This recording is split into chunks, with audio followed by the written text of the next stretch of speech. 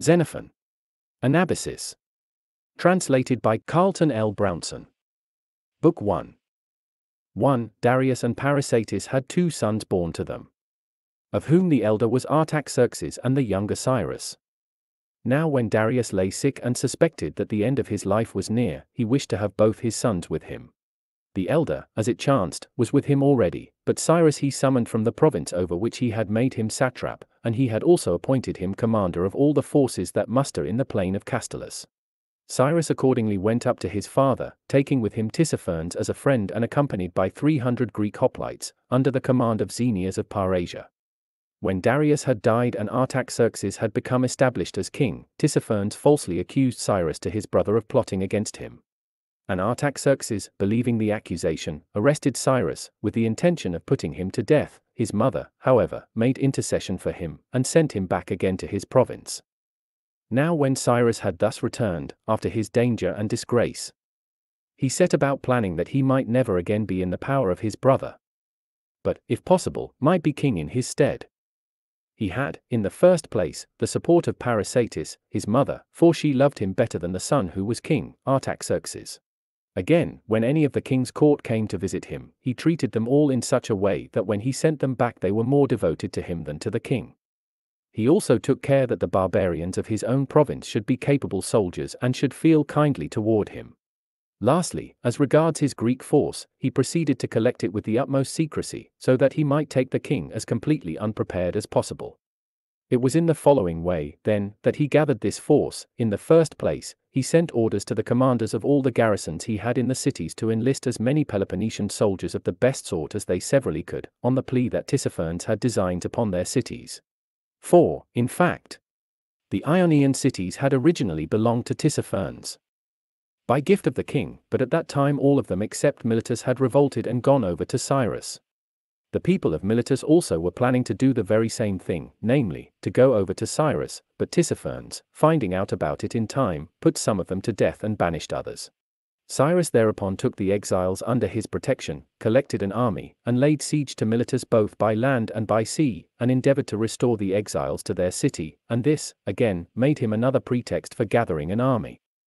Meanwhile he sent to the king and urged, on the ground that he was his brother, that these Ionian cities should be given to him instead of remaining under the rule of Tissaphernes, and his mother cooperated with him in this.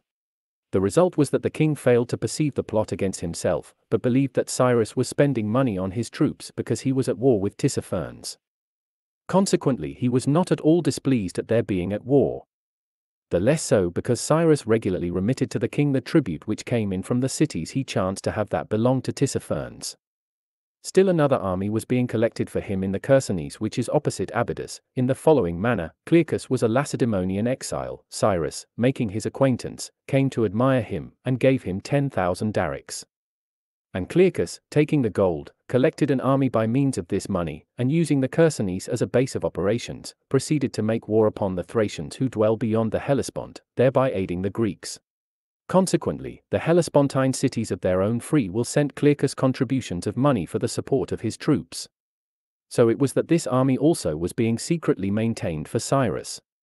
Again, Aristippus the Thessalian chanced to be a friend of Cyrus, and since he was hard pressed by his political opponents at home, he came to Cyrus and asked him for three months' pay for 2,000 mercenaries, urging that in this way he should get the better of his opponents. And Cyrus gave him six months' pay for 4,000, and requested him not to come to terms with his opponents until he had consulted with him. Thus the army in Thessaly, again, was being secretly maintained for him. Furthermore, Cyrus directed Proxenus the Boeotian, who was a friend of his, to come to him with as many men as he could get, saying that he wished to undertake a campaign against the Pisidians, because, as he said, they were causing trouble to his province. He also directed Sophaenetus the Stymphalian and Socrates the Achaean, who were likewise friends of his, to come with as many men as they could get, saying that he intended to make war upon Tissaphernes with the aid of the Milesian exiles, and they proceeded to carry out his directions. 2. When he thought the time had come to begin his upward march. The pretext he offered was that he wished to drive the Pisidians out of his land entirely, and it was avowedly against them that he set about collecting both his barbarian and his Greek troops. At that time he also sent word to Clearchus to come to him with the entire army which he had, and to Aristippus to effect a reconciliation with his adversaries at home and send him the army which he had, and he sent word to Xenias the Arcadian, who commanded for him the mercenary force in the cities, to come with his troops, leaving behind only so many as were necessary to garrison the citadels. He likewise summoned the troops which were besieging Miletus, and urged the Miletian exiles to take the field with him, promising them that, if he should successfully accomplish the object for which he was taking the field, he would not stop until he had restored them to their homes. And they gladly obeyed, for they trusted him, and presented themselves, under arms, at Sardis. Xenias, then, arrived at Sardis with the troops from the cities, who were hoplites to the number of 4,000. Proxenus was there with hoplites to the number of 1,500, and 500 light armed troops, Sophaenetus the Stymphalian with a thousand hoplites, Socrates the Achaean with about 500 hoplites, and Pasion the Megarian arrived with 300 hoplites and 300 peltastes. The last named, and Socrates also, belonged to the force that had been engaged in besieging Miletus. All these came to Cyrus at Sardis. Meanwhile Tissaphernes had taken note of these proceedings and come to the conclusion that Cyrus' preparations were too extensive to be against the Pisidians, he accordingly made his way to the king as quickly as he could, with about 500 horsemen. And when the king heard from Tissaphernes about Cyrus' array, he set about making counter-preparations. Cyrus was now setting forth from Sardis with the troops I have mentioned, and he marched through Lydia three stages. A distance of 22 parasangs, to the Maeander River. The width of this river was two plethra, and there was a bridge over it made of seven boats. After crossing the Maeander he marched through Phrygia one stage, a distance of eight parasangs, to Colossae, an inhabited city, prosperous and large. There he remained seven days, and Menon the Thessalian arrived, with a thousand hoplites and five hundred peltastes, consisting of Dolopians, Aenianians, and Olynthians. Thence he marched three stages, twenty parasangs, to Celaenae, an inhabited city of Phrygia, large and prosperous. There Cyrus had a palace and a large park full of wild animals, which he used to hunt on horseback whenever he wished to give himself and his horses exercise. Through the middle of this park flows the Maeander River, its sources are beneath the palace, and it flows through the city of Celaenae also. There is likewise a palace of the great king in Celaenae strongly fortified and situated at the foot of the Acropolis over the sources of the Marsyas River, the Marsyas also flows through the city and empties into the Maeander, and its width is 25 feet. It was here, according to the story, that Apollo flayed Marsyas, after having defeated him in a contest of musical skill, he hung up his skin in the cave from which the sources issue, and it is for this reason that the river is called Marsyas. It was here also, report has it, that Xerxes, when he was on his retreat from Greece after losing the famous battle, built the palace just mentioned and likewise the citadel of Celaenae. Here Cyrus remained thirty days, and Clearchus, the Lacedaemonian exile, arrived, with a thousand hoplites, eight hundred Thracian peltastes, and two hundred Cretan bowmen. At the same time came also Sosis the Syracusan with three hundred hoplites and Agias the Arcadian with a thousand hoplites. And here Cyrus held a review and made an enumeration of the Greeks in the park, and they amounted all told to 11,000 hoplites and about 2,000 peltastes. Thence he marched two stages. Ten parasangs, to Peltae, an inhabited city. There he remained three days, during which time Xenias the Arcadian celebrated the Lycaean festival with sacrifice and held games, the prizes were golden strigils, and Cyrus himself was one of those who watched the games. Thence he marched two stages, twelve parasangs, to the inhabited city of Ceramon Agora, the last Phrygian city as one goes toward Mysia. Thence he marched three stages, thirty parasangs, to Caystru-pedion, an inhabited city. There he remained five days. At this time he was owing the soldiers more than three months' pay, and they went again and again to his headquarters and demanded what was due them. He all the while expressed hopes, and was manifestly troubled, for it was not Cyrus' way to withhold payment when he had money. At this juncture arrived Epyaxa, the wife of Syennesis, the king of the Cilicians, coming to visit Cyrus, and the story was that she gave him a large sum of money, at any rate. Cyrus paid the troops at that time four months' wages. The Cilician queen was attended by a bodyguard of Cilicians and Aspendians, and people said that Cyrus had intimate relations with the queen. Thence he marched two stages, ten parasangs, to the inhabited city of Thymbrium. There, alongside the road, was the so-called spring of Midas, the king of the Phrygians, at which Midas, according to the story, caught the satyr by mixing wine with the water of the spring. Thence he marched two stages, ten parasangs, to Tyriaeum, an inhabited city. There he remained three days. And the Cilician queen, as the report ran, asked Cyrus to exhibit his army to her. Such an exhibition was what he desired to make, and accordingly he held a review of the Greeks and the barbarians on the plain. He ordered the Greeks to form their lines and take their positions just as they were accustomed to do for battle, each general marshalling his own men. So they formed the line four deep, Menon and his troops occupying the right wing. Clearchus and his troops the left. And the other generals the center. Cyrus inspected the barbarians first, and they marched past with their cavalry formed in troops and their infantry in companies, then he inspected the Greeks, driving past them in a chariot, the Cilician queen in a carriage. And the Greeks all had helmets of bronze, crimson tunics, and greaves, and carried their shields uncovered. When he had driven past them all, he halted his chariot in front of the center of the phalanx, and sending his interpreter Pigres to the generals of the Greeks, gave orders that the troops should advance arms and the phalanx move forward in a body. The generals transmitted these orders to the soldiers, and when the trumpet sounded, they advanced arms and charged. And then, as they went on faster and faster, at length with a shout the troops broke into a run of their own accord, in the direction of the camp. As for the barbarians, they were terribly frightened, the Cilician queen took to flight in her carriage. And the people in the market left their wares behind and took to their heels, while the Greeks with a roar of laughter came up to their camp. Now the Cilician queen was filled with admiration at beholding the brilliant appearance and the order of the Greek army, and Cyrus was delighted to see the terror with which the Greeks inspired the barbarians. Thence he marched three stages, twenty parasangs, to Iconium, the last city of Phrygia. There he remained three days. Thence he marched through Lycaonia five stages, thirty parasangs. This country he gave over to the Greeks to plunder, on the ground that it was hostile territory. From there Cyrus sent the Cilician queen back to Cilicia by the shortest route, and he sent some of Menon's troops to escort her, Menon himself commanding them.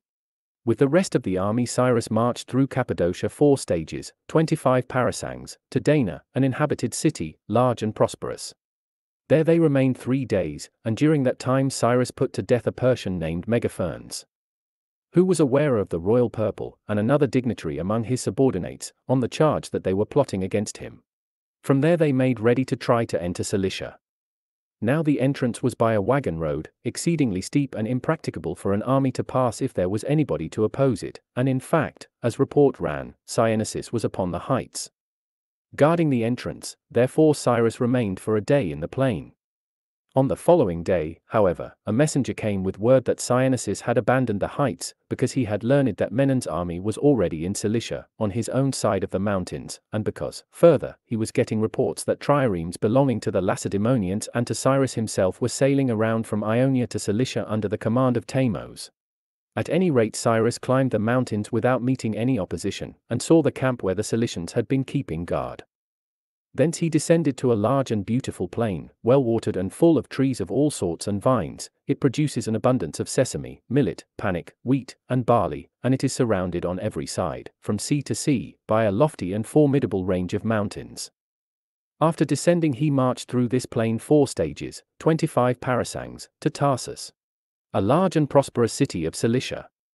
Where the palace of Syennesis, the king of the Cilicians, was situated, and through the middle of the city flows a river named the Cydnus, two plethra in width. The inhabitants of this city had abandoned it and fled, with Syennesis, to a stronghold upon the mountains, all of them, at least, except the tavern keepers, and there remained also those who dwelt on the sea coast, in Soli and Issus. Now Epyaxa, the wife of Syennesis, had reached Tarsus five days ahead of Cyrus, but in the course of her passage over the mountains to the plain two companies of Menon's army had been lost. Some said that they had been cut to pieces by the Cilicians while engaged in a bit of plundering, another story was that they had been left behind, and, unable to find the rest of the army or the roads, had thus wandered about and perished, at any rate, they numbered a hundred hoplites. And when the rest of Menon's troops reached Tarsus, in their anger over the loss of their comrades they plundered thoroughly not only the city, but also the palace that was in it. As for Cyrus, after he had marched into the city, he more than once summoned Syennesis to his presence, but Syennesis said that he had never yet put himself in the hands of anyone who was more powerful than he was, and he would not now put himself in the hands of Cyrus until his wife had won him over and he had received pledges. When the two men finally met one another, Syennesis gave Cyrus a large sum of money for his army, while Cyrus gave him gifts which are regarded at court as tokens of honor a horse with a gold mounted bridle, a gold necklace and bracelets, a gold dagger, and a Persian robe, promising him, further, that his land should not be plundered any more and that they might take back the slaves that had been seized in case they should chance upon them anywhere. 3. Cyrus and his army remained here at Tarsus twenty days for the soldiers refused to go any farther, for they suspected by this time that they were going against the king, and they said they had not been hired for that. Clearchus was the first to try to force his men to go on, but they pelted him and his pack animals with stones as often as they began to go forward. At that time Clearchus narrowly escaped being stoned to death, but afterwards, when he realized that he could not accomplish anything by force, he called a meeting of his own troops.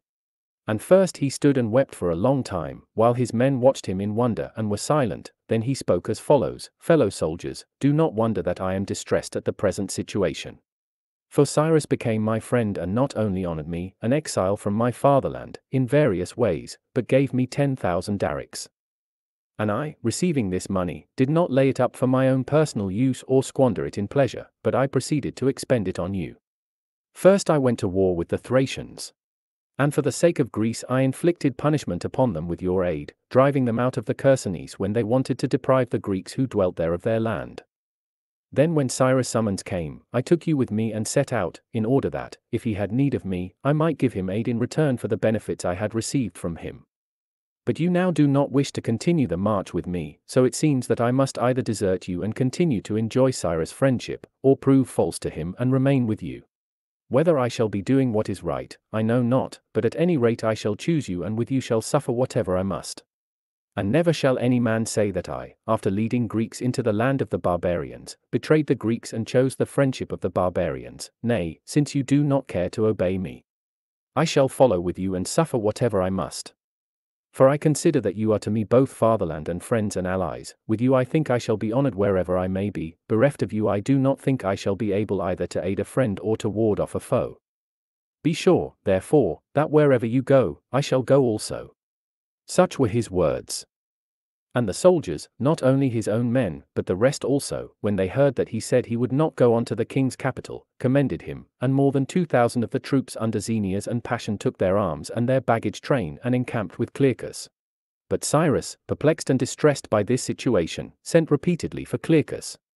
Clearchus refused to go to him, but without the knowledge of the soldiers he sent a messenger and told him not to be discouraged, because, he said, this matter would be settled in the right way. He directed Cyrus, however, to keep on sending for him. Though he himself, he said, would refuse to go. After this Clearchus gathered together his own soldiers, those who had come over to him, and any others who wanted to be present, and spoke as follows Fellow soldiers, it is clear that the relation of Cyrus to us is precisely the same as ours to him, that is, we are no longer his soldiers, since we decline to follow him, and likewise he is no longer our paymaster. I know, however, that he considers himself wronged by us. Therefore, although he keeps sending for me, I decline to go, chiefly, it is true, from a feeling of shame, because I am conscious that I have proved utterly false to him, but, besides that, from fear that he may seize me and inflict punishment upon me for the wrongs he thinks he has suffered at my hands. In my opinion, therefore, it is no time for us to be sleeping or unconcerned about ourselves, we should rather be considering what course we ought to follow under the present circumstances. And so long as we remain here, we must consider. I think, how we can remain most safely, or, again, if we count it best to depart at once, how we are to depart most safely and how we shall secure provisions, for without provisions neither general nor private is of any use. And remember that while this Cyrus is a valuable friend when he is your friend, he is a most dangerous foe when he is your enemy. Furthermore, he has an armament, infantry and cavalry and fleet, which we all alike see and know about, for I take it that our camp is not very far away from him. It is time, then, to propose whatever plan any one of you deems best. With these words he ceased speaking. Thereupon various speakers arose, some of their own accord to express the opinions they held, but others at the instigation of Clearchus to make clear the difficulty of either remaining or departing without the consent of Cyrus. One man in particular, pretending to be in a hurry to proceed back to Greece with all speed, proposed that they should choose other generals as quickly as possible. In case Clearchus did not wish to lead them back, secondly, that they should buy provisions, the market was in the barbarian army, and pack up their baggage, then, to go to Cyrus and ask for vessels to sail away in, and if he would not give them vessels, to ask him for a guide to lead them homeward through a country that was friendly, and if he would not give them a guide, either, to form in line of battle with all speed and likewise to send a force to occupy the mountain heights in advance, in order that neither Cyrus nor the Cilicians should forestall them, and we have in our possession, he said, many of these Cilicians and much of their property that we have seized as plunder. Such were the words of this speaker. After him Clearchus said merely this, Let no one among you speak of me as the man who is to hold this command, for I see many reasons why I should not do so, say rather that I shall obey to the best of my ability the man whom you choose in order that you may know that I understand as well as any other person in the world how to be a subordinate also. After he had spoken, another man arose to point out the foolishness of the speaker who had urged them to ask for vessels, just as if Cyrus were going home again, and to point out also how foolish it was to ask for a guide from this man whose enterprise we are ruining. Indeed, if we propose to trust the guide that Cyrus gives us, what is to hinder us from directing Cyrus also to occupy the heights for us in advance? For my part, I should hesitate to embark on the vessels that he might give us, for fear of his sinking us with his warships. And I should be afraid to follow the guide that he might give, for fear of his leading us to a place from which it will not be possible to escape. My choice would be, in going off without Cyrus' consent, to go off without his knowledge, and that is not possible. Now in my own opinion the plans just proposed are nonsense, rather, I think we should send to Cyrus men of the proper sort, along with Clearchus, to ask him what use he wishes to make of us, and if his enterprise is like the sort of one in which he employed mercenaries before, I think that we also should follow him and not be more cowardly than those who went up with him on the former occasion, if, however, his enterprise is found to be greater and more laborious and more dangerous than the former one, we ought to demand that he should either offer sufficient persuasion and lead us on with him, or yield to our persuasion and let us go home in friendship, for in this way, if we should follow him, we should follow as friends and zealous supporters. And if we should go back, we should go back in safety. I propose, further, that our representative should report back to us whatever reply he may make, and that we after hearing it should deliberate about the matter. This plan was adopted, and they chose representatives and sent them with Clearchus, and they proceeded to put to Cyrus the questions resolved upon by the army. He replied that he had heard that Abrocomas, a foe of his, was at the Euphrates River, twelve stages distant. It was against him, therefore, he said, that he desired to march. And if he were there, he wished to inflict due punishment upon him, but if he has fled, he continued, we will deliberate about the matter then and there. Upon hearing this reply, the deputies reported it to the soldiers, and they, while suspecting that Cyrus was leading them against the king, nevertheless thought it best to follow him. They asked, however, for more pay. And Cyrus promised to give them all half as much again as they had been receiving before. Namely, a daric and a half a month to each man instead of a daric, but as regards the suspicion that he was leading them against the king, no one heard it expressed even then, at any rate, not openly.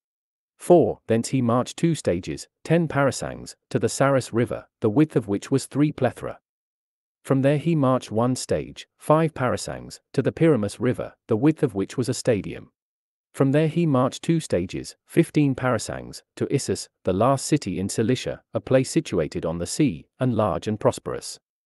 There they remained three days, and the ships from Peloponnesus arrived to meet Cyrus, thirty-five in number, with Pythagoras the Lacedaemonian as admiral in command of them.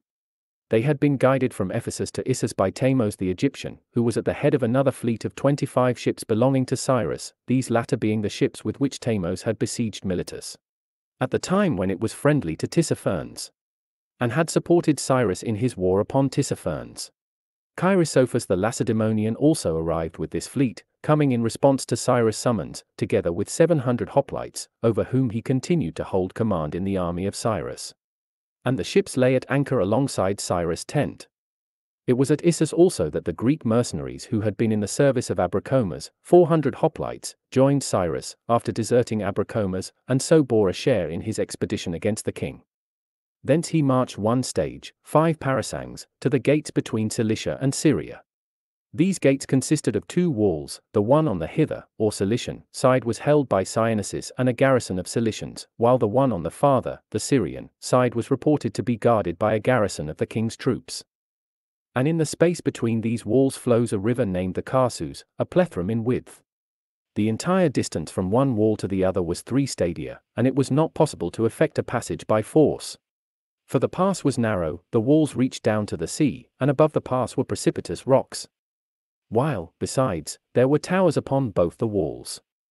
It was because of this pass that Cyrus had sent for the fleet, in order that he might disembark hoplites between and beyond the walls and thus overpower the enemy if they should be keeping guard at the Syrian gates, and that was precisely what Cyrus supposed Abrocomas would do, for he had a large army. Abrocomas, however, did not do so, but as soon as he heard that Cyrus was in Cilicia, he turned about in his journey from Phoenicia and marched off to join the king, with an army, so the report ran, of 300,000 men. Thence Cyrus marched one stage, five parasangs, to Myriandus, a city on the sea coast, inhabited by Phoenicians, it was a trading place, and many merchant ships were lying at anchor there.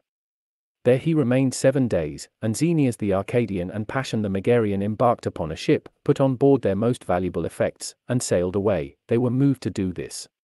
As most people thought, by a feeling of jealous pride, because their soldiers had gone over to Clearchus with the intention of going back to Greece again instead of proceeding against the king, and Cyrus had allowed Clearchus to keep them.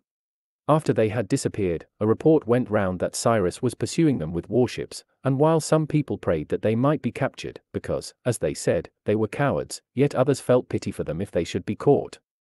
Cyrus, however, called the generals together and said, Xenias and Pasion have deserted us but let them, nevertheless, know full well that they have not escaped from me, either by stealth, for I know in what direction they have gone, or by speed, for I have men of war with which I can overtake their craft.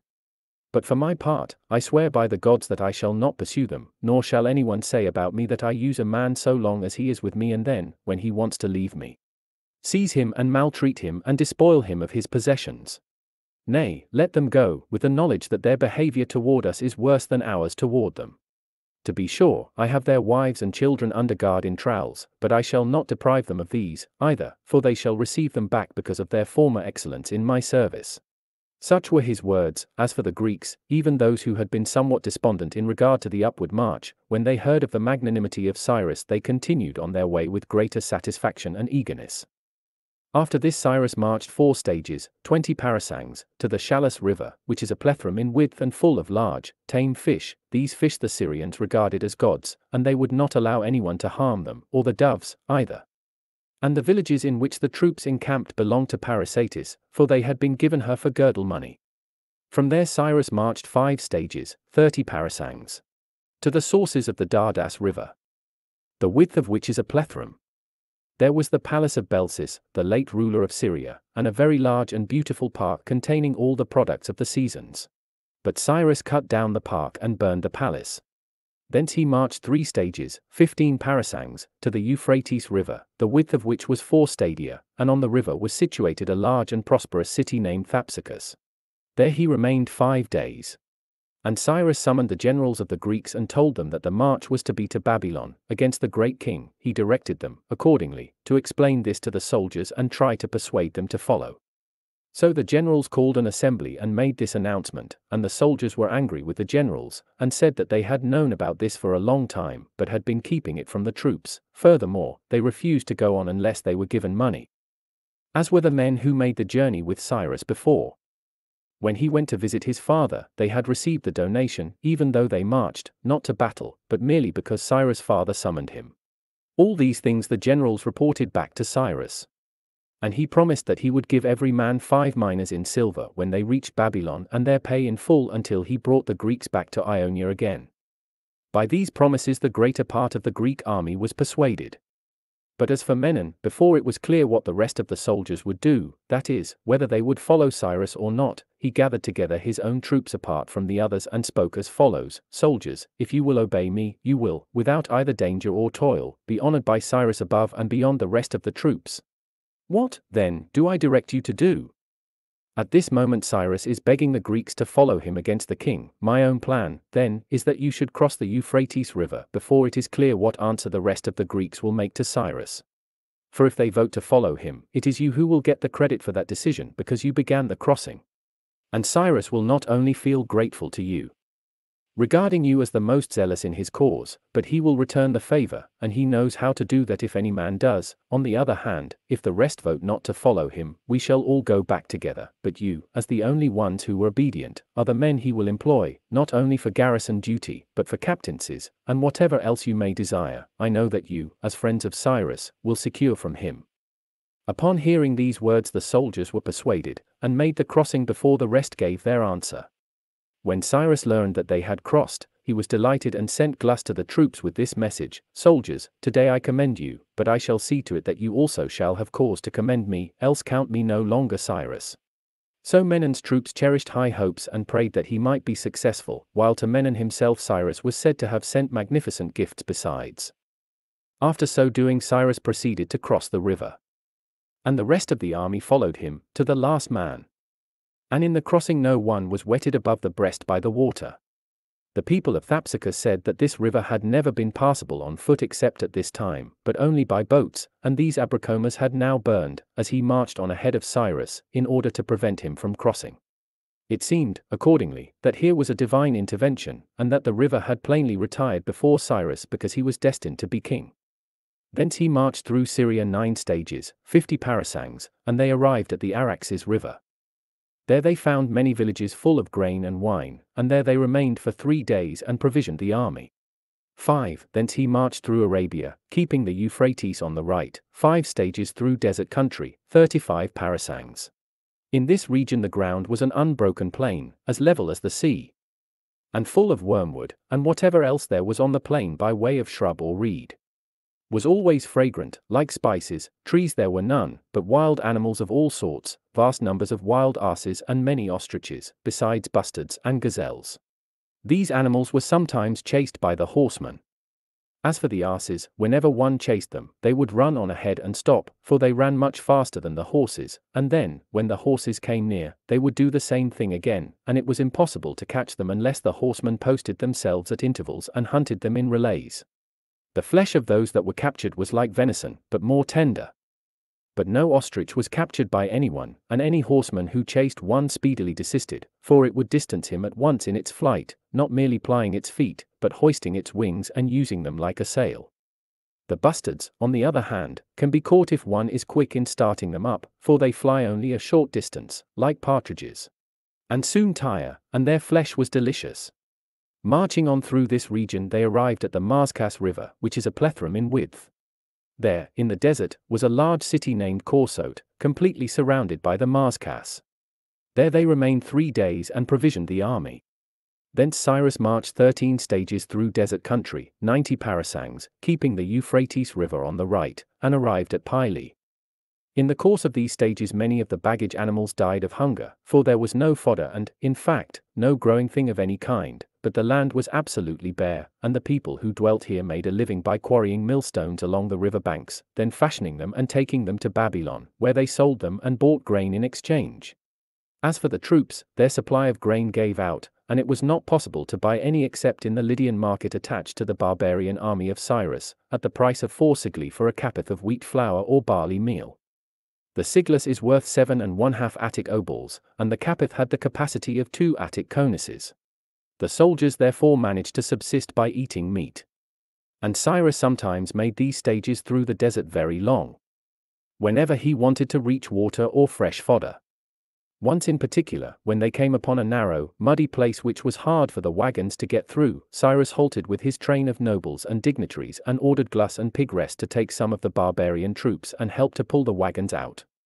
But it seemed to him that they took their time with the work, accordingly, as if in anger, he directed the Persian nobles who accompanied him to take a hand in hurrying on the wagons.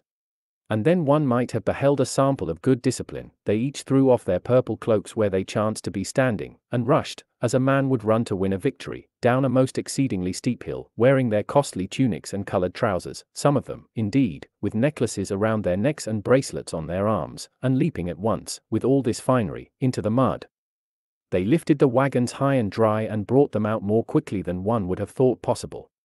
In general, it was clear that Cyrus was in haste throughout the whole journey and was making no delays, except where he halted to procure provisions or for some other necessary purpose. His thought was that the faster he went, the more unprepared the king would be to fight with him, while, on the other hand, the slower he went, the greater would be the army that was gathering for the king. Furthermore, one who observed closely could see at a glance that while the king's empire was strong in its extent of territory and number of inhabitants, it was weak by reason of the greatness of the distances and the scattered condition of its forces, in case one should be swift in making his attack upon it. Across the Euphrates River in the course of these desert marches was a large and prosperous city named Charmand, and here the soldiers made purchases of provisions, crossing the river on rafts in the following way they took skins which they had for tent covers, filled them with hay, and then brought the edges together and sewed them up, so that the water could not touch the hay. On these they would cross and get provisions, wine made from the date of the palm tree and bread made of millet, for this grain was very abundant in the country. There one of Menon's soldiers and one of Clearchus' men had some dispute, and Clearchus, deciding that Menon's man was in the wrong, gave him a flogging. The man then went to his own army and told about it, and when his comrades heard of the matter, they took it hard and were exceedingly angry with Clearchus. On the same day Clearchus, after going to the place where they crossed the river and there inspecting the market, was riding back to his own tent through Menon's army, having only a few men with him, and Cyrus had not yet arrived, but was still on the march toward the place, and one of Menon's soldiers who was splitting wood threw his axe at Clearchus when he saw him riding through the camp. Now this man missed him. But another threw a stone at him, and still another, and then, after an outcry had been raised, many, Clearchus escaped to his own army and at once called his troops to arms. He ordered his hoplites to remain where they were, resting their shields against their knees, while he himself with the Thracians and the horsemen, of which he had in his army more than forty, most of them Thracians, advanced upon Menon's troops. The result was that these and Menon himself were thoroughly frightened and ran to their arms, though there were some who stood stock still, nonplussed by the situation. But Proxenus, for he chanced to be now coming up, later than the others, with a battalion of hoplites following him, straightway led his troops into the space between the two parties, halted them under arms, and began to beg Clearchus not to proceed with his attack. Clearchus, however, was angry, because, when he had barely escaped being stoned to death, Proxenus was talking lightly of his grievance, and he ordered him to remove himself from between them. At this moment Cyrus also came up and learned about the situation, and he immediately took his spears in his hands and, attended by such of his counselors as were present, came riding into the intervening space and spoke as follows, Clearchus, and Proxenus, and all you other Greeks who are here, you know not what you are doing. For as certainly as you come to fighting with one another, you may be sure that on this very day I shall be instantly cut to pieces and yourselves not long after me, for once let ill fortune overtake us, and all these barbarians whom you see will be more hostile to us than are those who stand with the king. On hearing these words Clearchus came to his senses, and both parties ceased from their quarrel and returned to their quarters. 6. As they went on from there, they kept seeing tracks of horses and horses' dung. To all appearances it was the trail of about 2,000 horses, and the horsemen as they proceeded were burning up fodder and everything else that was of any use. At this time Orontes, a Persian, who was related to the king by birth and was reckoned among the best of the Persians in matters of war, devised a plot against Cyrus, in fact, he had made war upon him before this, but had become his friend again. He now said to Cyrus that if he would give him a thousand horsemen, he would either ambush and kill these horsemen who were burning ahead of him, or he would capture many of them alive and put a stop to their burning as they advanced, and he would see to it that they should never be able to behold Cyrus' army and get to the king with their report. When Cyrus heard this plan, it seemed to him to be an expedient one, and he directed Orontes to get a detachment from each one of the cavalry commanders. Then Orontes, thinking that his horsemen were assured him, wrote a letter to the king saying that he would come to him with as many horsemen as he could get, and he urged the king to direct his own cavalry to receive him as a friend. The letter also contained reminders of his former friendship and fidelity. This letter he gave to a man whom he supposed to be faithful to him, but this man took it and gave it to Cyrus. When Cyrus had read it, he had Orontes arrested, and summoned to his tent seven of the noblest Persians among his attendants, while he ordered the Greek generals to bring up hoplites and bid them station themselves under arms around his tent. And the generals obeyed the order, bringing with them about three thousand hoplites. Clearchus was also invited into the tent as a counselor, for both Cyrus and the other Persians regarded him as the man who was honored above the rest of the Greeks. And when he came out, he reported to his friends how Orontes' trial was conducted, for it was no secret. he said that Cyrus began the conference in this way My friends, I have invited you here in order that I may consult with you and then take such action in the case of Orontes here as is right in the sight of gods and men. This man was given me at first by my father, to be my subject, then, at the bidding, as he himself said, of my brother, this man levied war upon me, holding the citadel of Sardis, and I, by the war I waged against him, made him count it best to cease from warring upon me, and I received and gave the hand clasp of friendship. Since that, he said, Orontes, have I done you any wrong? No, Orontes answered. Cyrus went on questioning him, Did you not afterwards, although, as you yourself admit, you had suffered no wrong at my hands, desert me for the Mysians, and do all the harm you could to my territory? Yes, said Orontes. Did you not, Cyrus said, when once more you had learned the slightness of your own power, go to the altar of Artemis and say you were sorry, and did you not? After prevailing upon me to pardon you. Again give me pledges and receive pledges from me? This also Orontes admitted. What wrong, then, said Cyrus, have you suffered at my hands, that you now for the third time have been found plotting against me? When Orontes replied, None, Cyrus asked him, Do you admit, then, that you have proved yourself a doer of wrong toward me? I cannot choose but do so, said Orontes. Thereupon Cyrus asked again, Then could you henceforth prove yourself a foe to my brother and a faithful friend to me? Even if I should do so, Cyrus, he replied, you could never after this believe it of me. Then Cyrus said to those who were present, Such have been this man's deeds, such are now his words, and now, Clearchus, do you be the first of my counselors to express the opinion you hold. And Clearchus said, My advice is to put this man out of the way as speedily as possible, so that we may no longer have to be on our guard against the fellow, but may be left free, so far as concerns him, to requite with benefits these willing servants. In this opinion Clearchus said that the others also concurred. After this, he said, at the bidding of Cyrus, every man of them arose, even Orontes' kinsman, and took him by the girdle, as a sign that he was condemned to death, and then those to whom the duty was assigned led him out. And when the men who in former days were wont to do him homage saw him, they made their obeisance even then, although they knew that he was being led forth to death. Now after he had been conducted into the tent of Artapates, the most faithful of Cyrus' chamberlains, from that moment no man ever saw Orontes living or dead, nor could anyone say from actual knowledge how he was put to death. It was all conjectures. Of one sort and another, and no grave of his was ever seen. 7. From there Cyrus marched through Babylonia three stages. 12 parasangs. On the third stage he held a review of the Greeks and the barbarians on the plain at about midnight, for he thought that at the next dawn the king would come with his army to do battle, and he ordered Clearchus to act as commander of the right wing and Menon of the left, while he himself marshalled his own troops. On the morning following the review, at daybreak, there came deserters from the great king and brought reports to Cyrus about his army. At this time Cyrus called together the generals and captains of the Greeks, and not only took counsel with them as to how he should fight the battle, but, for his own part, exhorted and encouraged them as follows Men of Greece, it is not because I have not barbarians enough that I have brought you hither to fight for me, but because I believe that you are braver and stronger than many barbarians, for this reason I took you also. Be sure, therefore, to be men worthy of the freedom you possess. Upon the possession of which I congratulate you. For you may be certain that freedom is the thing I should choose in preference to all that I have and many times more. And now, in order that you may know what sort of a contest it is into which you are going, I who do know will tell you.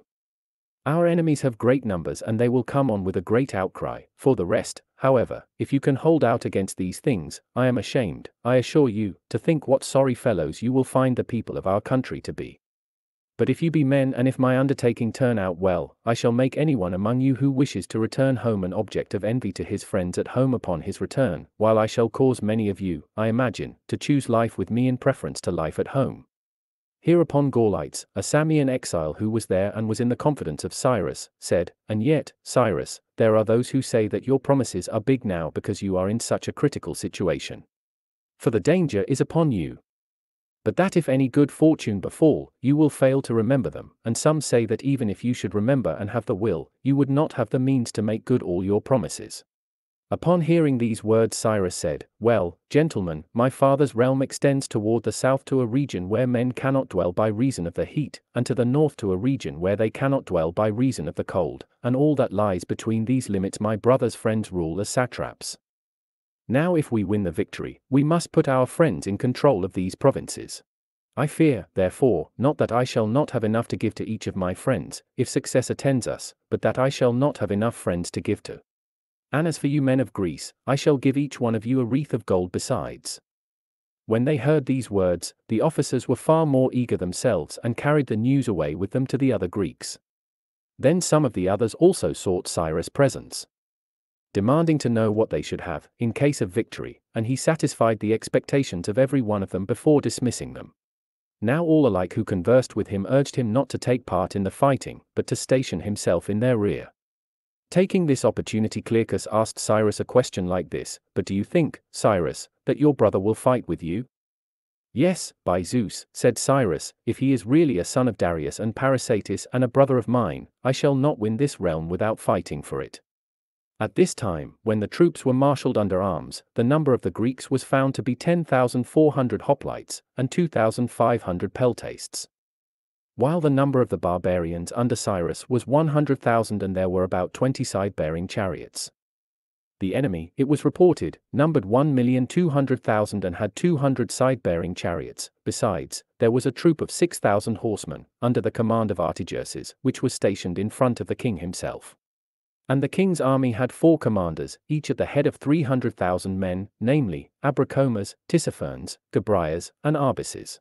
But of the forces just enumerated only 900,000, with 150 scythe-bearing chariots, were present at the battle, for Abrocomas, marching from Phoenicia, arrived five days too late for the engagement. Such were the reports brought to Cyrus by those who deserted from the great king before the battle, and after the battle identical reports were made by the prisoners taken thereafter. From there Cyrus marched one stage. Three parasangs, with his whole army, Greek and barbarian alike, drawn up in line of battle, for he supposed that on that day the king would come to an engagement, for about midway of this day's march there was a deep trench, five fathoms in width and three fathoms in depth. This trench extended up through the plain for a distance of 12 parasangs, reaching to the wall of Media. Here also are the canals, which flow from the Tigris River. They are four in number, each a plethrum wide and exceedingly deep, and grain-carrying ships ply in them. They empty into the Euphrates and are a parasang apart, and there are bridges over them and alongside the Euphrates there was a narrow passage, not more than about 20 feet in width, between the river and the trench, and the trench had been constructed by the great king as a means of defense when he learned that Cyrus was marching against him. Accordingly Cyrus and his army went through by the passage just mentioned, and so found themselves on the inner side of the trench. Now on that day the king did not offer battle, but tracks of both horses and men in retreat were to be seen in great numbers.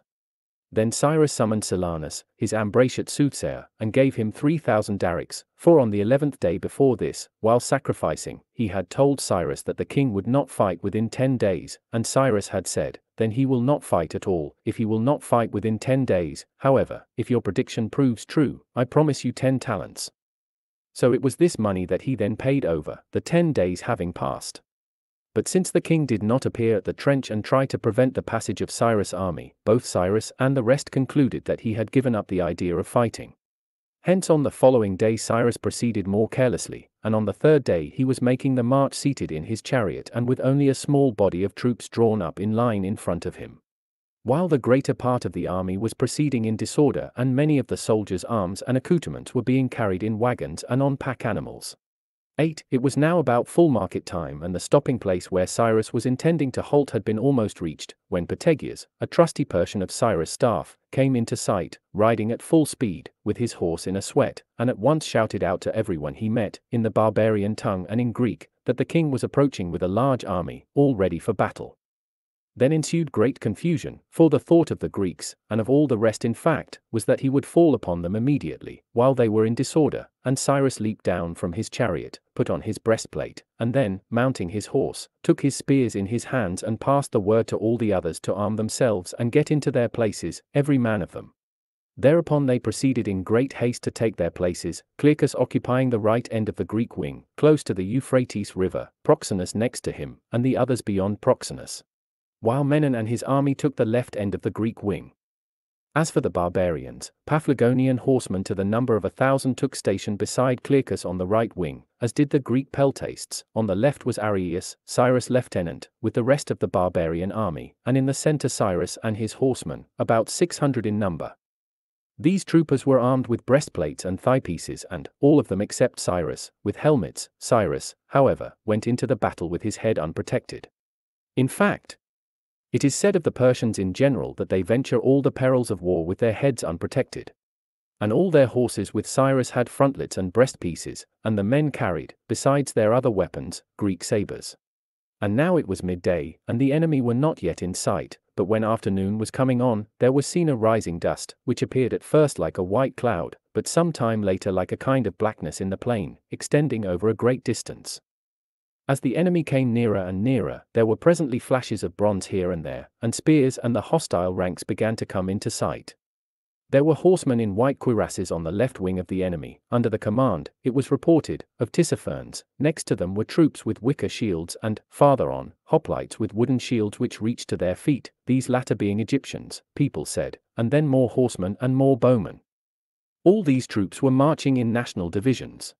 Each nation in a solid square, in front of them were the so-called scythe-bearing chariots, at some distance from one another, and the scythes they carried reached out sideways from the axles and were also set under the chariot bodies, pointing towards the ground, so as to cut to pieces whatever they met. The intention, then, was that they should drive into the ranks of the Greeks and cut the troops to pieces.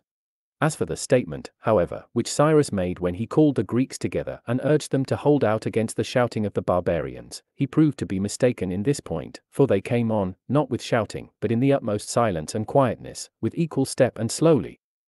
At this moment Cyrus rode along the line, attended only by Pigres, his interpreter, and three or four others, and shouted to Clearchus to lead his army against the enemy's center, for the reason that the king was stationed there, and if, he said, we are victorious there, our whole task is accomplished.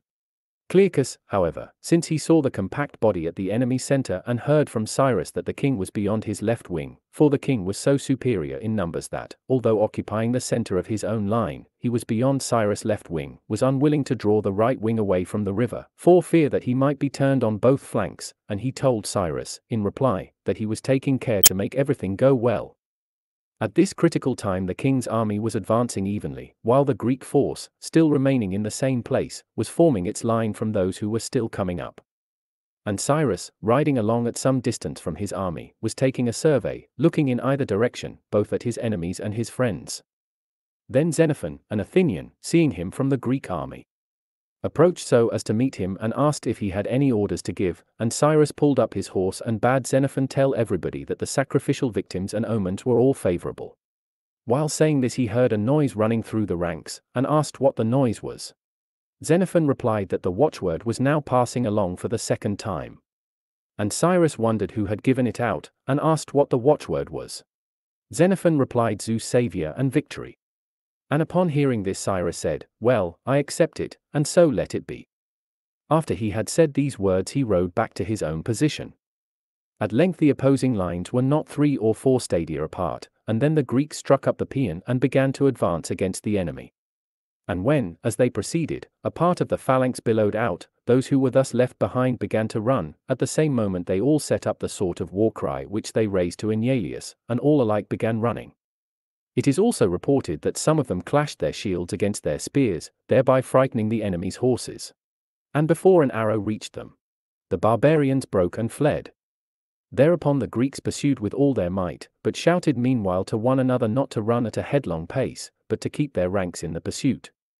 As for the enemy's chariots, some of them plunged through the lines of their own troops, others, however, through the Greek lines.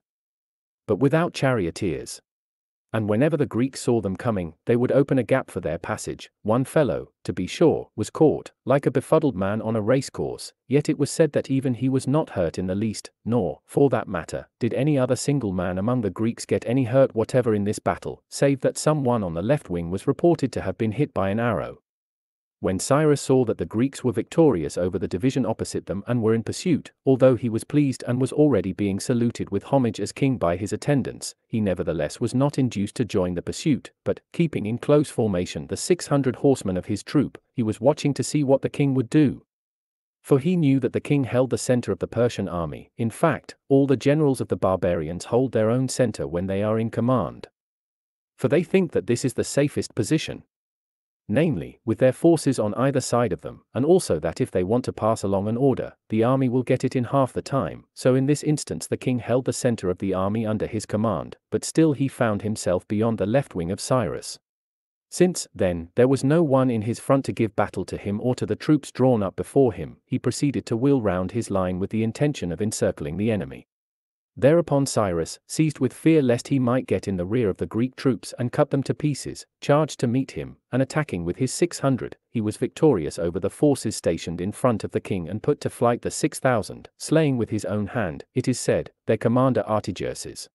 But when they turned to flight, Cyrus' 600, setting out in pursuit, became scattered also, and only a very few were left about him, chiefly his so-called table companions. While attended by these only, he caught sight of the king and the compact body around him, and on the instant he lost control of himself and, with the cry I see the man, rushed upon him and struck him in the breast and wounded him through his breastplate, as Ctesias the physician says, adding also that he himself healed the wound. While Cyrus was delivering his stroke, however, someone hit him a hard blow under the eye with a javelin, and then followed a struggle between the king and Cyrus and the attendants who supported each of them. The number that fell on the king's side is stated by Ctesias, who was with him. On the other side, Cyrus himself was killed and eight of the noblest of his attendants lay dead upon him. Of Artapates, the one among Cyrus' chamberlains who was his most faithful follower, it is told that when he saw Cyrus fallen, he leaped down from his horse and threw his arms about him and one report is that the king ordered someone to slay him upon the body of Cyrus. While others say that he drew his dagger and slew himself with his own hand, for he had a dagger of gold. And he also wore a necklace and bracelets and all the other ornaments that the noblest Persians wear, for he had been honored by Cyrus because of his affection and fidelity. 9. In this way, then, Cyrus came to his end, a man who was the most kingly and the most worthy to rule of all the Persians who have been born since Cyrus the elder, as all agree who are reputed to have known Cyrus intimately. For firstly, while he was still a boy and was being educated with his brother and the other boys, he was regarded as the best of them all in all respects. For all the sons of the noblest Persians are educated at the king's court, there one may learn discretion and self-control in full measure, and nothing that is base can be either heard or seen. The boys have before their eyes the spectacle of men honored by the king and of others dishonored, they likewise hear of them, and so from earliest boyhood they are learning how to rule and how to submit to rule. Here, then, Cyrus was reputed to be in the first place, the most modest of his fellows, and even more obedient to his elders than were his inferiors in rank. Secondly, the most devoted to horses and the most skilful in managing horses. He was also adjudged the most eager to learn, and the most diligent in practicing military accomplishments, alike the use of the bow and of the javelin. Then, when he was of suitable age, he was the fondest of hunting and, more than that, the fondest of incurring danger in his pursuit of wild animals. On one occasion, when a bear charged upon him, he did not take to flight, but grappled with her and was dragged from his horse. He received some injuries, the scars of which he retained, but in the end he killed the bear, and, furthermore, the man who was the first to come to his assistance he made an object of envy to many. Again, when he was sent down by his father to be satrap of Lydia, Greater Phrygia, and Cappadocia, and was also appointed commander of all the troops whose duty it is to muster in the plain of Castolus, he showed, in the first place, that he counted it of the utmost importance, when he concluded a treaty or compact with anyone or made anyone any promise, under no circumstances to prove false to his word. It was for this reason, then, that the cities trusted him and put themselves under his protection, and that individuals also trusted him, and if anyone had been an enemy, when Cyrus made a treaty with him he trusted that he would suffer no harm in violation of that treaty. Consequently, when he came to hostilities with Tissaphernes, all the cities of their own accord chose Cyrus rather than Tissaphernes, with the exception of Miletus, and the reason why the Milesians feared him was, that he would not prove false to the exiles from their city. For he showed repeatedly, by deed as well as by word, that he would never abandon them when once he had come to be their friend, not even if they should become still fewer in number and should meet with still worse misfortune.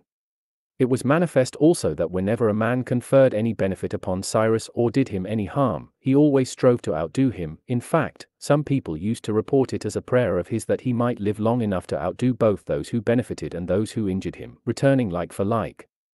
Hence it was that he had a greater following than any other one man of our time of friends who eagerly desired to entrust to him both treasure and cities and their very bodies. Yet, on the other hand, none could say that he permitted malefactors and wicked men to laugh at him, on the contrary, he was merciless to the last degree in punishing them. And one might often see along the travelled roads people who had lost feet or hands or eyes, thus in Cyrus province it became possible for either Greek or barbarian. Provided he were guilty of no wrongdoing, to travel fearlessly wherever he wished, carrying with him whatever it was to his interest to have. But it was the brave in war, as all agree, whom he honored especially. For example, he was once at war with the Pisidians and Mysians and commanded in person an expedition into their territories, and whomsoever in his army he found willing to meet dangers, these men he would not only appoint as rulers of the territory he was subduing, but would honor thereafter with other gifts also. Thus the brave were seen to be most prosperous, while cowards were deemed fit to be their slaves. Consequently Cyrus had men in great abundance who were willing to meet danger wherever they thought that he would observe them. As for uprightness, if a man showed that he desired to distinguish himself in that quality, Cyrus considered it all important to enable such an one to live in greater opulence than those who were greedy of unjust gain. Hence he not only had many and various functions performed for him with fidelity, but, in particular, he secured the services of an army worthy of the name. For generals and captains who came overseas to serve him for the sake of money judged that loyal obedience to Cyrus was worth more to them than their mere monthly pay. Again, so surely as a man performed with credit any service that he assigned him, Cyrus never let his zeal go unrewarded. In consequence, he was said to have gained the very best supporters for every undertaking. Furthermore, whenever he saw that a man was a skillful and just administrator, not only organizing well the country over which he ruled, but producing revenues, he would never deprive such a man of territory, but would always give him more besides. The result was that they toiled with pleasure and accumulated with confidence, and, more than that, no one would conceal from Cyrus the store which he had acquired, for it was clear that he did not envy those who were frankly and openly rich. But strove to make use of the possessions of such as tried to conceal their wealth. As to friends, all agree that he showed himself preeminent in his attentions to all the friends that he made and found devoted to him and adjudged to be competent co workers in whatever he might be wishing to accomplish. For, just as the precise object for which he thought he needed friends himself was that he might have co workers, so he tried on his own part to be a most vigorous co worker with his friends to secure that which he found each one of them desired. Again, he received more gifts, I presume, than any other one man, and for many reasons, and surely he of all men distributed gifts most generously among his friends, with an eye to the tastes of each one and to whatever particular need he noted in each case. As for all the gifts which people sent him to wear upon his person, whether intended for war or merely for show, it is reported that he said of them that his own person could not be adorned with all these things. But that in his opinion friends nobly adorned were a man's greatest ornament. To be sure, the fact that he outdid his friends in the greatness of the benefits he conferred is nothing surprising, for the manifest reason that he had greater means than they, but that he surpassed them in solicitude and in eagerness to do favors, this in my opinion is more admirable. For example, when Cyrus got some particularly good wine, he would often send the half emptied jar to a friend with the message Cyrus says that he has not chanced upon better wine than this for a long time, so he sends it to you, and asks you to drink it up today in company with the friends you love best. So he would often send halves of geese and of loaves and so forth, instructing the bearer to add the message Cyrus enjoyed this, and therefore wants you also to take a taste of it and wherever fodder was exceedingly scarce and he was able to get it for his own use because of the large number of his servants and because of his good planning. He would distribute this fodder among his friends and tell them to give it to the horses that carried their own bodies, that they might not be hungry while carrying his friends. And whenever he was on the march and was likely to be seen by very many people, he would call his friends to him and engage them in earnest conversation, in order to show whom he honored. Hence, as I at least conclude from what comes to my ears, no man, Greek or barbarian, has ever been loved by a greater number of people. Here is a fact to confirm that conclusion, although Cyrus was a slave, no one deserted him to join the king, save that Orontes attempted to do so, and he, mark you, speedily found out that the man he imagined was faithful to him, was more devoted to Cyrus than to him. On the other hand, many went over from the king to Cyrus after the two had become enemies, these being, moreover, the men who were most highly regarded by the king. Because they thought that if they were deserving, they would gain a worthier reward with Cyrus than with the king. Furthermore, what happened to Cyrus at the end of his life is a strong indication that he was a true man himself and that he knew how to judge those who were faithful, devoted, and constant. when he died, namely, all his bodyguard of friends and table companions died fighting in his defense, with the exception of Ariaeus, he, it chanced, was stationed on the left wing at the head of the cavalry, and when he learned that Cyrus had fallen, he took to flight with the whole army that he commanded. 10. Then the head of Cyrus and his right hand were cut off. But the king, pursuing Ariaeus, burst into the camp of Cyrus, and Ariaeus and his men no longer stood their ground, but fled through their own camp to the stopping place from which they had set out that morning, a distance, it was said, of four parasangs. So the king and his troops proceeded to secure plunder of various sorts in abundance. While in particular he captured the Phocian woman, Cyrus' concubine, who, by all accounts, was clever and beautiful. The Milesian woman, however, the younger one, after being seized by the king's men made her escape, lightly clad, to some Greeks who had chanced to be standing guard amid the baggage train and, forming themselves in line against the enemy, had killed many of the plunderers, although some of their own number had been killed also, nevertheless, they did not take to flight, but they saved this woman and, furthermore, whatever else came within their lines, whether persons or property. They saved all alike. At this time the king and the Greeks were distant from one another about 30 stadia, the Greeks pursuing the troops in their front, in the belief that they were victorious over all the enemy, the king and his followers plundering, in the belief that they were all victorious already. When, however, the Greeks learned that the king and his forces were in their baggage train, and the king, on the other hand, heard from Tissaphernes that the Greeks were victorious over the division opposite them and had gone on ahead in pursuit, then the king proceeded to gather his troops together and form them in line of battle, and Clearchus called Proxenus, for he was nearest him in the line, and took counsel with him as to whether they should send a detachment or go in full force to the camp, for the purpose of lending aid. Meanwhile the Greeks saw the king advancing again, as it seemed, from their rear, and they accordingly countermarched and made ready to meet his attack in case he should advance in that direction. The king, however, did not do so, but returned by the same route he had followed before, when he passed outside of Cyrus' left wing, and in his return picked up not only those who had deserted to the Greeks during the battle, but also Tissaphernes and his troops.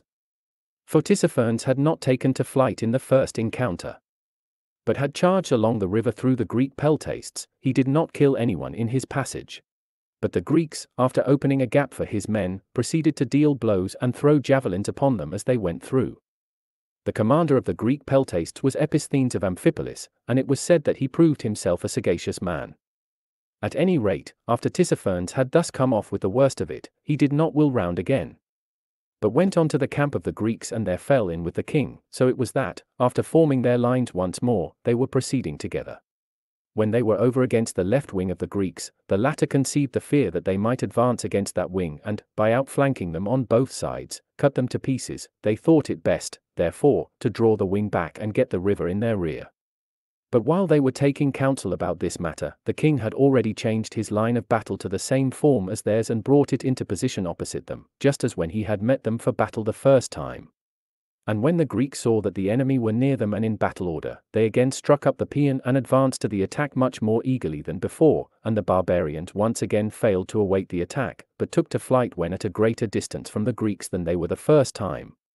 The Greeks pursued as far as a certain village, and there they halted, for above the village was a hill, upon which the king and his followers rallied, and they were not now foot soldiers, but the hill was covered with horsemen, so that the Greeks could not perceive what was going on.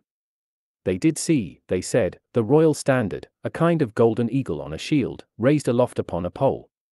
But when at this point also the Greeks resumed their forward movement, the horsemen at once proceeded to leave the hill, they did not keep together, however, as they went, but scattered in different directions, so the hill became gradually cleared of the horsemen, till at last they were all gone.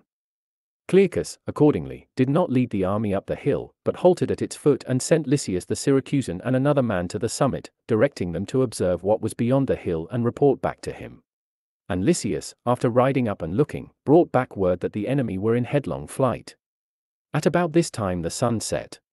Then the Greeks halted, grounded arms, and proceeded to rest themselves. At the same time they wondered that Cyrus was nowhere to be seen and that no one else had come to them from him, for they did not know that he was dead, but conjectured that he had either gone off in pursuit or pushed on to occupy some point. So they took counsel for themselves as to whether they should remain where they were and bring the baggage train thither, or return to their camp. The decision was to return, and they reached their tents about supper time. Such was the conclusion of this day. They found most of their property pillaged, in particular whatever there was to eat or drink, and as for the wagons loaded with flour and wine which Cyrus had provided in order that, if ever serious need should overtake the army, he might have supplies to distribute among the Greeks, and there were four hundred of these wagons, it was said, these also the king and his men had now pillaged. The result was that most of the Greeks had no dinner, and they had had no breakfast. Either, for the king had appeared before the time when the army was to halt for breakfast. Thus it was, then that they got through this night.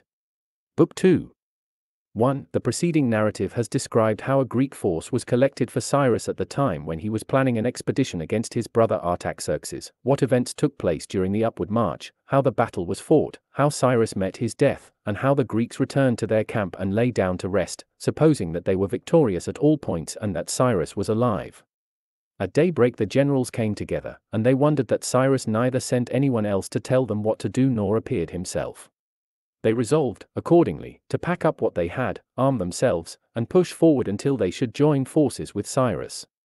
When they were on the point of setting out, and just as the sun was rising, came Procles, the ruler of Teuthrania, a descendant of Damaratus, the Laconian, and with him Glus, the son of Tamos, they reported that Cyrus was dead, and that Ariaeus had fled and was now, along with the rest of the barbarians, at the stopping place from which they had set out on the preceding day. Further, he sent word that he and his troops were that day waiting for the Greeks, on the chance that they intended to join them, but on the next day, so Ariaeus said, he should set out on the return journey for Ionia, whence he had come. The generals upon hearing this message, and the rest of the Greeks as they learned of it, were greatly distressed, Clearchus, however, said, Well, would that Cyrus were alive.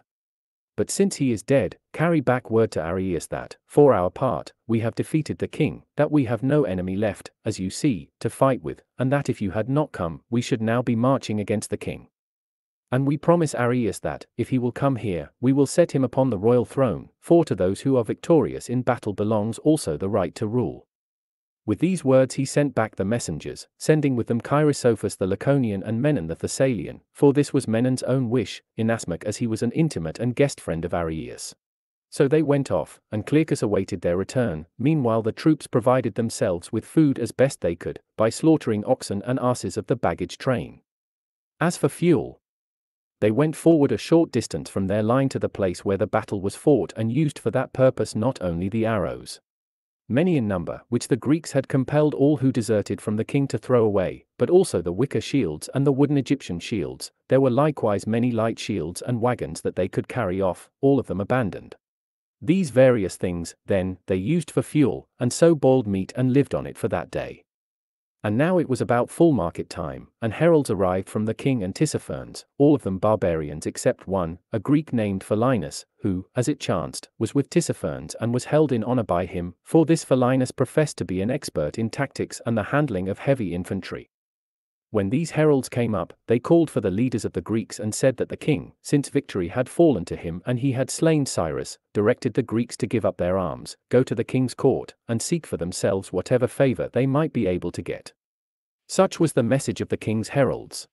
The Greeks received it with anger, but nevertheless Clearchus said as much as this, that it was not victors who gave up their arms. However, he continued, Do you, my fellow generals, give these men whatever answer you can that is best and most honorable, and I will return immediately.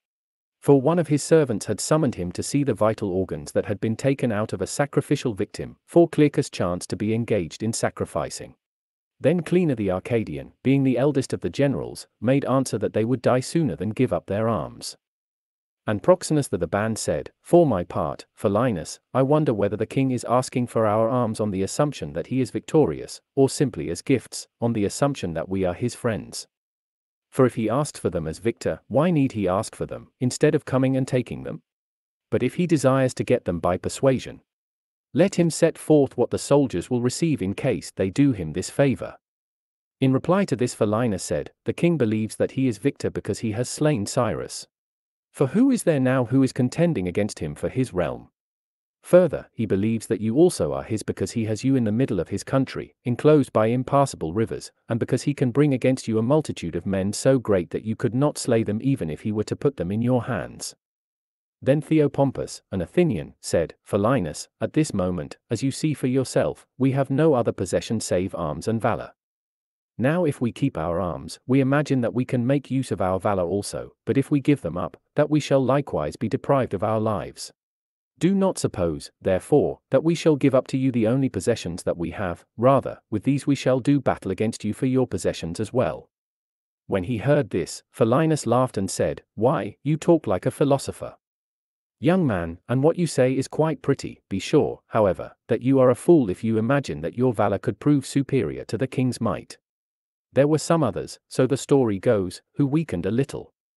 And said that, just as they had proved themselves faithful to Cyrus, so they might prove valuable to the king also if he should wish to become their friend, he might want to employ them for various purposes, perhaps for a campaign against Egypt, which they should be glad to assist him in subduing. At this time Clearchus returned, and asked whether they had yet given an answer. And Philinus broke in and said, These people, Clearchus, all say different things, but tell us what your own opinion is. Clearchus replied, I myself, Philinus, was glad to see you, and, I presume, all the rest were, too, for you are a Greek and so are we, whose numbers you can observe for yourself. Now since we are in such a situation, we ask you to advise us as to what we ought to do about the matter you mention. Do you, then, in the sight of the gods, give us whatever advice you think is best and most honorable. Advice which will bring you honor in future time when it is reported in this way, once on a time Philinus when he was sent by the king to order the Greeks to surrender their arms, gave them, when they sought his counsel, the following advice. And you know that any advice you may give will certainly be reported in Greece. Now Clearchus was making this crafty suggestion in the hope that the very man who was acting as the king's ambassador might advise them not to give up their arms, and that thus the Greeks might be made more hopeful. But, contrary to his expectation, Philinus also made a crafty turn, and said, For my part, if you have one chance in ten thousand of saving yourselves by carrying on war against the king, I advise you not to give up your arms, but if you have no hope of deliverance without the king's consent, I advise you to save yourselves in what way you can. In reply to this Clearchus said, Well, that is what you say, but as our answer carry back this word, that in our view if we are to be friends of the king, we should be more valuable friends if we keep our arms than if we give them up to someone else. And if we are to wage war with him, we should wage war better if we keep our arms than if we give them up to someone else. And Philinus said, That answer, then, we will carry back, but the king bade us tell you this also, that if you remain where you are, you have a truce, if you advance or retire. War. Inform us, therefore, on this point as well, shall you remain and is there a truce, or shall I report from you that there is war? Clearchus replied, Report, then, on this point that our view is precisely the same as the king's. What, then, is that? Said Philinus. Clearchus replied, If we remain, a truce, if we retire or advance, war. And Philinus asked again, Shall I report truce or war? And Clearchus again made the same reply, Truce if we remain, if we retire or advance. War. What he meant to do, however, he did not indicate. 2. So Philinus and his companions departed. But the messengers from Ariaeus arrived, Procles and Cheirisophus only, for Menon stayed behind with Ariaeus. They reported that Ariaeus said there were many Persians of higher rank than himself and they would not tolerate his being king. But, the messengers continued, if you wish to make the return journey with him, he bids you come at once, during the night, otherwise, he says he will set out tomorrow morning. And Clearchus said, Well, let it be this way, if we come, even as you propose, if we do not, follow whatever course you may think most advantageous to yourselves. But what he meant to do, he did not tell them, either. After this, when the sun was already setting, he called together the generals and captains and spoke as follows When I sacrificed, gentlemen, the omens did not result favorably for proceeding against the king. And with good reason, it proves, they were not favorable, for, as I now ascertain, between us and the king is the Tigris, a navigable river, which we could not cross without boats, and boats we have none. On the other hand, it is not possible for us to stay where we are, for we cannot get provisions, but the omens were extremely favorable for our going to join the friends of Cyrus. This, then, is what you are to do go away and dine on whatever you severally have. When the horn gives the signal for going to rest, pack up. When the second signal is given, load your baggage upon the beasts of burden, and at the third signal follow the van, keeping the beasts of burden on the side next to the river and the hoplites outside. Upon hearing these words, the generals and captains went away and proceeded to do as Clearchus had directed. And thenceforth he commanded, and they obeyed, not that they had chosen him, but because they saw that he alone possessed the wisdom which a commander should have. while the rest were without experience. The length of the journey they had made from Ephesus, in Ionia, to the battlefield was 93 stages, 535 parasangs, or 16,050 stadia, and the distance from the battlefield to Babylon was said to be 360 stadia. Afterwards, when darkness had come on, Miltocythes the Thracian, with the horsemen under his command, forty in number, and about three hundred Thracian foot soldiers, deserted to the king. But Clearchus put himself at the head of the rest of the troops, following out the plan of his previous orders, and they followed, and they reached the first stopping place, and there joined Ariaeus and his army, at about midnight. Then, while they halted under arms in line of battle, the generals and captains had a meeting with Ariaeus, and the two parties, the Greek officers, and Ariaeus together with the highest in rank of his followers, made oath that they would not betray each other and that they would be allies. While the barbarians took an additional pledge to lead the way without treachery. These oaths they sealed by sacrificing a bull, a boar, and a ram over a shield, the Greeks dipping a sword in the blood and the barbarians a lance. After the pledges had been given, Clearchus said, And now, Ariaeus, since you and we are to make the same journey, tell us what view you hold in regard to the route, shall we return by the same way we came, or do you think you have discovered another way that is better? Ariaeus replied, If we should return by the way we came, we should perish utterly from starvation, for we now have no provisions whatever. For even on our way hither we were not able to get anything from the country during the last 17 stages, and where there was anything, we consumed it entirely on our march through. Now, accordingly, we intend to take a route that is longer, to be sure, but one where we shall not lack provisions. And we must make our first marches as long as we can. In order to separate ourselves as far as possible from the king's army, for if we once get a two or three days' journey away from the king, he will not then be able to overtake us. For he will not dare to pursue us with a small army, and with a large array he will not find it possible to march rapidly, and perhaps, furthermore, he will lack provisions. This, said he, is the view which I hold, for my part. This plan of campaign meant nothing else than effecting an escape, either by stealth or by speed, but fortune planned better. For when day came, they set out on the march, keeping the sun on their right and calculating that at sunset they would reach villages in Babylonia, and in this they were not disappointed. But while it was still afternoon they thought that they saw horsemen of the enemy, and such of the Greeks as chanced not to be in the lines proceeded to run to the lines, while Ariaeus, who was making the journey in a wagon because he was wounded, got down and put on his breastplate. And his attendants followed his example. While they were arming themselves, however, the scouts who had been sent ahead returned with the report that it was not horsemen, but pack animals grazing. Straightway everybody realized that the king was encamping somewhere in the neighborhood, in fact, smoke was seen in villages not far away. Clearchus, however, would not advance against the enemy, for he knew that his troops were not only tired out, but without food, and, besides, it was already late, still, he would not turn aside, either, for he was taking care to avoid the appearance of flight, but leading the army straight ahead he encamped with the van at sunset in the nearest villages, from which the king's army had plundered even the very timbers of the houses. The van nevertheless encamped after a fashion, but the men who were further back, coming up in the dark, had to bivouac each as best they could, and they made a great uproar with calling one another, so that the enemy also heard it. The result was that the nearest of the enemy actually took to flight from their quarters. This became clear on the following day, for not a pack animal was any more to be seen nor camp nor smoke anywhere near. Even the king, so it seems, was terrified by the approach of the army. He made this evident by what he did the next day. However, as the night went on, a panic fell upon the Greeks also, and there was confusion and din of the sort that may be expected when panic has seized an army. Clearchus, however, directed Tolmides the Elean, who chanced to be with him as herald and was the best herald of his time, to make this proclamation, after he had ordered silence, the commanders give public notice that whoever informs on the man who let the ass loose among the arms shall receive a reward of a talent of silver. When this proclamation had been made, the soldiers realized that their fears were groundless and their commander safe. And at dawn Clearchus ordered the Greeks to get under arms in line of battle just as they were when the battle took place. 3. The fact which I just stated, that the king was terrified by the approach of the Greeks, was made clear by the following circumstance, although on the day before he had sent and ordered them to give up their arms, he now, at sunrise, sent heralds to negotiate a truce. When these heralds reached the outposts, they asked for the commanders.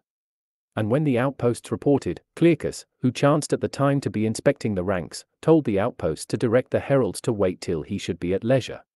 Then after he had arranged the army so that it should present a fine appearance from every side as a compact phalanx, with no one to be seen outside the lines of the hoplites, he summoned the messengers, and he himself came forward with the best armed and best looking of his own troops and told the other generals to do likewise.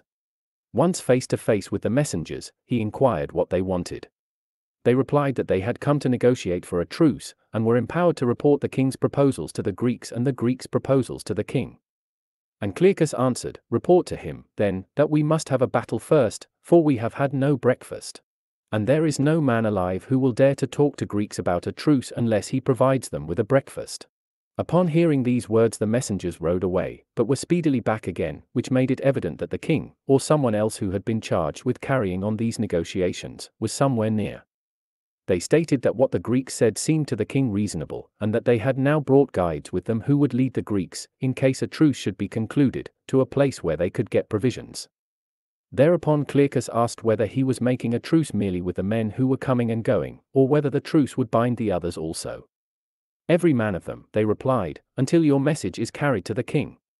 When they had said this, Clearchus had them retire and took counsel about the matter, and it was thought best to conclude the truce speedily, so that they could go and get the provisions without being molested. And Clearchus said, I, too, agree with this view, nevertheless, I shall not so report at once. But I shall delay until the messengers get fearful of our deciding not to conclude the truce, to be sure. He said, I suppose that our own soldiers will also feel the same fear.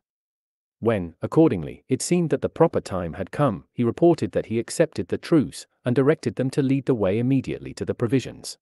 They proceeded, then, to lead the way, but Clearchus, although he had made the truce, kept his army in line of battle on the march, and commanded the rearguard himself. And they kept coming upon trenches and canals, full of water, which could not be crossed without bridges. They made bridges of a kind, however, out of the palm trees which had fallen and others which they cut down themselves. And here one could well observe how Clearchus commanded, he had his spear in his left hand and in his right a stick, and whenever he thought that any one of the men assigned to this task was shirking, he would pick out the right man and deal him a blow, while at the same time he would get into the mud and lend a hand himself. The result was that everyone was ashamed not to match him in energy. The men detailed to the work were all those up to 30 years of age, but the older men also took hold when they saw Clearchus in such energetic haste. Now Clearchus was in a far greater hurry because he suspected that the trenches were not always full of water in this way, for it was not a proper time to be irrigating the plain. His suspicion was, then, that the king had let the water into the plain just in order that the Greeks might have before their eyes at the very start many things to make them fearful about their journey. The march at length brought them to villages where the guides directed them to get provisions. In these villages was grain in abundance and palm wine and a sour drink made from the same by boiling. As for the dates themselves of the palm, the sort that one can see in Greece were set apart for the servants, while those laid away for the masters were selected ones, remarkable for their beauty and size and with a color altogether resembling that of amber, others, again, they would dry and store away for sweetmeats. These made a pleasant morsel also at a symposium, but were apt to cause headache. Here also the soldiers ate for the first time the crown of the palm, and most of them were surprised not alone at its appearance, but at the peculiar nature of its flavor. This, too, however, was exceedingly apt to cause headache. And when the crown was removed from a palm, the whole tree would wither. In these villages they remained three days, and there came to them, as messengers from the great king, Tissaphernes and the brother of the king's wife and three other Persians, and many slaves followed in their train. When the Greek generals met them, Tissaphernes, through an interpreter, began the speaking with the following words Men of Greece, in my own home I am a neighbor of yours, and when I saw plunged into many difficulties, I thought it would be a piece of good fortune if I could in any way gain permission from the king to take you back safe to Greece. For I fancy I should not go without thanks, both from you and from all Greece. After reaching this conclusion, I presented my request to the king, saying to him that it would be fair for him to do me a favor, because I was the first to report to him that Cyrus was marching against him, because along with my report I brought him aid also, and because I was the only man among those posted opposite the Greeks who did not take to flight, but, on the contrary, I charged through and joined forces with the king in your camp where the king had arrived after slaying Cyrus and pursuing the barbarians of Cyrus' army with the help of these men now present with me, men who are most faithful to the king. And he promised me that he would consider this request of mine, but, meanwhile, he bade me come and ask you for what reason you took the field against him. Now I advise you to answer with moderation, that so it may be easier for me to obtain for you at his hands whatever good thing I may be able to obtain. Hereupon the Greeks withdrew and proceeded to take counsel, then they gave their answer, Clearchus acting as spokesman, We neither gathered together with the intention of making war upon the king nor were we marching against the king, but Cyrus kept finding many pretexts, as you also are well aware, in order that he might take you unprepared and bring us hither. When, however, the time came when we saw that he was in danger, we felt ashamed in the sight of gods and men to desert him. Saying that in former days we had been putting ourselves in the way of being benefited by him. But, since Cyrus is dead, we are neither contending with the king for his realm nor is there any reason why we should desire to do harm to the king's territory or wish to slay the king himself, but rather we should return to our homes, if no one should molest us. If, however, anyone seeks to injure us, we shall try with the help of the gods to retaliate. On the other hand, if anyone is kind enough to do us a service, we shall not, so far as we have the power, be outdone in doing a service to him. So he spoke, and upon hearing his words Tissaphernes said, This message I shall carry to the king, and bring back his to you, and until I return, let the truce continue, and we will provide a market. The next day he did not return, and the Greeks, consequently, were anxious, but on the third day he came and said that he had secured permission from the king to save the Greeks, although many opposed the plan, urging that it was not fitting for the king to allow those who had undertaken a campaign against him to escape. In conclusion, he said, And now you may receive pledges from us that in very truth the territory you pass through shall be friendly and that we will lead you back to Greece without treachery. Providing you with a market, and wherever it is impossible to buy provisions. We will allow you to take them from the country. And you, on your side, will have to swear to us that in very truth you will proceed as you would through a friendly country, doing no damage and taking food and drink from the country only when we do not provide a market, but that, if we do provide a market, you will obtain provisions by purchase. This was resolved upon, and Tissaphernes and the brother of the king's wife made oath and gave their right hands in pledge to the generals and captains of the Greeks, receiving the same also from the Greeks. After this Tissaphernes said, Now I am going back to the king, but when I have accomplished what I desire, I shall return, fully equipped to conduct you back to Greece and to go home myself to my own province. 4. After this the Greeks and Ariaeus, encamped close by one another, waited for Tissaphernes more than twenty days. During this time Ariaeus' brothers and other relatives came to him and certain Persians came to his followers, and they kept encouraging them and bringing pledges to some of them from the king that the king would bear them no ill will because of their campaign with Cyrus against him or because of anything else in the past.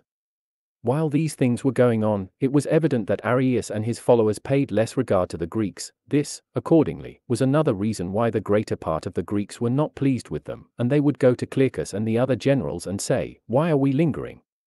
Do we not understand that the king would like above everything else to destroy us, in order that the rest of the Greeks also may be afraid to march against the great king? For the moment he is scheming to keep us here because his army is scattered. But when he has collected his forces again, there is no question but that he will attack us. Or perhaps he is digging a trench or building a wall somewhere to cut us off and make our road impassable. For never, if he can help it, will he choose to let us go back to Greece and report that we, few as we are, were victorious over the king at his very gates, and then laughed in his face and came home again. To those who talked in this way Clearchus replied, I too have in mind all these things, but I reflect that if we go away now, it will seem that we are going away with hostile intent and are acting in violation of the truce. And then, in the first place, no one will provide us a market or a place from which we can get provisions. Secondly, we shall have no one to guide us. Again, the moment we take this course, Ariaeus will instantly desert us. Consequently, we shall have not a friend left, for even those who were friends before will be our enemies. Then remember the rivers, there may be others, for aught I know. That we must cross. But we know about the Euphrates at any rate, that it cannot possibly be crossed in the face of an enemy. Furthermore, in case fighting becomes necessary, we have no cavalry to help us, whereas the enemy's cavalry are exceedingly numerous and exceedingly efficient, hence if we are victorious, whom could we kill? And if we are defeated, not one of us can be saved. For my part, therefore, I cannot see why the king, who has so many advantages on his side, should need, in case he is really eager to destroy us, to make oath and give pledge and forswear himself by the gods and make his good faith unfaithful in the eyes of Greeks and barbarians. Such arguments Clearchus would present in abundance. Meanwhile Tissaphernes returned with his own forces as if intending to go back home, and likewise Orontes with his forces, the latter was also taking home the king's daughter as his wife. Then they finally began the march. Tissaphernes taking the lead and providing a market, and Ariaeus with Cyrus' barbarian army kept with Tissaphernes and Orontes on the march and encamped with them. The Greeks, however, viewing them all with suspicion, proceeded by themselves, with their own guides. And the two parties encamped in every case a parasang or more from one another, and kept guard each against the other, as though against enemies, a fact which at once occasioned suspicion. Sometimes, moreover, when Greeks and barbarians were getting firewood from the same place or collecting fodder or other such things, they would come to blows with one another, and this also occasioned ill will. After traveling three stages, they reached the so called Wall of Media, and passed within it. It was built of baked bricks, laid in asphalt, and was 20 feet wide and 100 feet high. Its length was said to be 20 parasangs, and it is not far distant from Babylon. From there they proceeded two stages, eight parasangs, crossing on their way two canals, one by a stationary bridge and the other by a bridge made of seven boats. These canals issued from the Tigris River. And from them, again, ditches had been cut that ran into the country, at first large, then smaller. And finally little channels, such as run to the millet fields in Greece. Then they reached the Tigris River, near which was a large and popular city named Sittace, 15 stadia from the river. The Greeks accordingly encamped beside this city, near a large and beautiful park, thickly covered with all sorts of trees, while the barbarians had crossed the Tigris before encamping, and were not within sight of the Greeks. After the evening meal Proxenus and Xenophon chanced to be walking in front of the place where the arms were stacked, when a man came up and asked the outposts where he could see Proxenus or Clearchus, he did not ask for Menon, despite the fact that he came from Ariaeus, Menon's friend. And when Proxenus said I am the one you are looking for, the man made this statement, I was sent here by Ariaeus and Artaeozus, who were faithful to Cyrus and are friendly to you, they bid you be on your guard lest the barbarians attack you during the night for there is a large army in the neighboring park. They also bid you send a guard to the bridge over the Tigris River, because Tissaphernes intends to destroy it during the night, if he can, so that you may not cross, but may be cut off between the river and the canal. Upon hearing these words, they took him to Clearchus and repeated his message. And when Clearchus heard it, he was exceedingly agitated and full of fear. A young man who was present, however, fell to thinking, and then said that the two stories, that they intended to attack and intended to destroy the bridge, were not consistent. For it is clear, he went on, that if they attack, they must either be victorious or be defeated. Now, if they are victorious, why should they need to destroy the bridge? For even if there were many bridges, we should have no place to which we could flee and save ourselves. But if it is we who are victorious, with the bridge destroyed, they will have no place to which they can flee. And, furthermore, though there are troops in abundance on the other side, no one will be able to come to their aid with the bridge destroyed. After hearing these words, Clearchus asked the messenger about how extensive the territory between the Tigris and the canal was. He replied that it was a large tract, and that there were villages and many large towns in it. Then it was perceived that the barbarians had sent the man with a false message out of fear that the Greeks might destroy the bridge and establish themselves permanently on the island, with the Tigris for a defense on one side and the canal on the other. In that case, they thought, the Greeks might get provisions from the territory between the river and the canal, since it was extensive and fertile and there were men in it to cultivate it, and furthermore, the spot might also become a place of refuge for anyone who might desire to do harm to the king. After this the Greeks went to rest, yet they did, nevertheless, send a guard to the bridge, and no one attacked the army from any quarter. Nor did anyone of the enemy, so the men on guard reported, Come to the bridge. When dawn came, they proceeded to cross the bridge, which was made of 37 boats, as guardedly as possible, for they had reports from some of the Greeks who were with Tissaphernes that the enemy would attack them while they were crossing. But these reports were false. To be sure, in the course of their passage Glus did appear, with some others, watching to see if they were crossing the river, but once he had seen, he went riding off. From the Tigris they marched four stages, twenty parasangs, to the Physcus River, which was a plethrum in width and had a bridge over it. There was situated a large city named Opis, near which the Greeks met the bastard brother of Cyrus and Artaxerxes, who was leading a large army from Susa and Ecbatana to the support, as he said, of the king, and he halted his own army and watched the Greeks as they passed by. Clearchus led them two abreast, and halted now and then in his march, and whatever the length of time for which he halted the van of the army. Just so long a time the halt would necessarily last through the entire army. The result was that even to the Greeks themselves their army seemed to be very large, and the Persian was astounded as he watched them. From there they marched through Media, six desert stages, thirty parasangs, to the villages of Parysatis, the mother of Cyrus and the king. And Tissaphernes, by way of insulting Cyrus, gave over these villages, save only the slaves they contained, to the Greeks to plunder. In them there was grain in abundance and cattle and other property. From there they marched four desert stages, twenty parasangs, keeping the Tigris River on the left. Across the river on the first stage was situated a large and prosperous city named Caenae, from which the barbarians brought over loaves, cheeses, and wine, crossing upon rafts made of skins. 5. After this they reached the Zapatas River, which was four plethra in width. There they remained three days. During this time suspicions were rife, it is true, but no plot came openly to light. Clearchus resolved, therefore, to have a meeting with Tissaphernes and put a stop to these suspicions, if he possibly could, before hostilities resulted from them, so he sent a messenger to say that he desired to meet him. And Tissaphernes readily bade him come. When they had met, Clearchus spoke as follows I know, to be sure, Tissaphernes, that both of us have taken oaths and given pledges not to injure one another, yet I see that you are on your guard against us as though we were enemies. And we, observing this, are keeping guard on our side.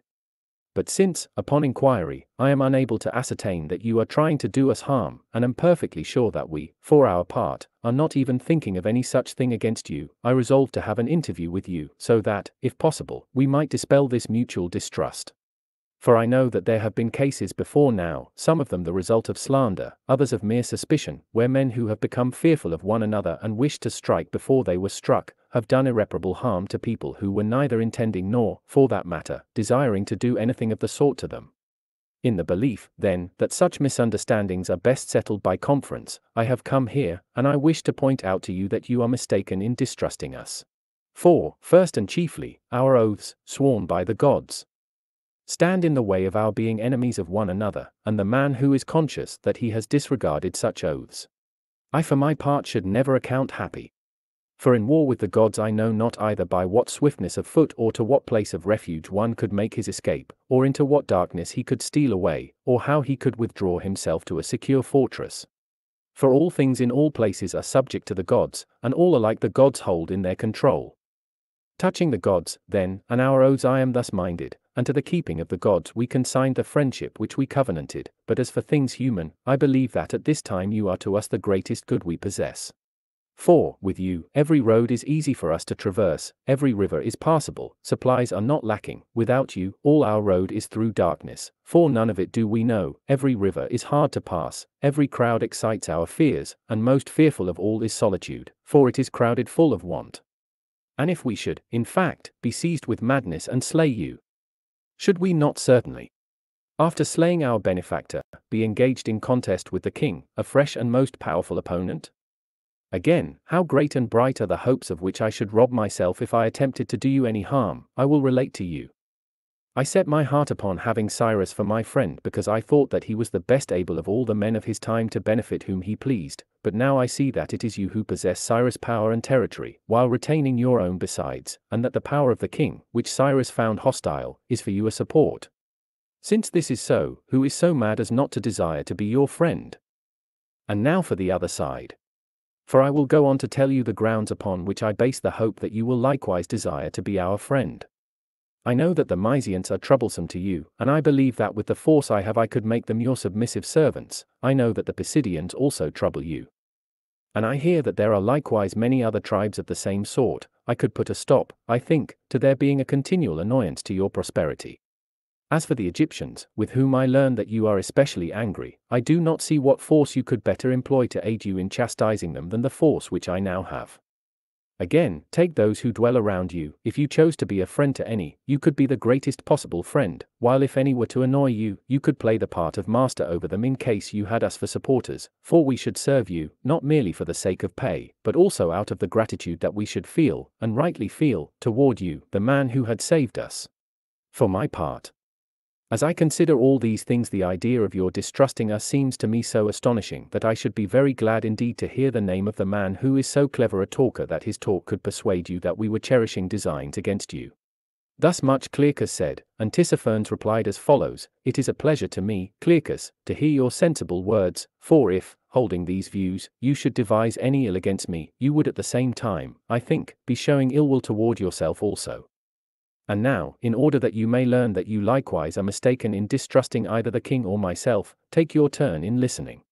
If we were, in fact, desirous of destroying you, does it seem to you that we have not cavalry in abundance and infantry and military equipment, whereby we should be able to harm you without being in any danger of suffering harm ourselves? Or do you think that we should not have places suitable for attacking you? Do you not behold these vast plains, which even now, although they are friendly, it is costing you a deal of labor to traverse? And these great mountains you have to pass, which we can occupy in advance and render impassable for you.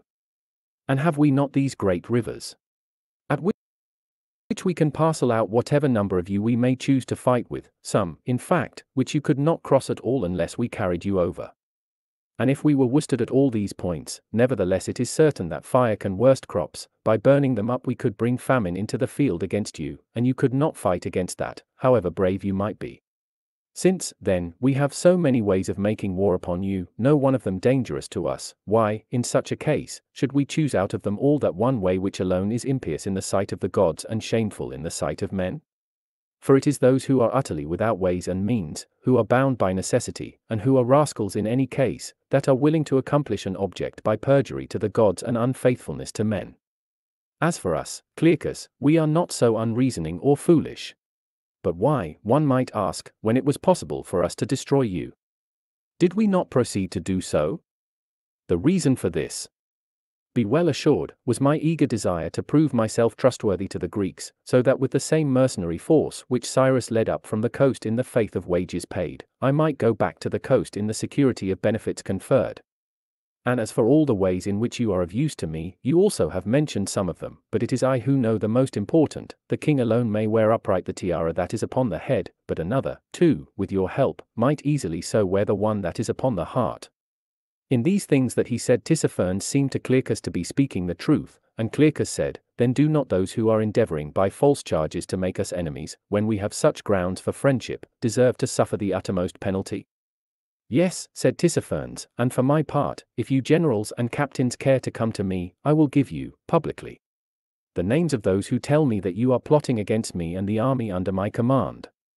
And I, I, said Clearchus, will bring them all, and in my turn will make known to you whence come the reports that I hear about you. After this conversation Tissaphernes showed all kindness, inviting Clearchus at that time to stay with him and making him his guest at dinner. On the following day, when Clearchus returned to the Greek camp, he not only made it clear that he imagined he was on very friendly terms with Tissaphernes and reported the words which he had used, but he said that those whom Tissaphernes had invited must go to him, and that whoever among the Greeks should be convicted of making false charges ought to be punished, as traitors and foes to the Greeks. Now Clearchus suspected that the author of these slanders was Menon. For he was aware that Menon had not only had meetings with Tissaphernes, in company with Ariaeus, but was also organizing opposition to his own leadership and plotting against him, with the intention of winning over to himself the entire army and thereby securing the friendship of Tissaphernes. Clearchus desired, however, to have the entire army devoted to him and to put the refractory out of the way. As for the soldiers, some of them made objections to Clearchus' proposal, urging that the captains and generals should not all go and that they should not trust Tissaphernes. But Clearchus vehemently insisted, until he secured an agreement that five generals should go and twenty captains, and about two hundred of the soldiers also followed along, with the intention of going to market. When they reached Tissaphernes' doors, the generals were invited in, Proxenus the Boeotian, Menon the Thessalian, Agias the Arcadian, Clearchus the Laconian, and Socrates the Achaean. While the captains waited at the doors.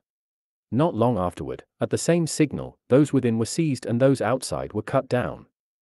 After this some of the barbarian horsemen rode about over the plain and killed every Greek they met, whether slave or freeman. And the Greeks wondered at this riding about, as they saw it from their camp, and were puzzled to know what the horsemen were doing, until Nicarchus the Arcadian reached the camp in flight, wounded in his belly and holding his bowels in his hands, and told all that had happened. Thereupon the Greeks, one and all, ran to their arms, panic stricken, and believing that the enemy would come at once against the camp. Not all of them came, however, but Ariaeus, Artaeozus, and Mithridates, who had been most faithful friends of Cyrus, did come, and the interpreter of the Greeks said that with them he also saw and recognized Tissaphernes' brother. Furthermore, they were followed by other Persians, armed with breastplates. To the number of three hundred. As soon as this party had come near, they directed whatever Greek general or captain there might be to come forward, in order that they might deliver a message from the king. After this two generals went forth from the Greek lines under guard, Cleanor the Orchomenian and Sophaenetus the Stymphalian, and with them Xenophon the Athenian, who wished to learn the fate of Proxenus. Cheirisophus, however, chanced to be away in a village in company with others who were getting provisions. And when the Greeks got within hearing distance, Ariaeus said, Clearchus, men of Greece, inasmuch as he was shown to be perjuring himself and violating the truce, has received his deserts and is dead, but Proxenus and Menon, because they gave information about his plotting, are held in high honor. For yourselves, the king demands your arms, for he says that they belong to him, since they belong to Cyrus, his slave. To this the Greeks replied as follows. Cleanor the Orchomenian acting as spokesman, Ariaeus. You basest of men, and all you others who were friends of Cyrus, are you not ashamed, either before gods or men, that, after giving us your oaths to count the same people friends and foes as we did, you have betrayed us, joining hands with Tissaphernes, that most godless and villainous man, and that you have not only destroyed the very men to whom you were then making oath, but have betrayed the rest of us and are come with our enemies against us? And Ariaeus said, But it was shown that long ago Clearchus was plotting against Tissaphernes and Orontes and all of us who are with them. Upon this Xenophon spoke as follows, Well, then, if Clearchus was really transgressing the truce in violation of his oaths, he has his deserts, for it is right that perjurers should perish, but as for Proxenus and Menon, since they are your benefactors and our generals, send them hither, for it is clear that, being friends of both parties, they will endeavor to give both you and ourselves the best advice. To this the barbarians made no answer, but, after talking for a long time with one another, they departed. 6. The generals, then, after being thus seized, were taken to the king and put to death by being beheaded. One of them, Clearchus, by common consent of all who were personally acquainted with him, seemed to have shown himself a man who was both fitted for war and fond of war to the last degree. For, in the first place, as long as the Lacedaemonians were at war with the Athenians, he bore his part with them. Then, as soon as peace had come, he persuaded his state that the Thracians were injuring the Greek, and, after gaining his point as best he could from the Ephors, set sail with the intention of making war upon the Thracians who dwelt beyond the Chersonese and Perinthus.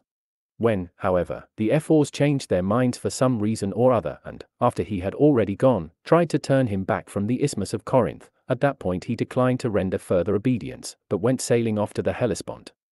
As a result he was condemned to death by the authorities at Sparta on the ground of disobedience to orders. Being now an exile he came to Cyrus, and the arguments whereby he persuaded Cyrus as recorded elsewhere, at any rate, Cyrus gave him 10,000 darics, and he, upon receiving this money, did not turn his thoughts to comfortable idleness, but used it to collect an army and proceeded to make war upon the Thracians. He defeated them in battle and from that time on plundered them in every way, and he kept up the war until Cyrus wanted his army, then he returned, still for the purpose of making war, this time in company with Cyrus. Now such conduct as this, in my opinion, reveals a man fond of war. When he may enjoy peace without dishonor or harm, he chooses war, when he may live in idleness, he prefers toil, provided it be the toil of war, when he may keep his money without risk, he elects to diminish it by carrying on war. As for Clearchus, just as one spends upon a loved one or upon any other pleasure, so he wanted to spend upon war, such a lover he was of war. On the other hand, he seemed to be fitted for war in that he was fond of danger, ready by day or night to lead his troops against the enemy, and self-possessed amid terrors, as all who were with him on all occasions agreed. He was likewise said to be fitted for command, so far as that was possible for a man of such a disposition as his was. For example, he was competent, if ever a man was, in devising ways by which his army might get provisions and in procuring them, and he was competent also to impress it upon those who were with him that Clearchus must be obeyed. This result he accomplished by being severe, for he was gloomy in appearance and harsh in voice, and he used to punish severely, sometimes in anger, so that on occasion he would be sorry afterwards. Yet he also punished on principle, for he believed there was no good in an army that went without punishment. In fact, he used to say, it was reported, that a soldier must fear his commander more than the enemy if he were to perform guard duty or keep his hands from friends or without making excuses advance against the enemy. Midst of dangers, therefore, the troops were ready to obey him implicitly and would choose no other to command them, for they said that at such times his gloominess appeared to be brightness, and his severity seemed to be resolution against the enemy, so that it appeared to betoken safety and to be no longer severity. But when they had got past the danger and could go off to serve under another commander, many would desert him, for there was no attractiveness about him, but he was always severe and rough, so that the soldiers had the same feeling toward him that boys have toward a schoolmaster. For this reason, also, he never had men following him out of friendship and goodwill, but such as were under him because they had been put in his hands by a government or by their own need or were under the compulsion of any other necessity, yielded him implicit obedience. And as soon as they began in his service to overcome the enemy. From that moment there were weighty reasons which made his soldiers efficient, for they had the feeling of confidence in the face of the enemy. And their fear of punishment at his hands kept them in a fine state of discipline. Such he was as a commander, but being commanded by others was not especially to his liking, so people said. He was about fifty years old at the time of his death. Proxenus the Boeotian cherished from his earliest youth an eager desire to become a man capable of dealing with great affairs, and because of this desire he paid money to Gorgias of Leontini. After having studied under him and reaching the conclusion that he had now become competent to rule and, through friendship with the foremost men of his day, to hold his own in conferring benefits, he embarked upon this enterprise with Cyrus, expecting to gain therefrom a famous name, great power, and abundant wealth, but while vehemently desiring these great ends. He nevertheless made it evident also that he would not care to gain any one of them unjustly, rather, he thought that he must secure them justly and honorably, or not at all. As a leader, he was qualified to command gentlemen, but he was not capable of inspiring his soldiers with either respect for himself or fear, on the contrary, he really stood in greater awe of his men than they, whom he commanded, did of him, and it was manifest that he was more afraid of incurring the hatred of his soldiers than they were of disobeying him. His idea was that, for a man to be and to be thought fit to command, it was enough that he should praise the one who did right and withhold praise from the one who did wrong. Consequently, all among his associates who were gentlemen were attached to him, but the unprincipled would plot against him in the thought that he was easy to deal with. At the time of his death, he was about thirty years old. Menon the Thessalian was manifestly eager for enormous wealth. Eager for command in order to get more wealth and eager for honor in order to increase his gains, and he desired to be a friend to the men who possessed greatest power in order that he might commit unjust deeds without suffering the penalty. Again, for the accomplishment of the objects upon which his heart was set, he imagined that the shortest route was by way of perjury and falsehood and deception, while he counted straightforwardness and truth the same thing as folly. Affection he clearly felt for nobody, and if he said that he was a friend to anyone, it would become plain that this man was the one he was plotting against. He would never ridicule an enemy, but he always gave the impression in conversation of ridiculing all his associates. Neither would he devise schemes against his enemy's property, for he saw difficulty in getting hold of the possessions of people who were on their guard, but he thought he was the only one who knew that it was easiest to get hold of the property of friends. Just because it was unguarded. Again, all whom he found to be perjurers and wrongers he would fear, regarding them as well armed, while those who were pious and practiced truth he would try to make use of, regarding them as weaklings. And just as a man prides himself upon piety, truthfulness, and justice, so Menon prided himself upon ability to deceive, the fabrication of lies, and the mocking of friends, but the man who was not a rascal he always thought of as belonging to the uneducated. Again, if he were attempting to be first in the friendship of anybody, he thought that slandering those who were already first was the proper way of gaining this end. As for making his soldiers obedient, he managed that by bearing a share in their wrongdoing. He expected, indeed, to gain honor and attention by showing that he had the ability and would have the readiness to do the most wrongs, and he set it down as a kindness whenever anyone broke off with him. That he had not. While still on terms with such a one, destroyed him. To be sure, in matters that are doubtful one may be mistaken about him, but the facts which everybody knows are the following. From Aristippus he secured, while still in the bloom of youth, an appointment as general of his mercenaries, with Ariaeus, who was a barbarian, he became extremely intimate for the reason that Ariaeus was fond of beautiful youths, and, lastly, he himself, while still beardless, had a bearded favorite named Tharypas. Now, when his fellow generals were put to death for joining Cyrus in his expedition against the king, he, who had done the same thing, was not so treated, but it was after the execution of the other generals that the king visited the punishment of death upon him, and he was not, like Clearchus and the rest of the generals, beheaded, a manner of death which is counted speediest, but, report says, was tortured alive for a year and so met the death of a scoundrel. Agias the Arcadian and Socrates the Achaean were the two others who were put to death. No one ever laughed at these men as weaklings in war or found fault with them in the matter of friendship. They were both about 35 years of age.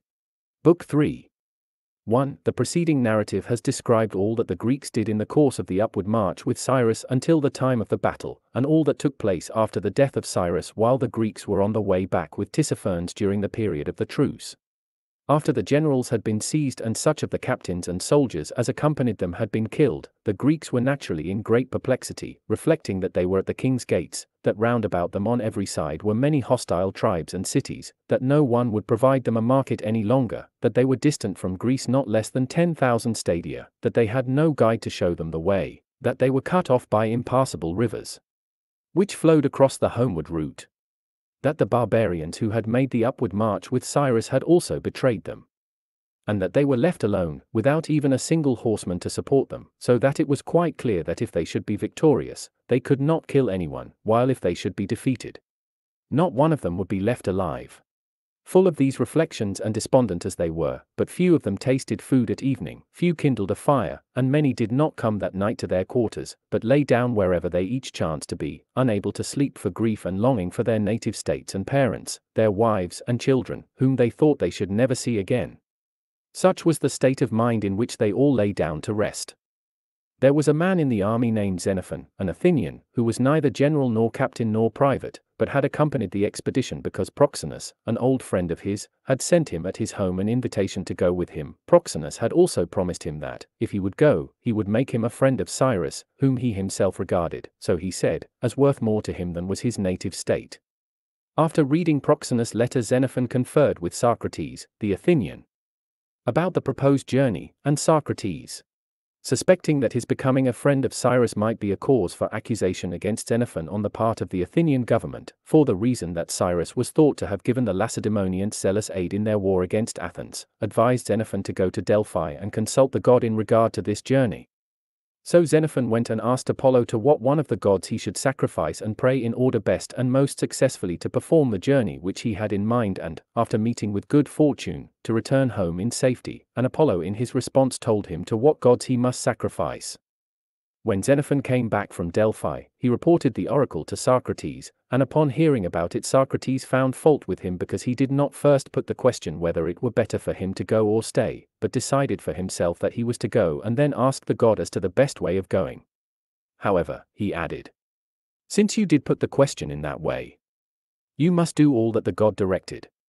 Xenophon, accordingly, after offering the sacrifices to the gods that Apollo's oracle prescribed, set sail, overtook Proxenus and Cyrus at Sardis as they were on the point of beginning the upward march, and was introduced to Cyrus. And not only did Proxenus urge him to stay with them, but Cyrus also joined in this request, adding that as soon as the campaign came to an end, he would send Xenophon home at once, and the report was that the campaign was against the Pisidians. It was in this way, then, that Xenophon came to go on the expedition, quite deceived about its purpose, not, however, by Proxenus, for he did not know that the attack was directed against the king, nor did anyone else among the Greeks with the exception of Clearchus, but by the time they reached Cilicia, it seemed clear to everybody that the expedition was really against the king. Then, although the Greeks were fearful of the journey and unwilling to go on, most of them did, nevertheless, out of shame before one another and before Cyrus, continue the march. And Xenophon was one of this number. Now, when the time of perplexity came, he was distressed as well as everybody else and was unable to sleep, but, getting at length a little sleep, he had a dream. It seemed to him that there was a clap of thunder and a bolt fell on his father's house, setting the whole house ablaze.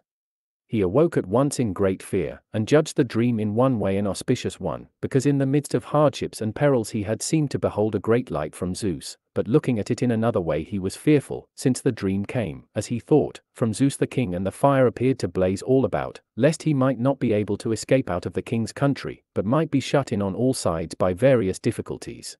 Now, what it really means to have such a dream, one may learn from the events which followed the dream. And they were these firstly, on the moment of his awakening, the thought occurred to him Why do I lie here? The night is wearing on, and at daybreak it is likely that the enemy will be upon us. And if we fall into the king's hands, what is there to prevent our living to behold all the most grievous sights and to experience all the most dreadful sufferings, and then being put to death with insult? As for defending ourselves, however, no one is making preparations or taking thought for that, but we lie here just as if it were possible for us to enjoy our ease. What about myself, then? From what state am I expecting the general to come who is to perform these duties? And what age must I myself wait to attain?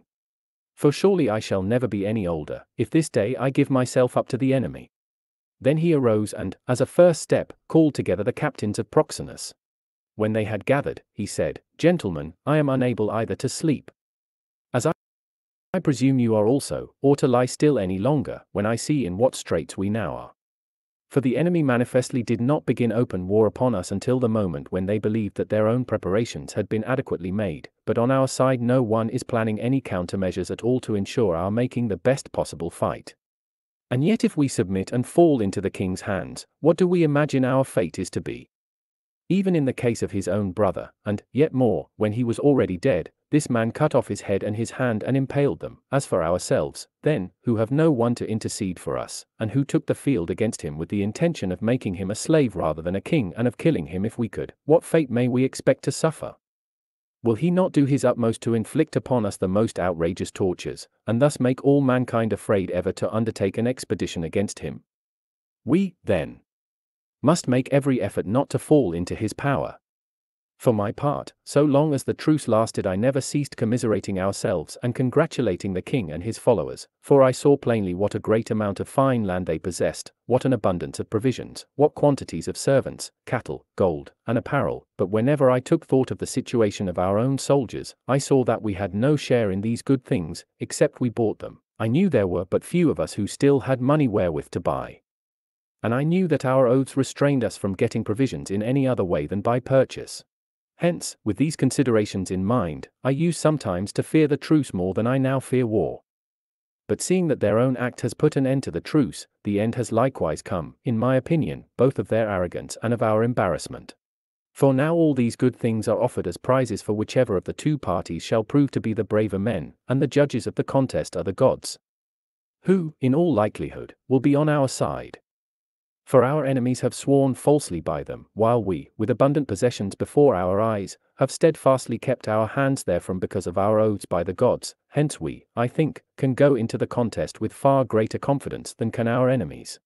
Besides, we have bodies more capable than theirs of bearing cold and heat and toil, and we likewise, by the blessing of the gods, have better souls, and these men are more liable than we to be wounded and killed, if the gods again, as on that former day, grant us victory.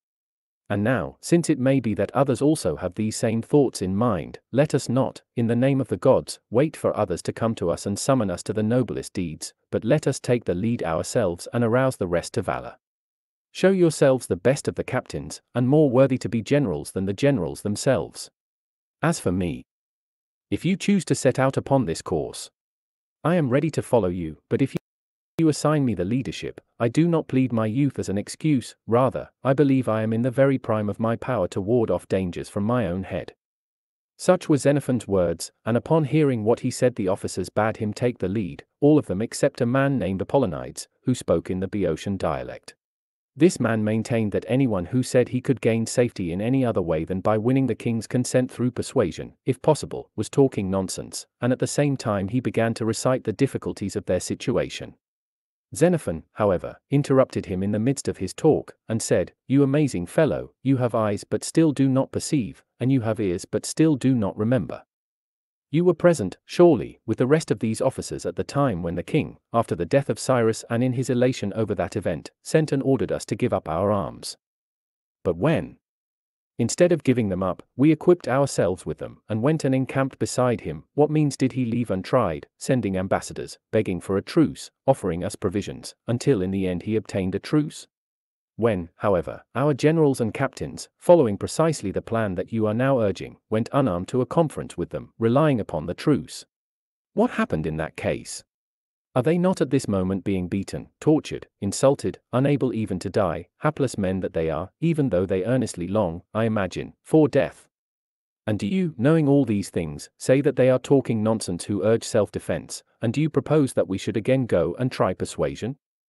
In my opinion, gentlemen, we should not simply refuse to admit this fellow to companionship with us, but should deprive him of his captaincy, lay packs on his back, and treat him as that sort of a creature. For the fellow is a disgrace both to his native state and to the whole of Greece, since, being a Greek, he is still a man of this kind. Then Agasias, a Stymphalian, broke in and said, For that matter, this fellow has nothing to do either with Boeotia or with any part of Greece at all, for I have noticed that he has both his ears bored, like a Lydian's. In fact, it was so. He, therefore, was driven away. But the others proceeded to visit the various divisions of the army. Wherever a general was left alive, they would invite him to join them. Where the general was gone, they invited the lieutenant general, or, again, where only a captain was left, the captain. When all had come together, they seated themselves at the front of the encampment, and the generals and captains thus assembled amounted in number to about 100. By this time it was nearly midnight. Then Hieronymus the Elean, who was the eldest of Proxenus' captains, began to speak as follows Generals and captains, we have deemed it best, in view of the present situation, both to come together ourselves and to invite you to join us, in order that we may devise whatever good counsel we can. Repeat now, Xenophon, he added, just what you said to us. Thereupon Xenophon spoke as follows We all understand thus much, that the king and Tissaphernes have seized as many as they could of our number, and that they are manifestly plotting against the rest of us to destroy us if they can. It is for us, then, in my opinion, to make every effort that we may never fall into the power of the barbarians, but that they may rather fall into our power. Be sure, therefore, that you, who have now come together in such numbers, have the grandest of opportunities. For all our soldiers here are looking to you, if they see that you are faint hearted, all of them will be cowards, but if you not only show that you are making preparations yourselves against the enemy, but call upon the rest to do likewise, be well assured that they will follow you and will try to imitate you. But perhaps it is really proper that you should somewhat excel them.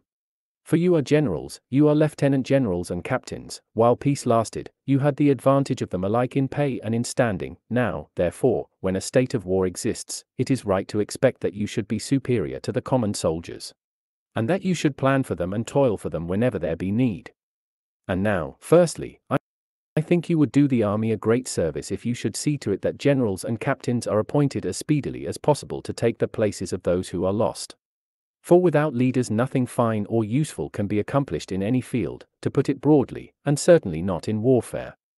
For discipline, it seems, keeps men in safety, while the lack of it has brought many ere now to destruction.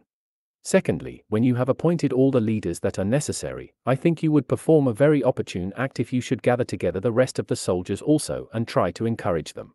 For, as matters stand now, perhaps you have observed for yourselves in what dejection they came to their quarters and in what dejection they proceeded to their picket duty, and so long as they are in this state, I know not what use one could make of them, if there should be need of them either by night or by day.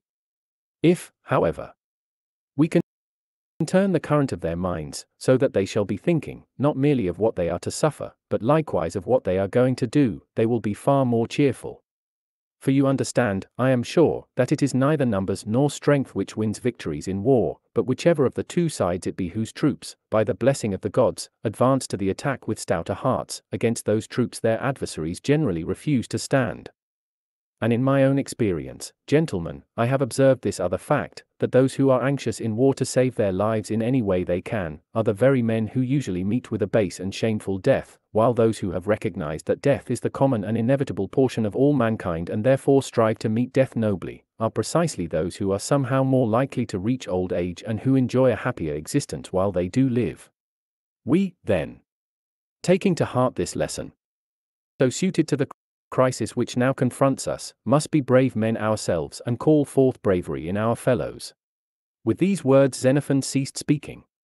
After him Cheirisophus said, Hitherto, Xenophon, I have known you only to the extent of having heard that you were an Athenian, but now I commend you both for your words and your deeds, and I should be glad if we had very many of your sort, for it would be a blessing to the entire army.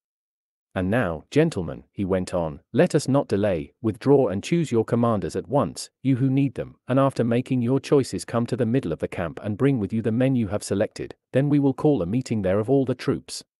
And let us make sure, he added, that Tolmides, the herald, is present. With these words he got up at once, that there might be no delay in carrying out the needful measures. Thereupon the commanders were chosen. Timasion the Dardanian in place of Clearchus, Xanthocles the Achaean in place of Socrates, Cleanor the Arcadian in place of Agias, Philesius the Achaean in place of Menon, and Xenophon the Athenian in place of Proxenus. 2. When these elections had been completed, and as day was just about beginning to break, the commanders met in the middle of the camp, and they resolved to station outposts and then call an assembly of the soldiers. As soon as they had come together, Cheirisophus the Lacedaemonian arose first and spoke as follows Fellow soldiers, painful indeed is our present situation, seeing that we are robbed of such generals and captains and soldiers, and, besides, that Ariaeus and his men, who were formerly our allies, have betrayed us. Nevertheless, we must quit ourselves like brave men as well as may be in these circumstances, and must not yield, but rather try to save ourselves by glorious victory if we can, otherwise, let us at least die a glorious death. And never fall into the hands of our enemies alive. For in that case, I think we should meet the sort of sufferings that I pray the gods may visit upon our foes. Then Cleanor the Orchomenian arose and spoke as follows Come, fellow soldiers, you see the perjury and impiety of the king, you see likewise the faithlessness of Tissaphernes. It was Tissaphernes who said that he was a neighbor of Greece and that he would do his utmost to save us. It was none other than he who gave us his oaths to confirm these words, and then he, Tissaphernes, the very man who had given such pledges, was the very man who deceived and seized our generals. More than that, he did not even reverence Zeus, the god of hospitality. Instead, he entertained Clearchus at his own table and then made that very act the means of deceiving and destroying the generals. Ariaeus, too, whom we were ready to make king, with whom we exchanged pledges not to betray one another, even he, showing neither fear of the gods nor honor for the memory of Cyrus dead. Although he was most highly honored by Cyrus living, has now gone over to the bitterest foes of that same Cyrus, and is trying to work harm to us, the friends of Cyrus. Well, may these men be duly punished by the gods, we, however, seeing their deeds, must never again be deceived by them, but must fight as stoutly as we can and meet whatever fortune the gods may please to send. Hereupon Xenophon arose, arrayed for war in his finest dress. For he thought that if the gods should grant victory, the finest raiment was suited to victory, and if it should be his fate to die, it was proper, he thought, that inasmuch as he had accounted his office worthy of the most beautiful attire, in this attire he should meet his death.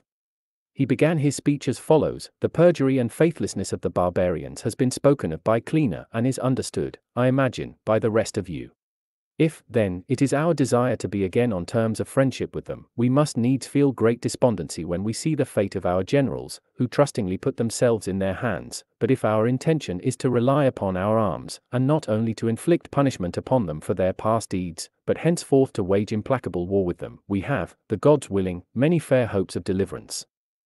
As he was saying this, a man sneezed, and when the soldiers heard it, they all with one impulse made obeisance to the god, and Xenophon said, I move, gentlemen, since at the moment when we were talking about deliverance an omen from Zeus the Saviour was revealed to us, that we make a vow to sacrifice to that god thank offerings for deliverance as soon as we reach a friendly land, and that we add a further vow to make sacrifices, to the extent of our ability, to the other gods also. All who are in favor of this motion, he said, will raise their hands and every man in the assembly raised his hand. Thereupon they made their vows and struck up the paean. These ceremonies duly performed, Xenophon began again with these words I was saying that we have many fair hopes of deliverance. For, in the first place, we are standing true to the oaths we took in the name of the gods, while our enemies have perjured themselves and, in violation of their oaths, have broken the truce. This being so, it is fair to assume that the gods are their foes and our allies. And the gods are able speedily to make the strong weak and, when they so will, easily to deliver the weak, even though they be in dire perils. Secondly, I would remind you of the perils of our own forefathers, to show you not only that it is your right to be brave men, but that brave men are delivered, with the help of the gods, even out of most dreadful dangers. For when the Persians and their followers came with a vast array to blot Athens out of existence, the Athenians dared, unaided, to withstand them, and won the victory. And while they had vowed to Artemis that for every man they might slay of the enemy they would sacrifice a goat to the goddess, they were unable to find goats enough, so they resolved to offer 500 every year, and this sacrifice they are paying even to this day. Again, when Xerxes at a later time gathered together that countless host and came against Greece, then too our forefathers were victorious, both by land and by sea, over the forefathers of our enemies. As tokens of these victories we may, Indeed, still behold the trophies, but the strongest witness to them is the freedom of the states in which you were born and bred, for to no human creature do you pay homage as master, but to the gods alone. It is from such ancestors, then, that you are sprung. Now I am far from intending to say that you disgrace them, in fact, not many days ago you set yourselves in array against these descendants of those ancient Persians and were victorious, with the aid of the gods, over many times your own numbers. And then, mark you, it was in Cyrus' contest for the throne that you proved yourselves brave men, but now, when the struggle is for your own safety, it is surely fitting that you should be far braver and more zealous. Furthermore, you ought now to be more confident in facing the enemy. For then you were unacquainted with them, you saw that their numbers were beyond counting, and you nevertheless dared, with all the spirit of your fathers, to charge upon them, but now, when you have already made actual trial of them and find that they have no desire, even though they are many times your number, to await your attack, what reason can remain for your being afraid of them? Again, do not suppose that you are the worse off because the followers of Ariaeus, who were formerly marshalled with us, have now deserted us. For they are even greater cowards than the men we defeated, at any rate they took to flight before them, leaving us to shift for ourselves. And when we find men who are ready to set the example of flight, it is far better to see them drawn up with the enemy than on our own side. But if any one of you is despondent because we are without horsemen while the enemy have plenty at hand, let him reflect that your ten thousand horsemen are nothing more than ten thousand men, for nobody ever lost his life in battle from the bite or kick of a horse, but it is the men who do whatever is done in battles. Moreover, we are on a far surer foundation than your horsemen, they are hanging on their horses' backs, afraid not only of us, but also of falling off, while we, standing upon the ground, shall strike with far greater force if anyone comes upon us and shall be far more likely to hit whomsoever we aim at. In one point alone your horsemen have the advantage. Flight is safer for them than it is for us.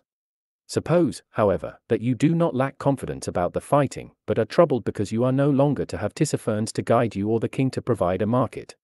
If this be the case, I ask you to consider whether it is better to have Tissaphernes for a guide, the man who is manifestly plotting against us, or such people as we may ourselves capture and may order to serve as guides, men who will know that if they make any mistake in aught that concerns us, they will be making a mistake in that which concerns their own lives and limbs.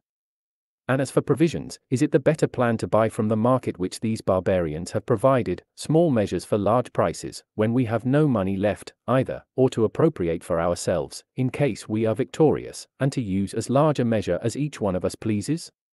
But in these points, let us say, you realize that our present situation is better, you believe, however, that the rivers are a difficulty, and you think you were immensely deceived when you crossed them, then consider whether this is not really a surpassingly foolish thing that the barbarians have done. For all rivers, even though they be impassable at a distance from their sources, become passable, without even wetting your knees, as you approach toward the sources. But assume that the rivers will not afford us a crossing and that we shall find no one to guide us, even in that case we ought not to be despondent. For we know that the Mysians, whom we should not admit to be better men than ourselves, inhabit many large and prosperous cities in the king's territory, we know that the same is true of the Pisidians, and as for the Lycaonians we even saw with our own eyes that they had seized the strongholds in the plains and were reaping for themselves the lands of these Persians, so, in our case, my own view would be that we ought not yet to let it be seen that we have set out for home, we ought, rather, to be making our arrangements as if we intended to settle here. For I know that to the Mysians the king would not only give plenty of guides, but plenty of hostages, to guarantee a safe conduct for them out of his country. In fact, he would build a road for them, even if they wanted to take their departure in four horse chariots. And I know that he would be thrice glad to do the same for us, if he saw that we were preparing to stay here. I really fear, however, that if we once learn to live in idleness and luxury, and to consort with the tall and beautiful women and maidens of these Medes and Persians, we may, like the lotus eaters, forget our homeward way. Therefore, I think it is right and proper that our first endeavor should be to return to our kindred and friends in Greece, and to point out to the Greeks that it is by their own choice that they are poor, for they could bring here the people who are now living a hard life at home, and could see them in the enjoyment of riches. It is really a plain fact, gentlemen, that all these good things belong to those who have the strength to possess them, but I must go on to another point. How we can march most safely and, if we have to fight, can fight to the best advantage. In the first place, then, Xenophon proceeded, I think we should burn up the wagons which we have, so that our cattle may not be our captains, but we can take whatever route may be best for the army. Secondly, we should burn up our tents also, for these, again, are a bother to carry, and no help at all either for fighting or for obtaining provisions. Furthermore, let us abandon all our other superfluous baggage, keeping only such articles as we use for war, or in eating and drinking, in order that we may have the largest possible number of men under arms and the least number carrying baggage. For when men are conquered, you are aware that all their possessions become the property of others, but if we are victorious, we may regard the enemy as our pack bearers. It remains for me to mention the one matter which I believe is really of the greatest importance. You observe that our enemies did not muster up courage to begin hostilities against us until they had seized our generals, for they believed that so long as we had our commanders and were obedient to them, we were able to worst them in war, but when they had got possession of our commanders, they believed that the want of leadership and of discipline would be the ruin of us. Therefore, our present commanders must show themselves far more vigilant than their predecessors, and the men in the ranks must be far more orderly and more obedient to their commanders now than they used to be.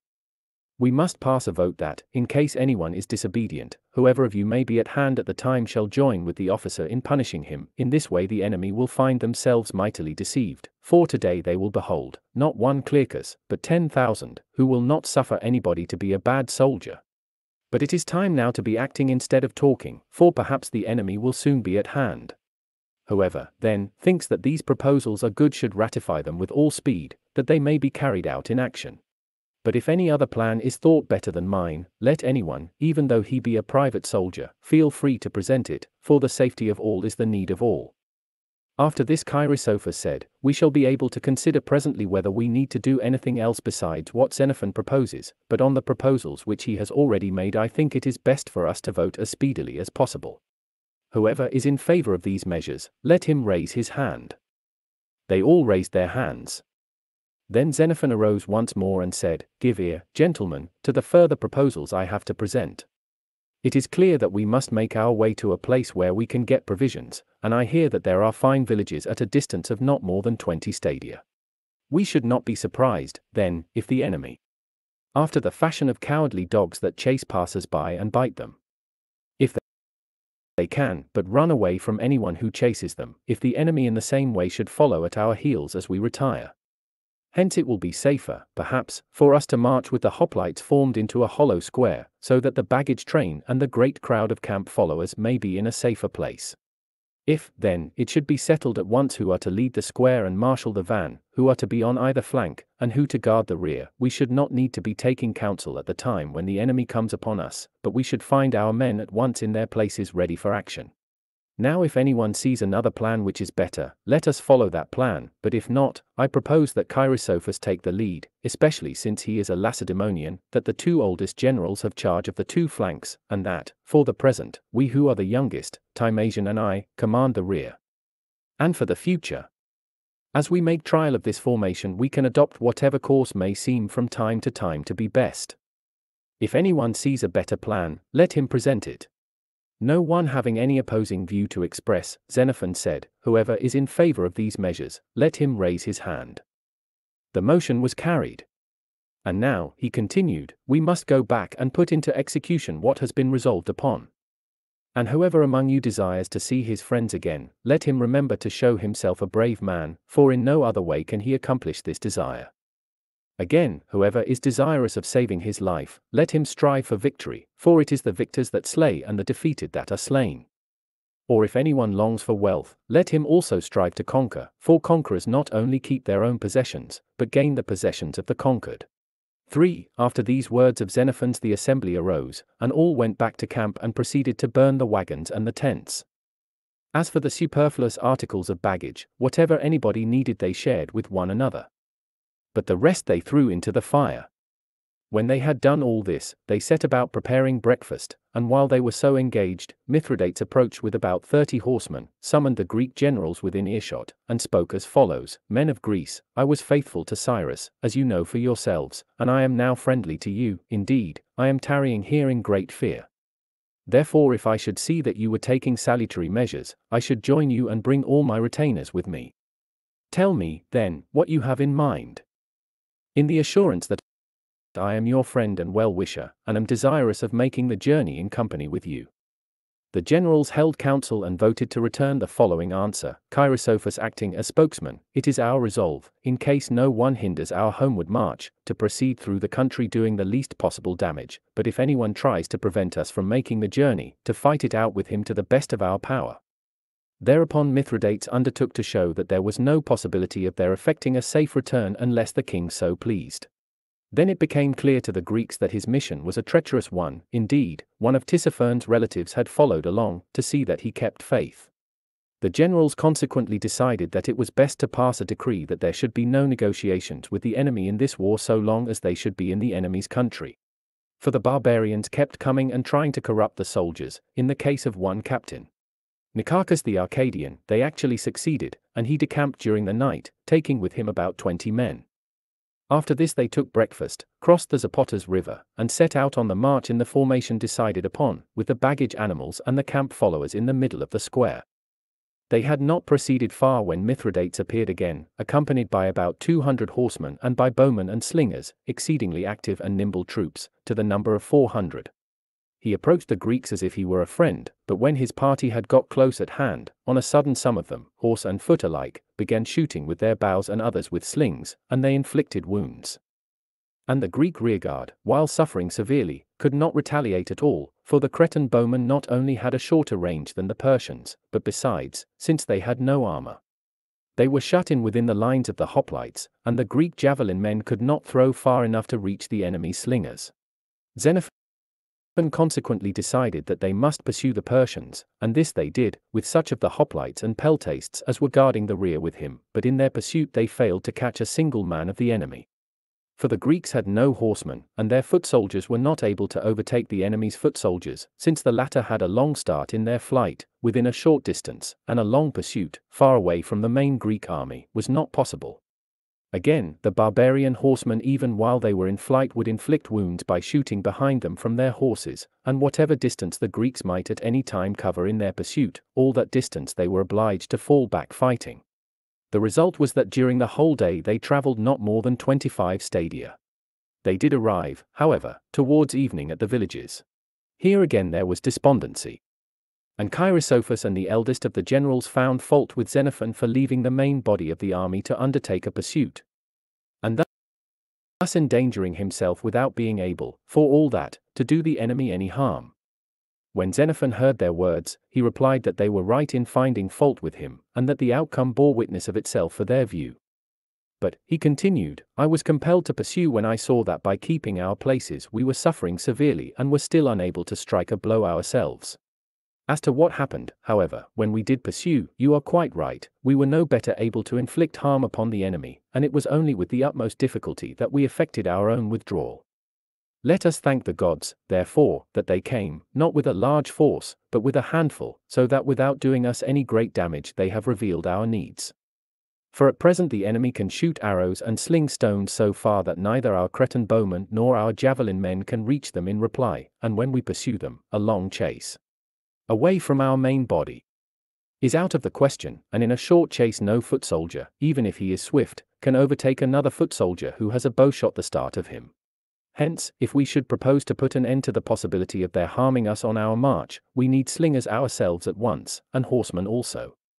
Now I am told that there are Rhodians in our army, that most of them understand the use of the sling, and that their missile carries no less than twice as far as those from the Persian slings for the latter have only a short range because the stones that are used in them are as large as the hand can hold. The Rhodians, however, are versed also in the art of slinging leaden bullets. If, therefore, we should ascertain who among them possess slings, and should not only pay these people for their slings, likewise pay anyone who is willing to plat new ones, and if, furthermore, we should devise some sort of exemption for the man who will volunteer to serve as a slinger at his appointed post, it may be that men will come forward who will be capable of helping us. Again, I observe that there are horses in the army, a few at my own quarters, others that made part of Clearchus' troop and were left behind, and many others that have been taken from the enemy and are used as pack animals. If, then, we should pick out all these horses, replacing them with mules, and should equip them for cavalry, it may be that this cavalry also will cause some annoyance to the enemy when they are in flight. These proposals also were adopted, and in the course of that night a company of 200 slingers was organized, while on the following day horses and horsemen to the number of 50 were examined and accepted, and jerkins and cuirasses were provided for them, and Lycius, the son of Polystratus, an Athenian, was put in command of the troop. 4. That day they remained quiet, but the next morning they set forth, after rising earlier than usual, for there was a gorge they had to cross, and they were afraid that the enemy might attack them as they were crossing. It was only after they had crossed it, however, that Mithridates appeared again, accompanied by a thousand horsemen and about four thousand bowmen and slingers. For these were the numbers he had requested from Tissaphernes, and these numbers he had obtained upon his promise that, if such a force were given him, he would deliver the Greeks into Tissaphernes' hands, for he had come to despise them, seeing that in his earlier attack with a small force he had done a great deal of harm, as he thought, without suffering any loss himself.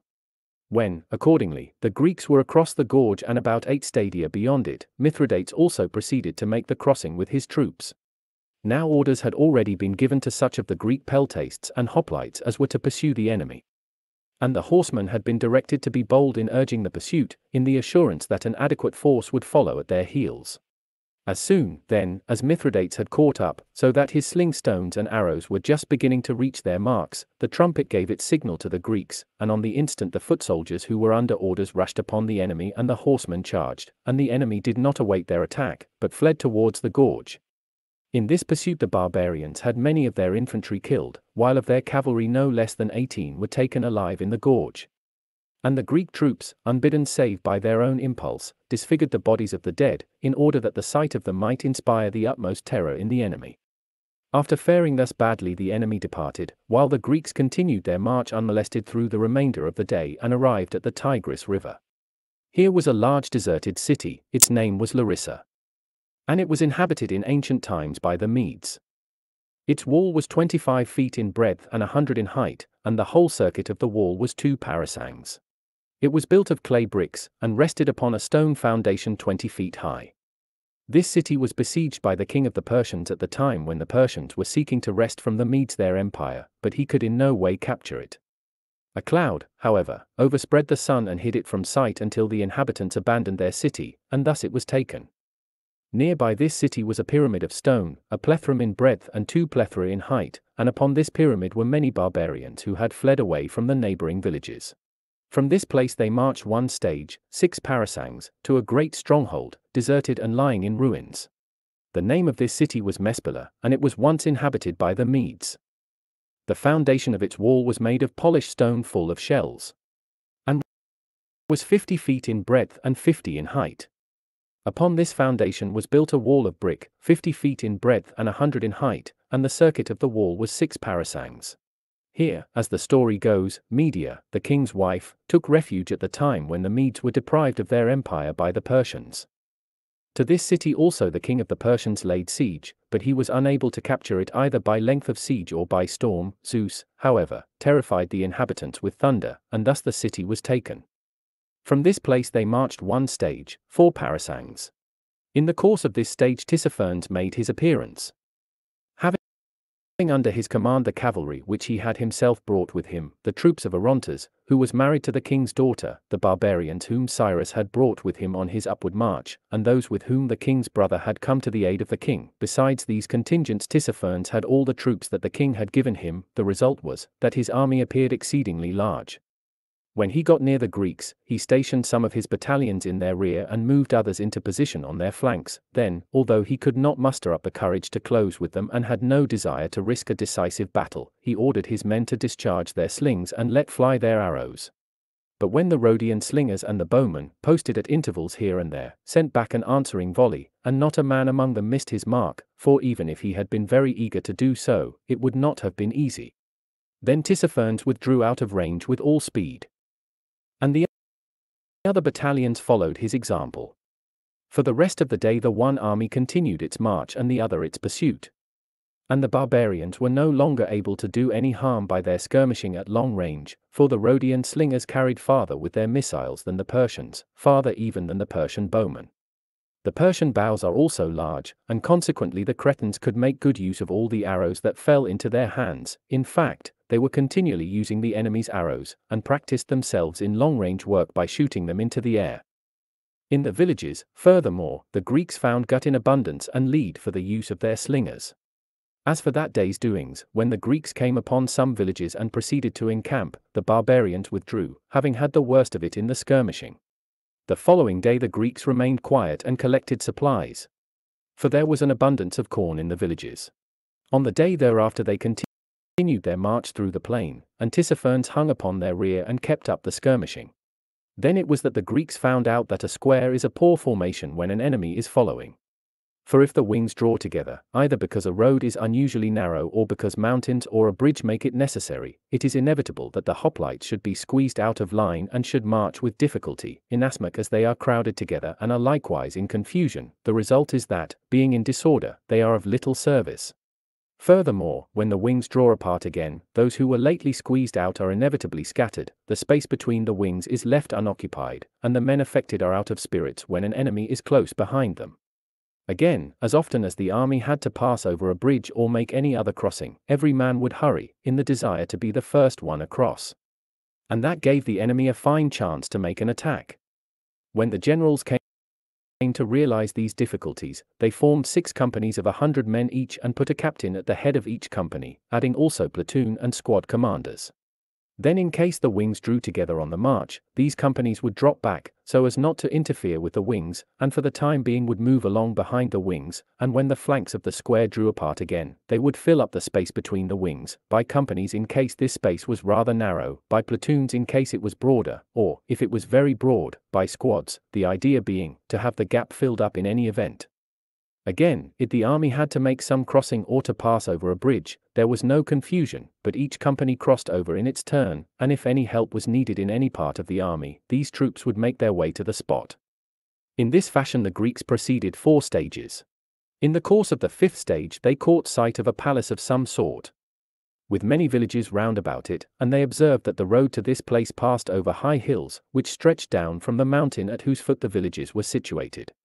And the Greeks were well pleased to see the hills, as was natural considering that the enemy's force was cavalry, when, however, in their march out of the plain they had mounted to the top of the first hill, and were descending it, so as to ascend the next. At this moment the barbarians came upon them and down from the hilltop discharged their missiles and slingstones and arrows, fighting under the lash, they not only inflicted many wounds, but they got the better of the Greek light troops and shut them up within the lines of the hoplites, so that these troops, being mingled with the non combatants, were entirely useless throughout that day, slingers and bowmen alike.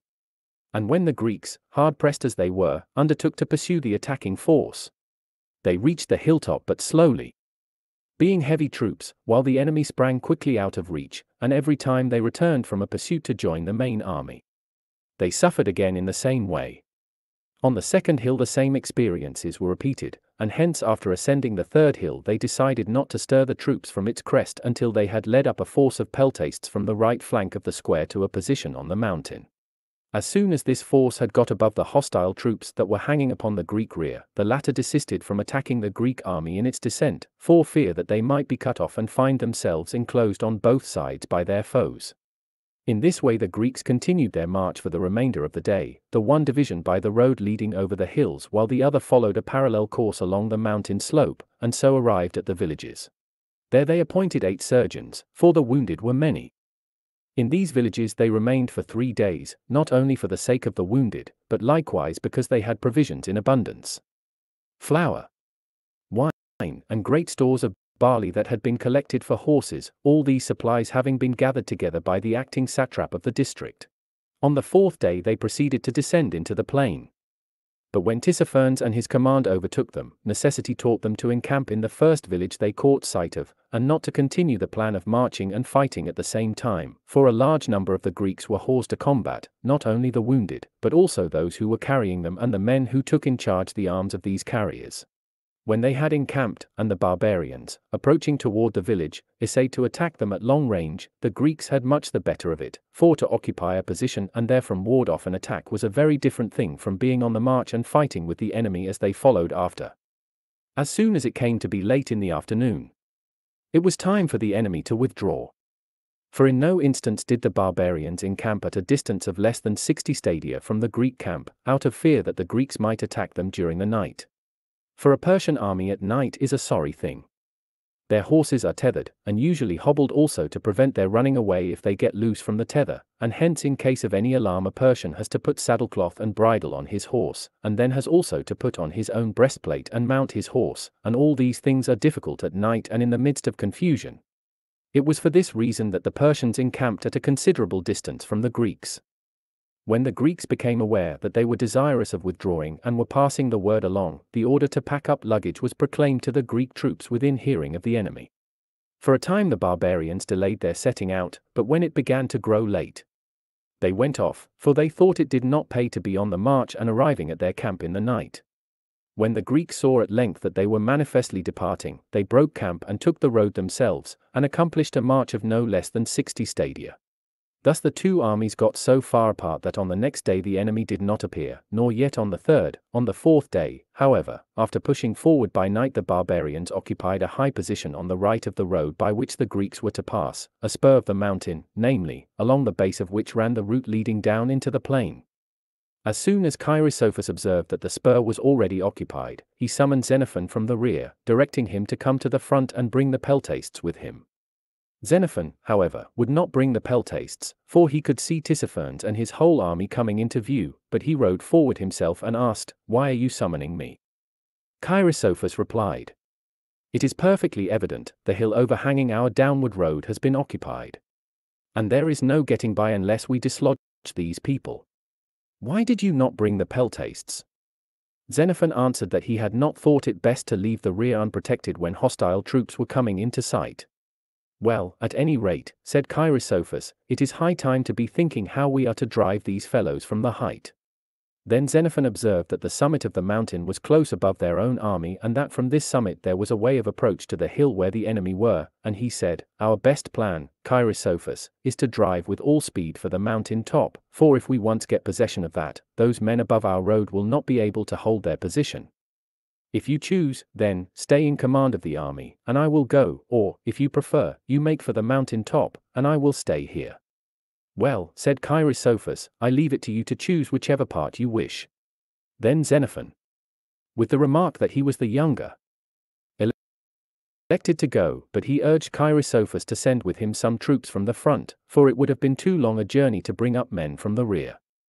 Cheirisophus accordingly sent with him the peltasts at the front, replacing them with those that were inside the square. He also ordered the 300 picked men under his own command at the front of the square to join Xenophon's force. Then they set out with all possible speed. But no sooner had the enemy upon the hill observed their dash for the summit of the mountain than they also set off, to race with the Greeks for this summit. Then there was a deal of shouting from the Greek army as they urged on their friends, and just as much shouting from Tissaphernes' troops to urge on their men. And Xenophon, riding along the lines upon his horse, cheered his troops forward. My good men, he said, believe that now you are racing for Greece, racing this very hour back to your wives and children, a little toil for this one moment and no more fighting for the rest of our journey. But Soterides the Sicyonian said, We are not on an equality, Xenophon, you are riding on horseback, while I am desperately tired with carrying my shield. When Xenophon heard that, he leaped down from his horse and pushed Soterides out of his place in the line, then took his shield away from him and marched on with it as fast as he could. He had on also, as it happened, his cavalry breastplate, and the result was that he was heavily burdened. And he urged the men in front of him to keep going, while he told those who were behind to pass along by him, for he found it hard to keep up. The rest of the soldiers, however, struck and pelted and abused Soterides until they forced him to take back his shield and march on. Then Xenophon remounted, and as long as riding was possible, led the way on horseback, but when the ground became too difficult, he left his horse behind and hurried forward on foot. And they reached the summit before the enemy. 5. Then it was that the barbarians turned about and fled, every man for himself, while the Greeks held possession of the summit. As for the troops under Tissaphernes and Ariaeus, they turned off by another road and were gone, and the army under Cheirisophus descended into the plain and proceeded to encamp in a village stored with abundant supplies. There were likewise many other villages richly stored with supplies in this plain on the banks of the Tigris. When it came to be late in the day, all of a sudden the enemy appeared in the plain and cut to pieces some of the Greeks who were scattered about there in quest of plunder. In fact, many herds of cattle had been captured while they were being taken across to the other side of the river. Then Tissaphernes and his followers attempted to burn the villages, and some of the Greeks got exceedingly despondent. Out of apprehension that they would not have a place from which to get provisions in case the enemy should succeed in this attempt. Meanwhile Cheirisophus and his men, who had gone to the rescue of the plunderers, were returning, and when Xenophon had come down from the mountain, he rode along the lines upon falling in with the Greeks of the rescuing party and said, Do you observe, men of Greece, that they admit the country is now ours? For while they stipulated when they made the treaty that there should be no burning of the king's territory, now they are doing that very thing themselves, as though the land were another's. At any rate, if they leave supplies anywhere for their own use, they shall behold us also proceeding to that spot. But, Cheirisophus, he went on, it seems to me that we ought to sally forth against these incendiaries, like men defending their own country. Well, it doesn't seem so to me, said Cheirisophus, rather. Let us set about burning ourselves. And then they will stop the sooner. When they had come to their quarters, the troops were busy about provisions, but the generals and captains gathered in council. And here there was great despondency. For on one side of them were exceedingly high mountains, and on the other side a river so deep that not even their spears reached above water when they tried its depth. In the midst of their perplexity, a Rhodian came to them and said, I stand ready, gentlemen, to set you across the river, four thousand hoplites at a time, if you will provide me with the means that I require and give me a talent for pay. Upon being asked what his requirements were, he replied, I shall need two thousand skins. I see plenty of sheep and goats and cattle and asses, take off their skins and blow them up, and they would easily provide the means of crossing. I shall want also the girths which you use on the beasts of burden, with these I shall tie the skins to one another and also moor each skin by fastening stones to the girths and letting them down into the water like anchors, then I shall carry the line of skins across the river. Make it fast at both ends, and pile on brushwood and earth.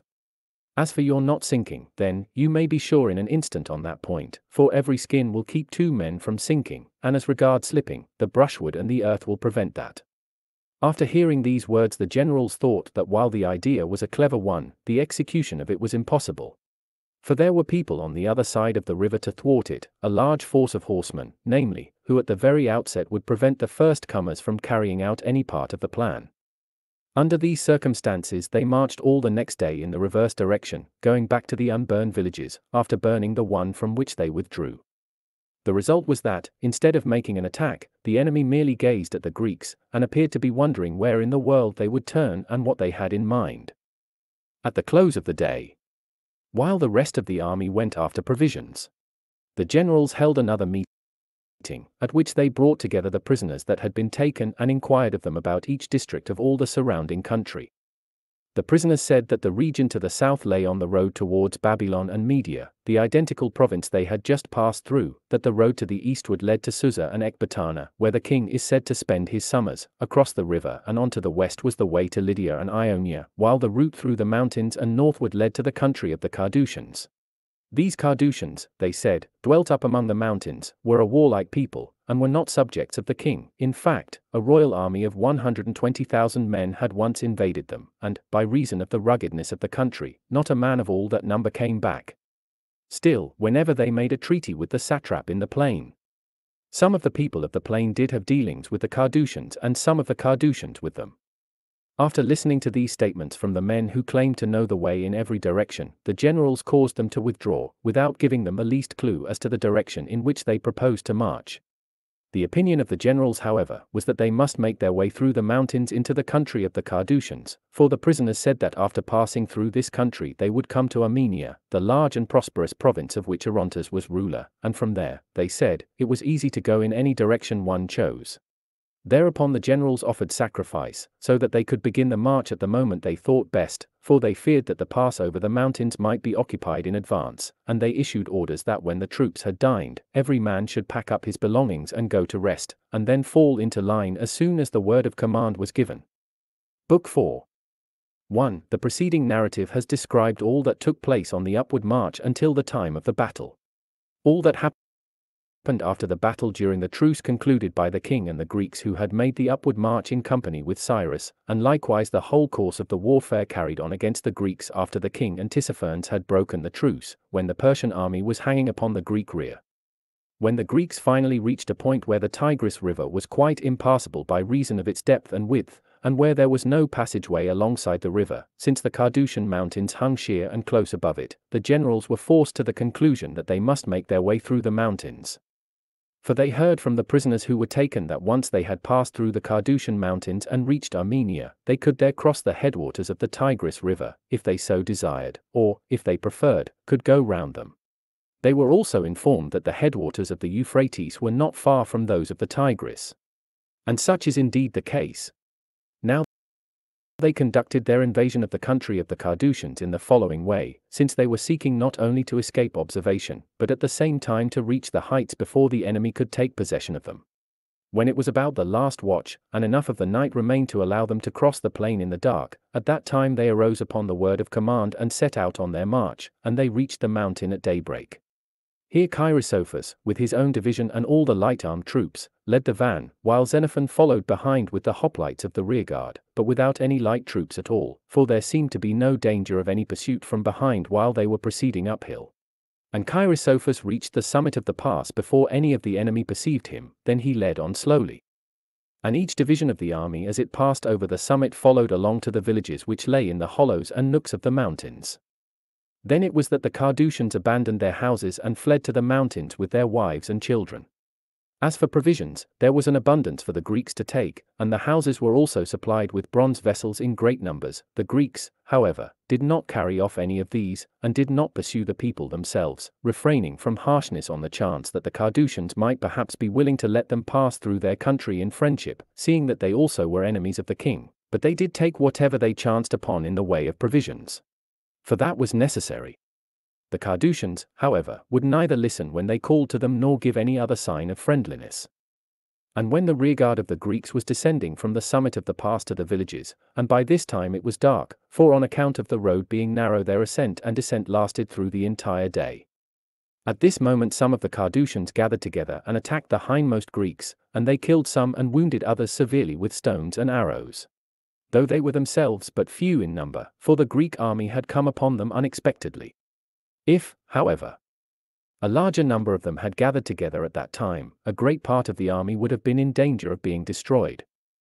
Thus the Greeks bivouacked for that night in the villages, while the Carduchians kindled many fires round about upon the mountains and kept shouting to one another. At daybreak the generals and captains of the Greeks came together and resolved to keep with them on the march only the indispensable and most powerful baggage animals and to leave the rest behind, likewise, to let go all the newly taken captives that were in the army, to the last man. For the baggage animals and the captives, numerous as they were, made the march slow, and the large number of men who had charge of them were thus taken out of the fighting line. Besides, with so many people to feed it was necessary to procure and to carry twice the amount of provisions. This decision once reached, they published the order to carry it into effect. When they had breakfasted and were setting out upon the march, the generals quietly stationed men in the defile and proceeded to take away from the troops such of the things specified as had not been given up if they found any, and the soldiers submitted, except in cases where a man had smuggled through a handsome boy or woman, for example, that he had set his heart upon. So they went on for that day, now fighting a little and now resting. On the next day there was a heavy storm, but they had to continue their march, for they had not an adequate supply of provisions, and Cheirisophus led the way while Xenophon commanded the rearguard. Here the enemy began a vigorous attack, and in the narrow places on the road came close up to discharge their bows and slings. The result was that the Greeks were forced to give chase and then fall back, and hence made but slow progress, and time after time, when the enemy pressed them hard, Xenophon would send word to Cheirisophus to wait a little. Now, while Cheirisophus was accustomed to wait whenever such word was given. On this occasion he did not do so, but led on rapidly and passed back the order to keep up with him.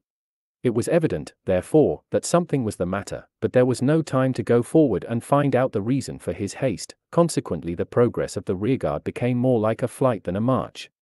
Then it was that a brave man was killed, Leonymus the Laconian, who was pierced in the side by an arrow that went through his shield, and cuirass, also Basias the Arcadian, who was shot clean through the head.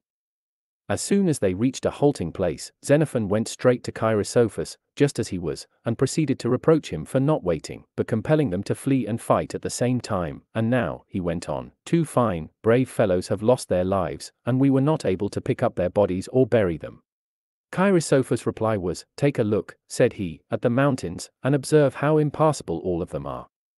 The only road is the one there which you see, a steep one, too, and on that you can see the great crowd of people who have taken possession of it and are guarding our way out. That's the reason why I was hurrying and why I would not wait for you, for I hope to reach the pass and occupy it before they did. The guides that we have say there is no other road.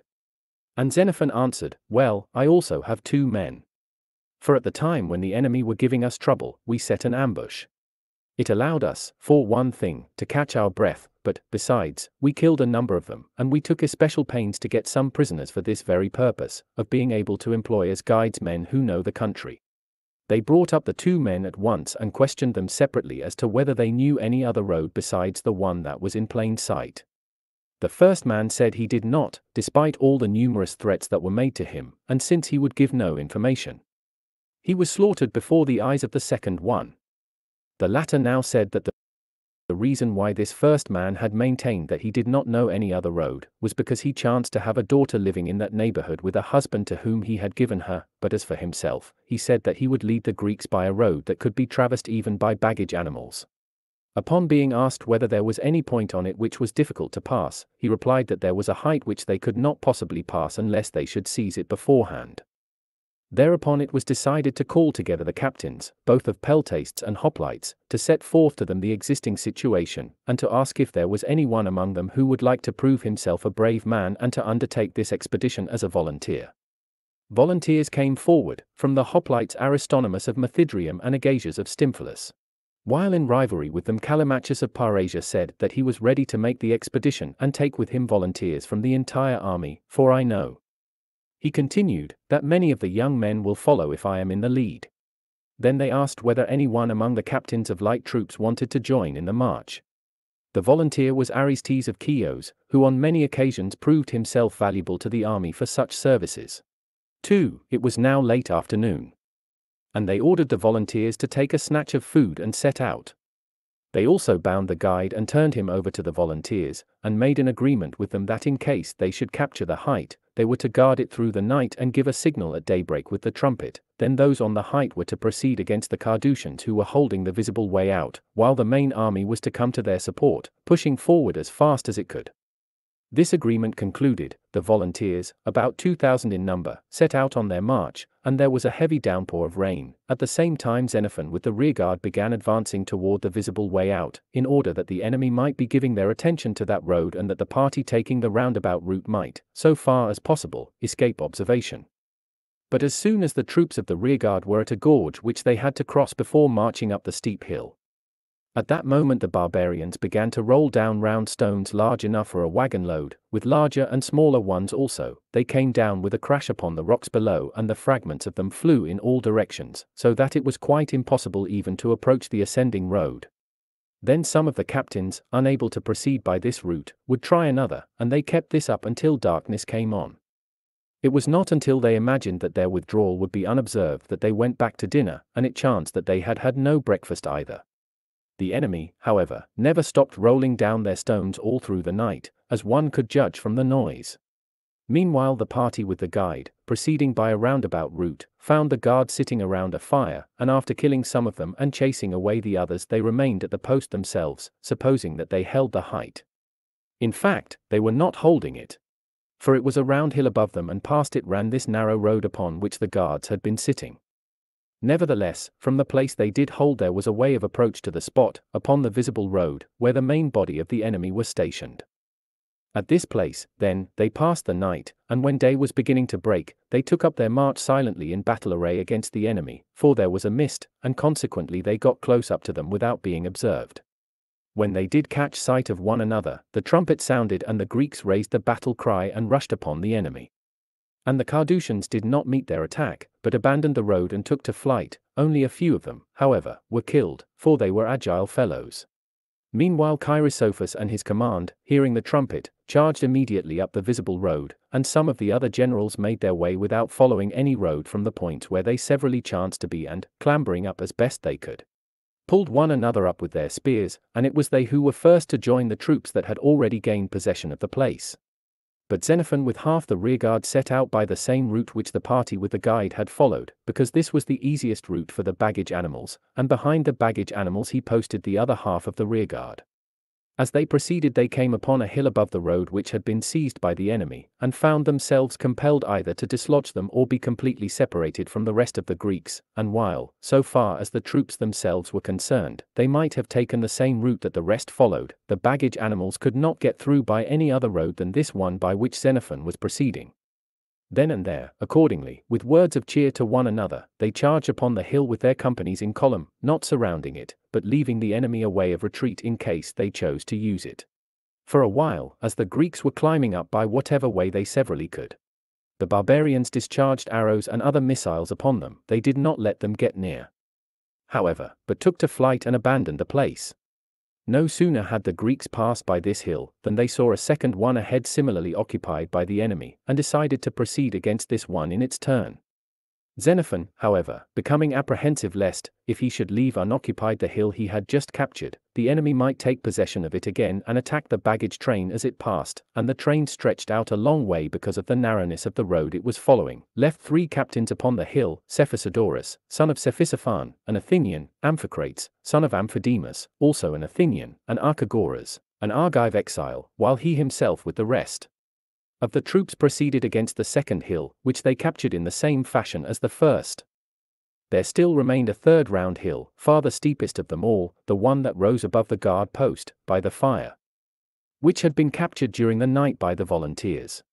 But when the Greeks got near this hill, the barbarians abandoned it without striking a blow, so that everybody was filled with surprise and imagined that they had quit the place out of fear that they might be surrounded and blockaded. As it proved, however, they had seen, looking down from their height, what was going on farther back, and were all setting out to attack the Greek rearguard. Meanwhile Xenophon proceeded to climb the abandoned height with his youngest troops, ordering the rest to move on slowly in order that the hindmost companies might catch up, then they were to advance along the road and halt under arms on the plateau at the top of the pass. At this time Archagoras the Argive came up in flight and reported that the Greeks had been dislodged lodged from the first hill, that Cephisodorus and Amphicrates had been killed. And likewise all the rest except such as had leaped down the rocks and reached the rearguard. After accomplishing this achievement the barbarians came to a hill opposite the round hill, and Xenophon, through an interpreter, held a colloquy with them in regard to a truce and asked them to give back the bodies of the Greek dead. They replied that they would give them back on condition that the Greeks should not burn their houses. To this Xenophon agreed.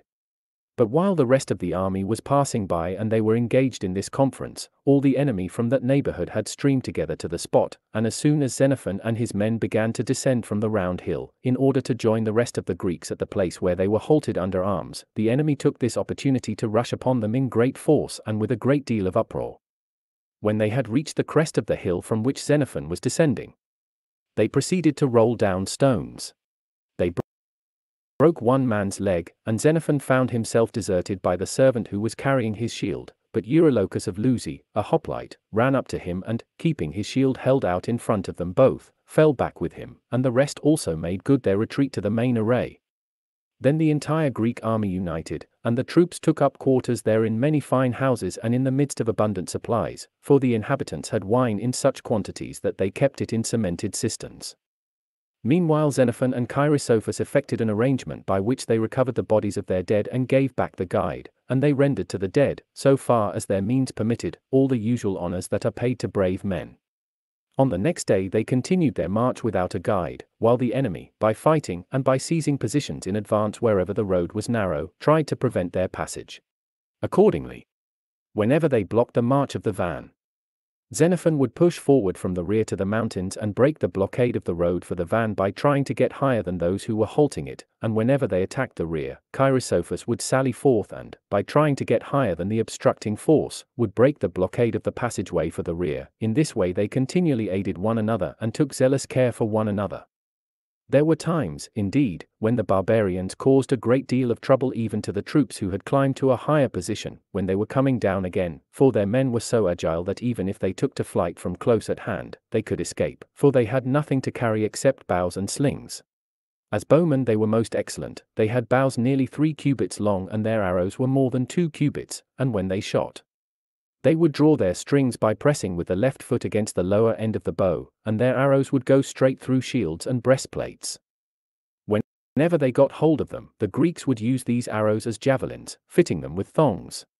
In these regions the Cretans made themselves exceedingly useful. They were commanded by a Cretan named Stratocles. 3. For that day again they found quarters in the villages that lie above the plain bordering the Centrites River which is about two plethra in width and separates Armenia and the country of the Carduchians. There the Greeks took breath, glad to behold a plain, for the river was distant six or seven stadia from the mountains of the Carduchians. At the time, then, they went into their quarters very happily, for they had provisions and likewise many recollections of the hardships that were now past. For during all the seven days of their march through the land of the Carduchians they were continually fighting, and they suffered more evils than all which they had suffered taken together at the hands of the king and Tissaphernes. In the feeling, therefore, that they were rid of these troubles they lay down happily to rest. At daybreak, however, they caught sight of horsemen at a place across the river, fully armed and ready to dispute their passage, and likewise foot soldiers drawn up in line of battle upon the bluffs above the horsemen, to prevent their pushing up into Armenia. All these were the troops of Orontes and Artuchas, and consisted of Armenians, Mardians, and Chaldean mercenaries. The Chaldeans were said to be an independent and valiant people, they had as weapons long wicker shields and lances. Now the bluffs just mentioned, upon which these troops were drawn up, were distant three or four plethra from the river, and there was only one road to be seen that led up them, apparently an artificial road, so at this point the Greeks undertook to cross the river. When they made the attempt, however, the water proved to be more than breast deep and the river bed was rough with large, slippery stones. Furthermore, they could not carry their shields in the water, for if they tried that, the current would snatch them away, while if a man carried them on his head, his body was left unprotected against arrows and other missiles, so they turned back and went into camp there by the side of the river. Meanwhile, at the point where they had themselves spent the previous night, on the mountain side, they could see the Carduchians gathered together under arms in great numbers. Then it was that deep despondency fell upon the Greeks, as they saw before them a river difficult to cross, beyond it troops that would obstruct their crossing, and behind them the Carduchians, ready to fall upon their rear when they tried to cross. That day and night. Accordingly, they remained there, in great perplexity. But Xenophon had a dream, he thought that he was bound in fetters, but that the fetters fell off from him of their own accord, so that he was released and could take as long steps as he pleased. When dawn came, he went to Cheirisophus, told him he had hopes that all would be well, and related to him his dream. Cheirisophus was pleased, and as soon as day began to break, all the generals were at hand and proceeded to offer sacrifices. And with the very first victim the omens were favorable. Then the generals and captains withdrew from the sacrifice and gave orders to the troops to get their breakfasts. While Xenophon was breakfasting, two young men came running up to him, for all knew that they might go to him whether he was breakfasting or dining, and that if he were asleep, they might awaken him and tell him whatever they might have to tell that concerned the war. In the present case, the young men reported that they had happened to be gathering dry sticks for the purpose of making a fire and that while so occupied they had descried across the river, among some rocks that reached down to the very edge of the river, an old man and a woman and some little girls putting away what looked like bags of clothes in a cavernous rock. When they saw this proceeding, they said, they made up their minds that it was safe for them to cross, for this was a place that was not accessible to the enemy's cavalry.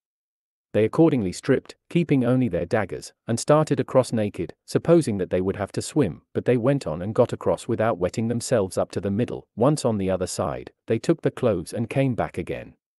Upon hearing this report Xenophon immediately proceeded to pour a libation himself, and directed his attendants to fill a cup for the young men and to pray to the gods who had revealed the dream and the ford, to bring to fulfillment the other blessings also. The libation accomplished he at once led the young men to Cheirisophus. And they repeated their story to him. And upon hearing it, Cheirisophus also made libation.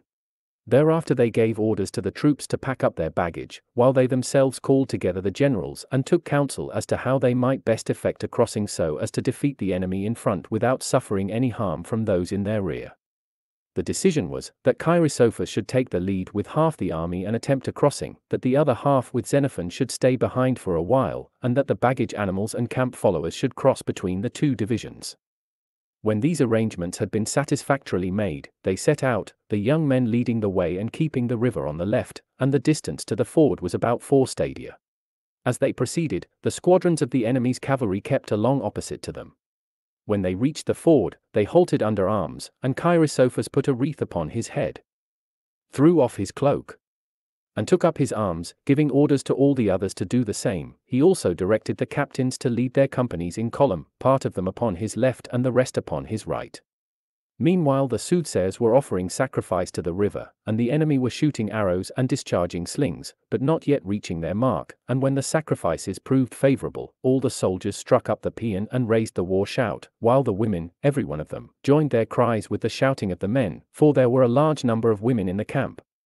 Then Cheirisophus and his division proceeded into the river, but Xenophon took the nimblest troops of the rearguard and began running back at full speed to the ford that was opposite the road which led out into the Armenian mountains, pretending that he meant to cross at that point and thus cut off the horsemen who were by the side of the river. The enemy thereupon, when they saw Cheirisophus and his division crossing the river without difficulty and likewise saw Xenophon and his men running back, were seized with fear that they might be cut off, and they fled at full speed to reach the road which led up from the river. This road once gained, they hastened on upward in the direction of the mountain. Then Lysias, who commanded the squadron of Greek cavalry, and Aeschines, commander of the battalion of peltasts that was with Cheirisophus, upon seeing the enemy in full flight set off in pursuit, while the rest of the Greek troops shouted to them not to fall behind, but to follow the fugitives right up to the mountain. As for Cheirisophus, after getting across he chose not to pursue the hostile cavalry, but immediately pushed up over the bluffs that reached down to the river against the infantry on top of them. And these troops, seeing their own cavalry in flight and hoplites advancing upon them, abandoned the heights above the river. Xenophon no sooner saw that all was going well on the other side than he started back with all speed to join the troops that were crossing. For by this time the Carduchians could be seen descending into the plain with the manifest intention of attacking the hindmost. Meanwhile Cheirisophus was in possession of the bluffs, and Lysias, venturing a pursuit with his small squadron, had captured the straggling portion of the enemy's baggage train, and with it fine apparel and drinking cups. And now, with the Greek baggage train and the camp followers in the very act of crossing, Xenophon wheeled his troops so that they took a position facing the Carduchians, and gave orders to the captains that each man of them should form his own company by squads, moving each squad by the left into line of battle, then the captains and squad leaders were to face toward the Carduchians and station file closers on the side next to the river. But as soon as the Carduchians saw the rearguard stripped of the crowd of camp followers and looking now like a small body, they advanced to the attack all the more rapidly, singing a kind of songs.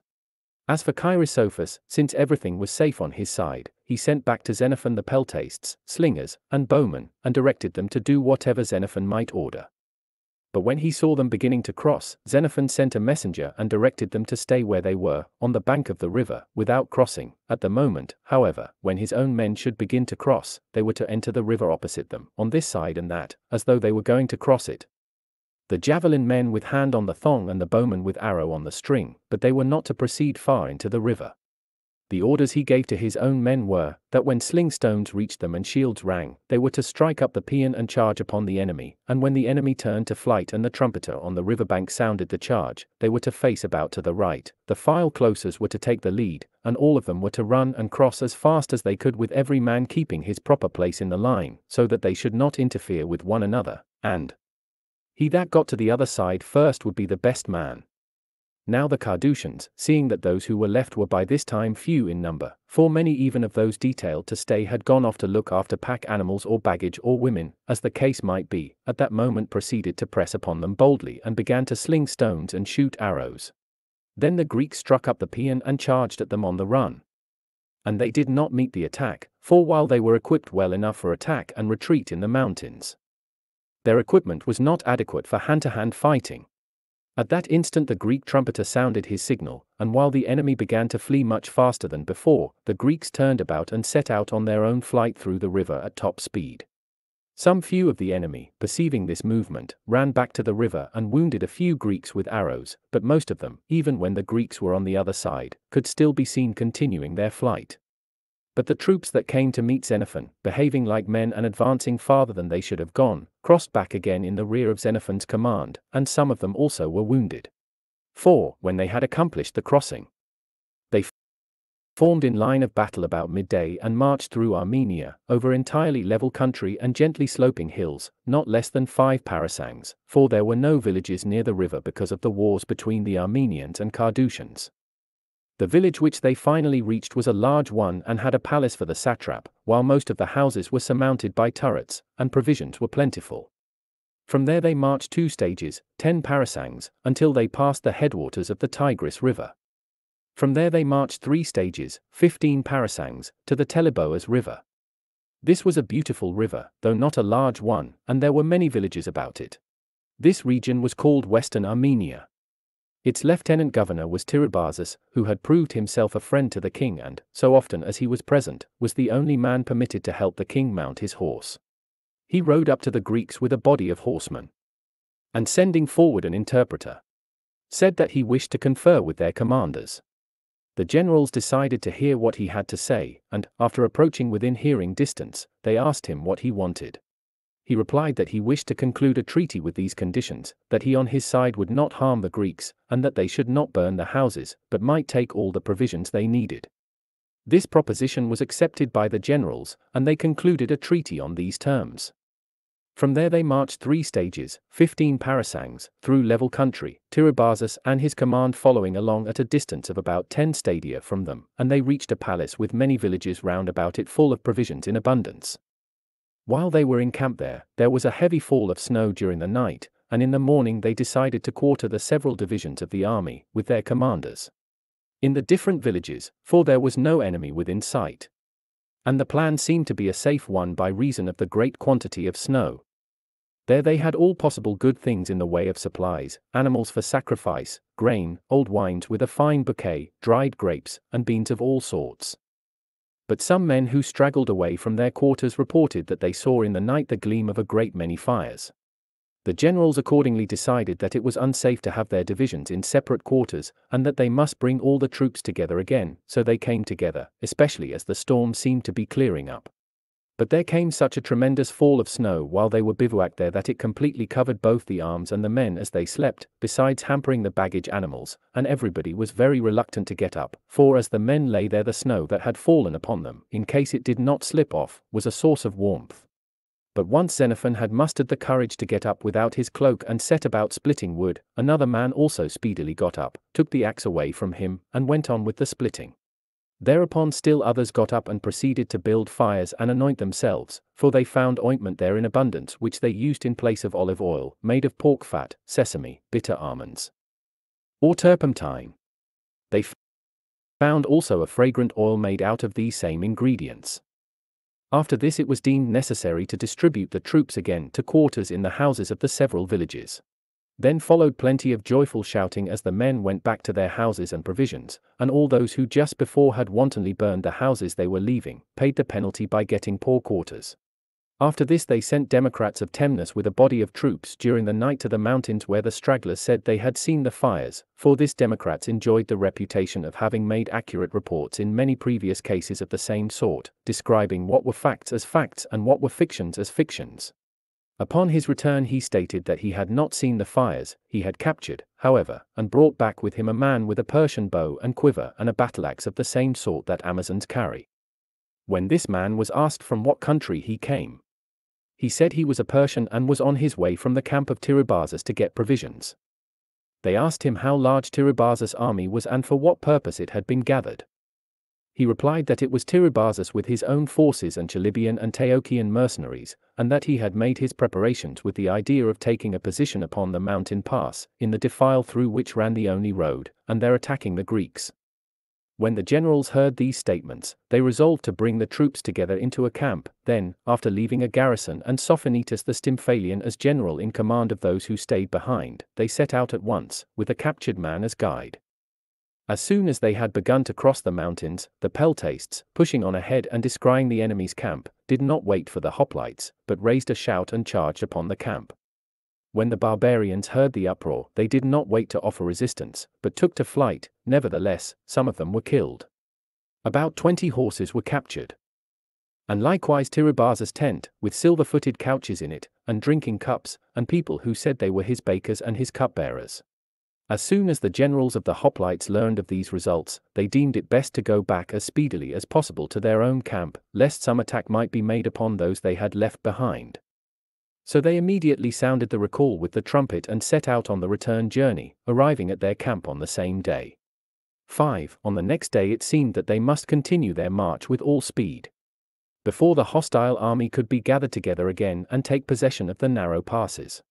They accordingly packed up and set out at once, marching through deep snow with a large number of guides, and before the day ended they crossed over the summit at which Tiribazus was intending to attack them and went into camp. From there they marched three stages through desert country, 15 parasangs, to the Euphrates River, and crossed it, wetting themselves up to the navel, and report was that the sources of the river were not far distant. From there they marched over a plain and through deep snow three stages, 13 parasangs. The third stage proved a hard one, with the north wind, which blew full in their faces, absolutely blasting everything and freezing the men. Then it was that one of the soothsayers bade them offer sacrifice to the wind, and sacrifice was offered, and it seemed quite clear to everybody that the violence of the wind abated. But the depth of the snow was a fathom. So that many of the baggage animals and slaves perished, and about thirty of the soldiers. They got through that night by keeping up fires, for there was wood in abundance at the halting place. Those who came up late, however, had none, and consequently the men who had arrived early and were keeping a fire would not allow the latecomers to get near it unless they gave them a share of their wheat or anything else they had that was edible. So then they shared with one another what they severally possessed.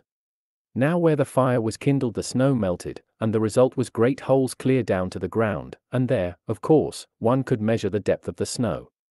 From there they marched all the following day through snow, and many of the men fell ill with hunger faintness. And Xenophon, with the regard, as he came upon the men who were falling by the way, did not know what the trouble was.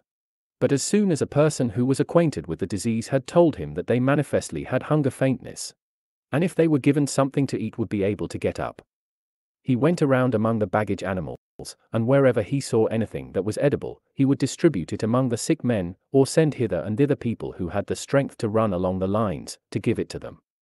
And when they had eaten something, they would get up and continue the march. As the army went on, Cheirisophus reached a village about dusk, and found at the spring outside the wall women and girls who had come from the village to fetch water. They asked the Greeks who they were, and the interpreter replied in Persian that they were on their way from the king to the satrap. The women answered that he was not there, but about a parasang away. Then, inasmuch as it was late, the Greeks accompanied the water carriers within the wall to visit the village chief. So it was that Cheirisophus and all the troops who could muster strength enough to reach the village went into quarters there. But such of the others as were unable to complete the journey spent the night in the open without food or fire, and in this way some of the soldiers perished. Meanwhile they were being followed by the enemy, some of whom had banded together and were seizing such of the pack animals as lacked the strength to go on, and fighting over them with one another. Some of the soldiers likewise were falling behind, those whose eyes had been blinded by the snow, or whose toes had rotted off by reason of the cold. It was a protection to the eyes against the snow if a man marched with something black in front of them, and a protection to the feet if one kept moving and never quiet, and if he took off his shoes for the night. But in all cases where men slept with their shoes on, the straps sunk into their flesh and the shoes froze on their feet, for what they were wearing, since their old shoes had given out, were brogues made of freshly flayed ox hides. It was under compulsion of such difficulties that some of the soldiers were falling behind, and espying a spot that was dark because the snow just there had disappeared, they surmised that it had melted, and in fact it had melted. Account of a spring which was nearby, steaming in a dell, here they turned aside and sat down, refusing to go any farther. But when Xenophon with some of the rearguard observed them, he begged them by all manner of means not to be left behind, telling them that a large body of the enemy had gathered and were pursuing, and finally he became angry. They told him, however, to kill them, for they could not go on. In this situation, it seemed to be best to frighten the pursuing enemy, if they could, in order to prevent their falling upon the sick men. It was dark by this time, and the enemy were coming on with a great uproar, quarreling over the booty they had. Then the men of the rearguard, since they were sound and well, started up and charged upon the enemy, while the invalids raised as big a shout as they could and clashed their shields against their spears. And the enemy, seized with fear, threw themselves down over the snow into the dell. And not a sound was heard from them afterwards. Thereupon Xenophon and his men, after telling the invalids that on the next day people would come back after them, continued their march, but before they had gone four stadia they came upon their comrades lying down in the road upon the snow, wrapped up in their cloaks, and without so much as a single guard posted. They tried to get them up, but the men said that the troops in front would not make way for them. Xenophon accordingly passed along and, sending forward the strongest of the peltasts, directed them to see what the hindrance was. They reported back that the whole army was resting in this way. Thereupon Xenophon also and his party bivouacked where they were, without a fire and without dinner, after stationing such guards as they could. When it came toward morning, Xenophon sent the youngest of his troops to the sick men with orders to make them get up and force them to proceed. Meanwhile Cheirisophus sent some of the troops quartered in the village to find out how the people at the rear were faring. Xenophon's party were glad enough to see them, and turned over the invalids to them to carry on to the camp, while they themselves continued their journey, and before completing twenty stadia reached the village where Cheirisophus was quartered. When all had come together, the generals decided that it was safe for the different divisions of the army to take up quarters in the several villages. Cheirisophus accordingly remained where he was, while the other generals distributed by lot the villages within sight, and all set off with their respective commands. Then it was that Polycrates, an Athenian captain, asked to be detached from his division, and with an active group of men he ran to the village which had fallen to Xenophon's lot and there took possession of all the villages, the village chief included, seventeen colts which were being reared for tribute to the king, and the village chief's daughter, who had been married eight days before, her husband, however, was off hunting hares, and was not taken in the village.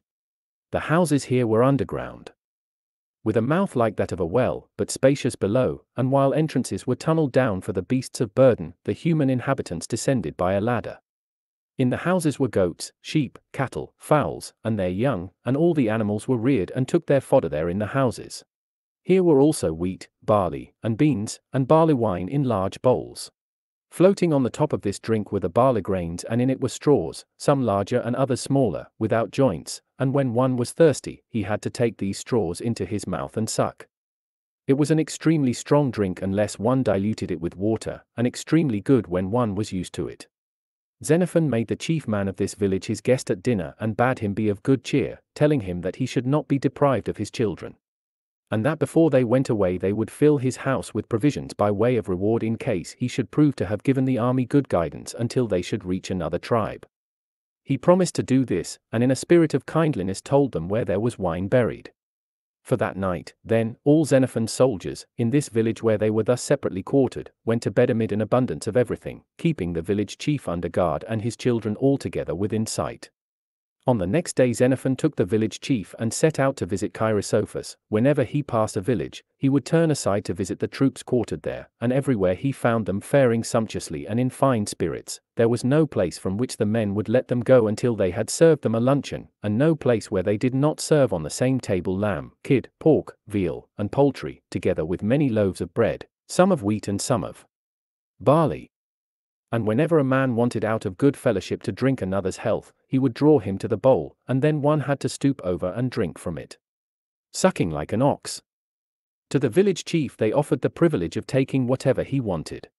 He declined for the most part to accept anything, but whenever he caught sight of one of his kinsmen, he would always take the man to his side. Again, when they reached Cheirisophus, they found his troops also feasting in their quarters, crowned with wreaths of hay and served by Armenian boys in their strange, foreign dress, and they were showing the boys what to do by signs, as if they were deaf and dumb. As soon as Cheirisophus and Xenophon had exchanged warm greetings, they together asked the village chief, through their Persian speaking interpreter, what this land was. He replied that it was Armenia. They asked him again for whom the horses were being reared. He answered, as tribute for the king, and he said that the neighboring country was that of the Chalybians, and told them where the road was. Then Xenophon took the village chief back for the time to his own household. and gave him a horse that he had got when it was rather old. To fatten up and sacrifice, for he understood that it was sacred to the sun god. He did this out of fear that the horse might die, for it had been injured by the journey, and he took for himself one of the colts and gave his captains also a colt apiece. The horses of this region were smaller than the Persian horses, but very much more spirited. It was here also that the village chief instructed them about wrapping small bags round the feet of their horses and beasts of burden when they were going through the snow, for without these bags the animals would sink in up to their bellies. 6. When seven days had passed, Xenophon gave over the village chief to Cheirisophus to act as guide, leaving his family behind with the exception of his son, who was just coming into the prime of youth. This son he gave into the keeping of Pleisthenes of Amphipolis, in order that the father, if he should serve them well as guide, might take him also back with him. Then, after putting into his house as large a quantity of supplies as they could, they broke camp and set out upon the march. The village chief, who was not bound, guided their way through the snow, but by the time they were on the third stage Cheirisophus got angry with him for not leading them to villages. He replied that there were none in this region. Then Cheirisophus struck him, but neglected to bind him. The result was that he stole away during the night, leaving his son behind. And this was the only cause of difference between Cheirisophus and Xenophon during the course of the march. This ill treatment of the guide and carelessness in not guarding him. Pleisthenes, however, fell in love with the boy, took him home with him, and found him absolutely faithful. After this they marched seven stages at the rate of five parasangs a day to the Phasis river, which was a plethrum in width. From there they marched two stages, ten parasangs, and on the pass leading over to the plain they encountered a body of Chalybians, Taochians, and Phasians.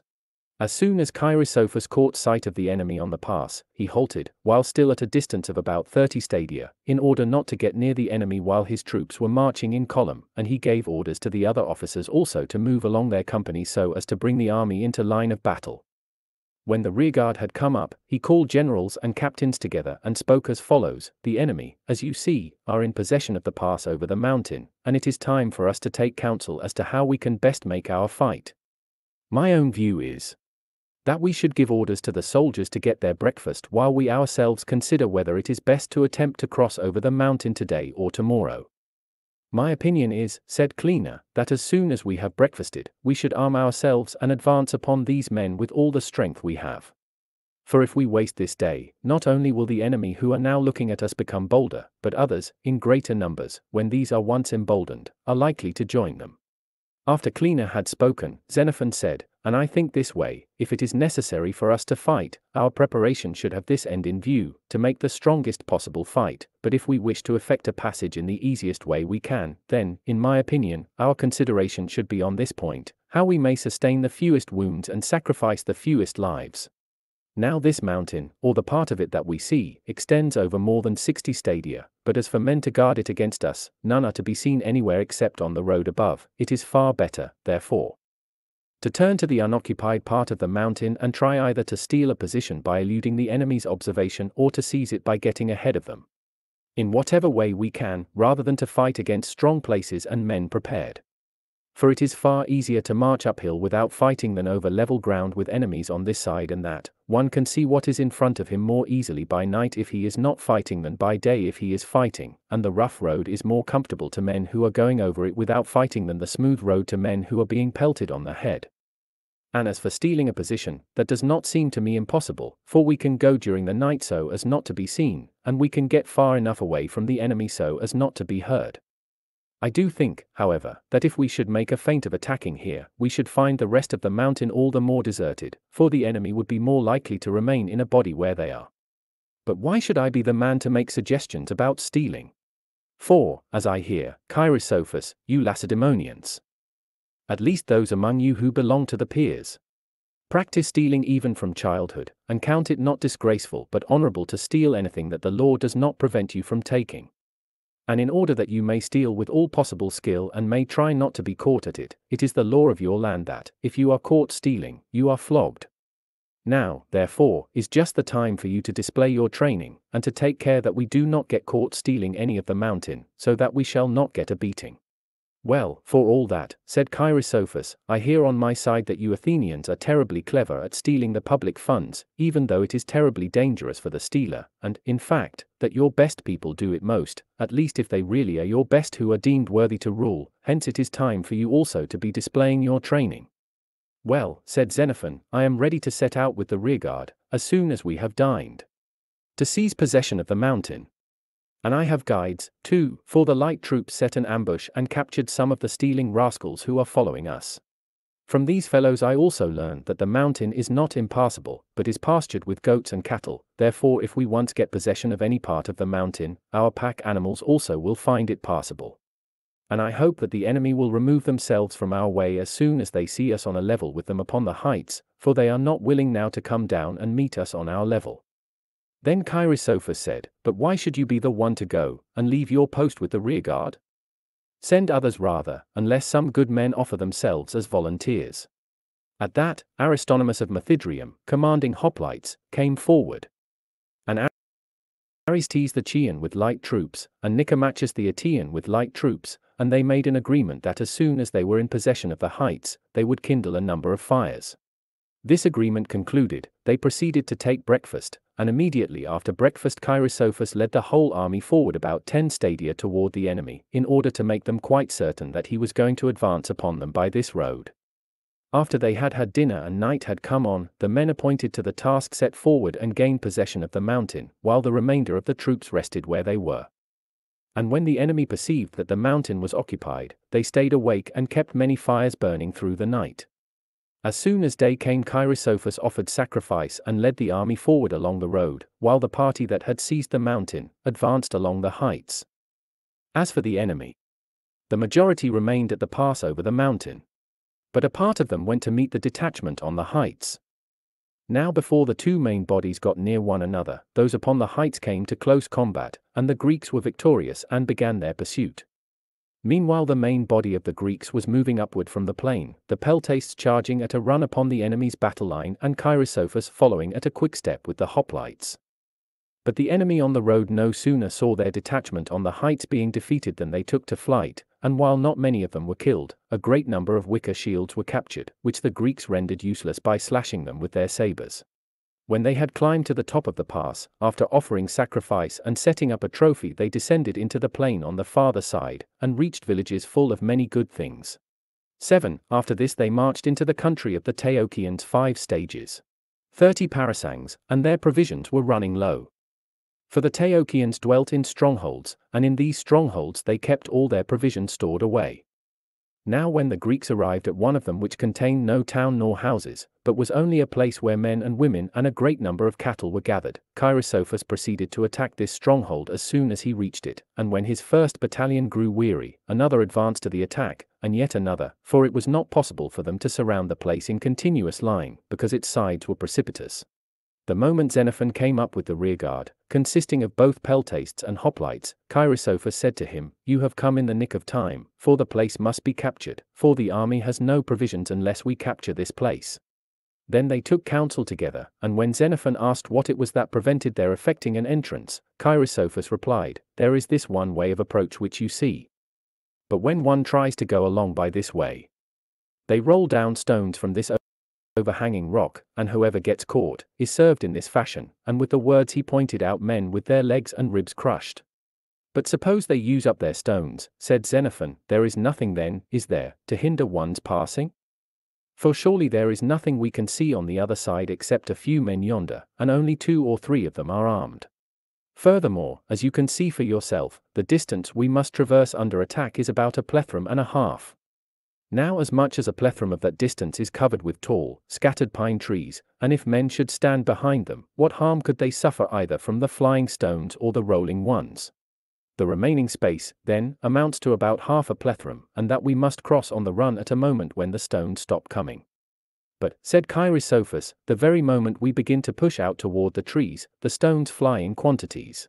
Precisely the thing we want.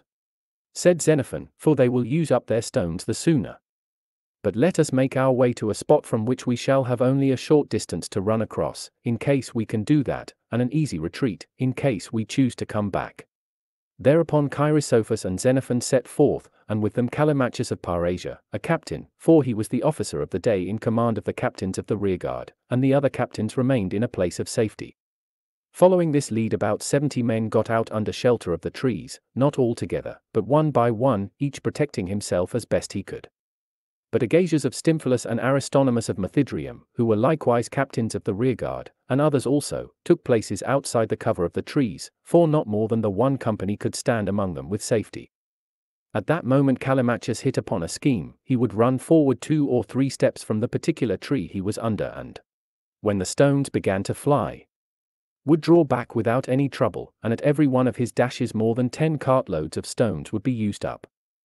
But when Agasias saw what Callimachus was doing, with the whole army for spectators, he became fearful that the other would be the first to make the run across to the stronghold, so without asking Aristonomus or Eurylochus of Lusi, though the former was close by and both were his friends, or anyone else to join him, he dashed forward himself and proceeded to go past everybody.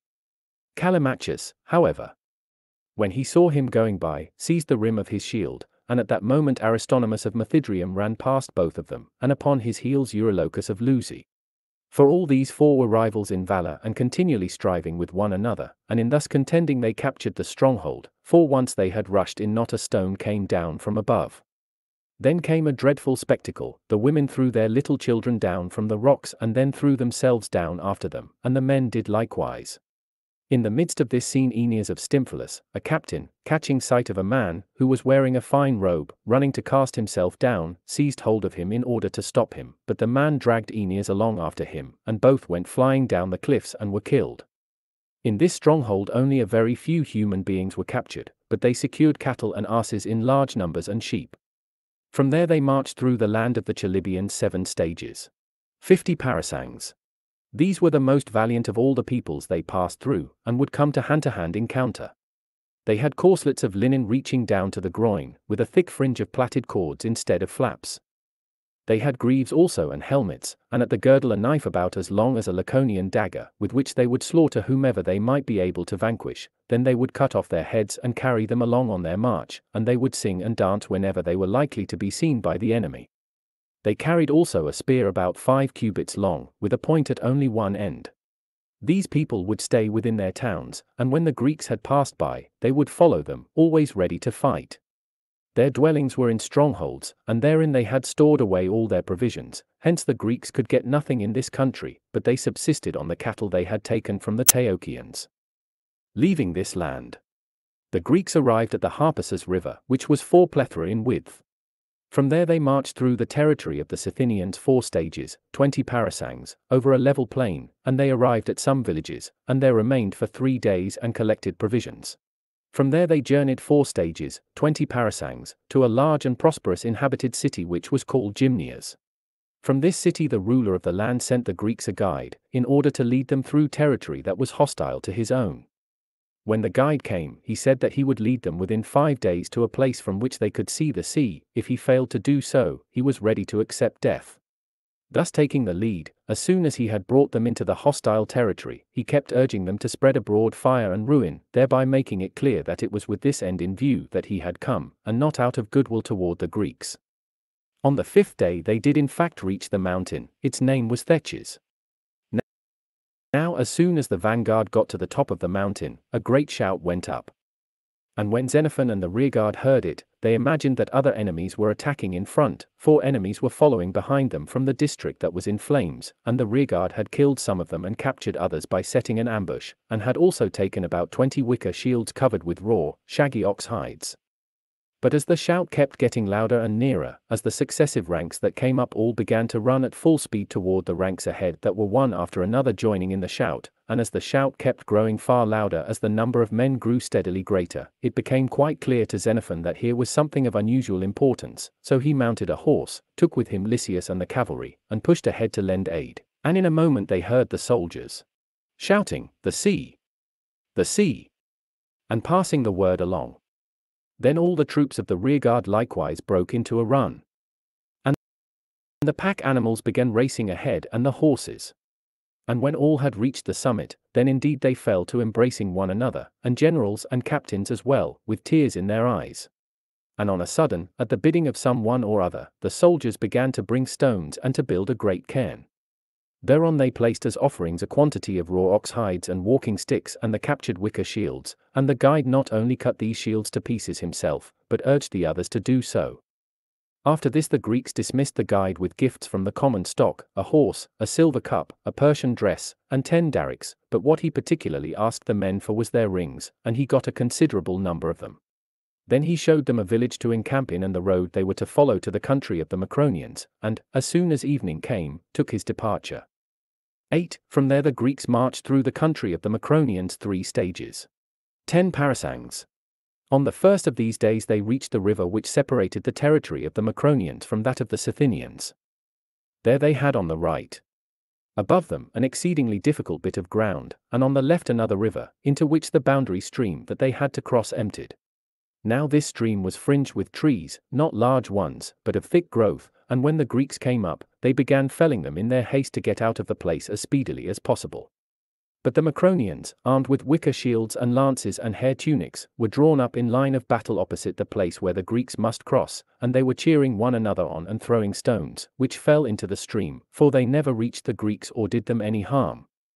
At this moment one of the peltasts came up to Xenophon, a man who said that he had been a slave at Athens, with word that he knew the language of these people. I think, he went on, that this is my native country, and if there is nothing to hinder, I should like to have a talk with them.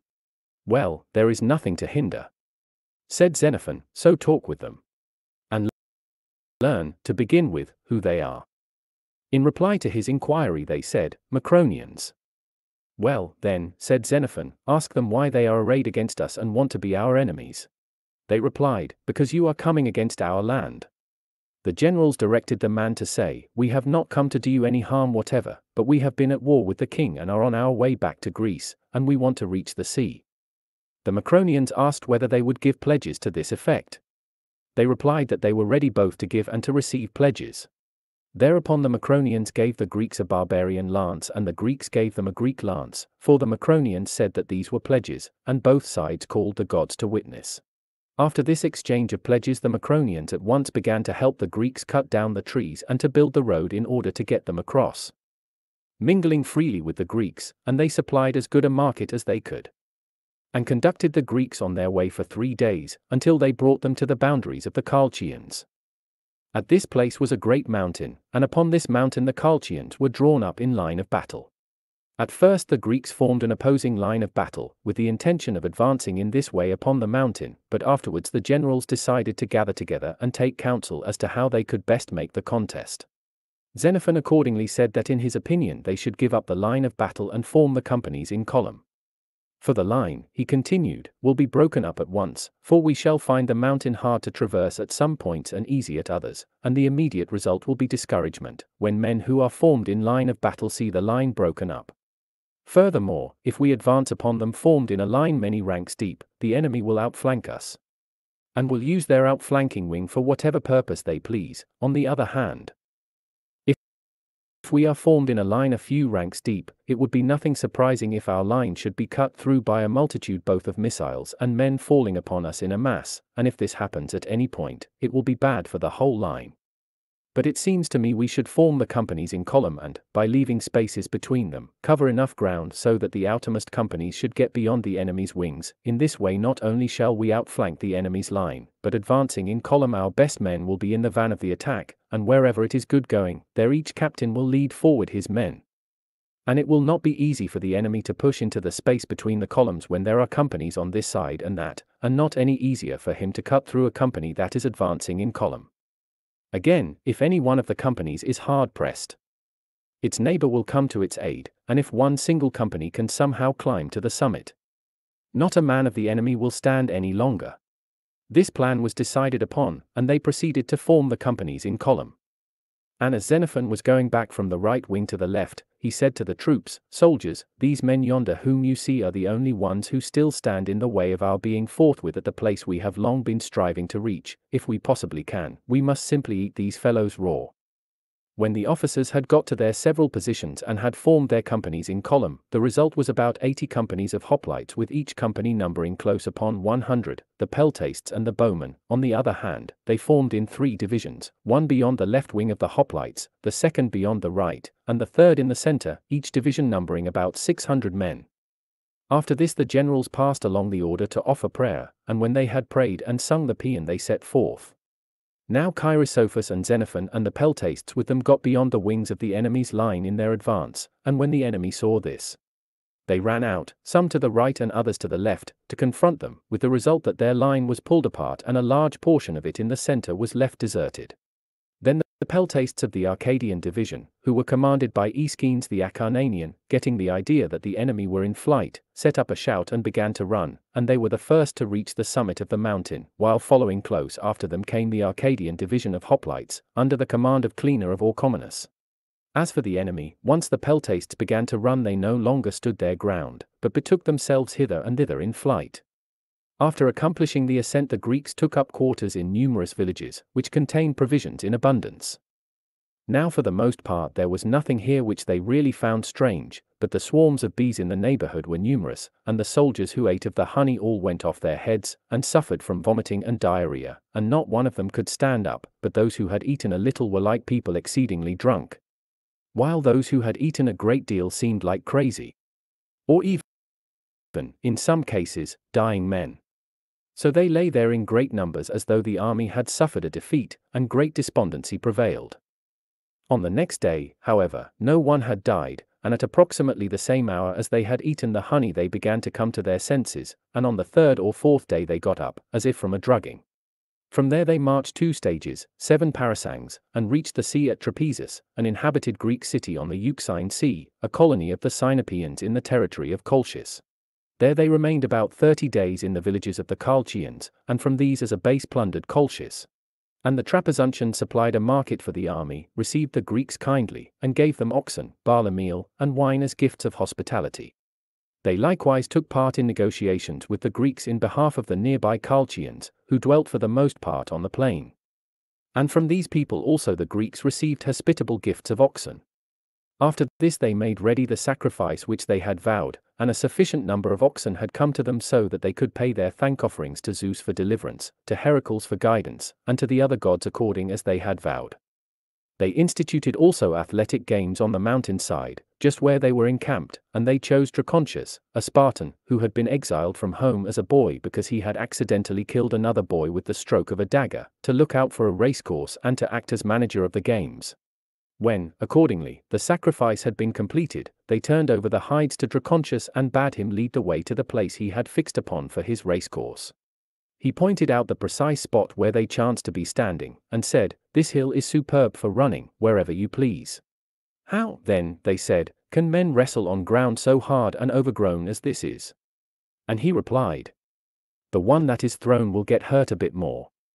The events were a stadium race for boys, most of them belonging to the captives, a long race, in which more than 60 Cretans took part, wrestling, boxing, and the pancratium, and it made a fine spectacle, for there were a great many entries and, inasmuch as the comrades of the contestants were looking on, there was a great deal of rivalry.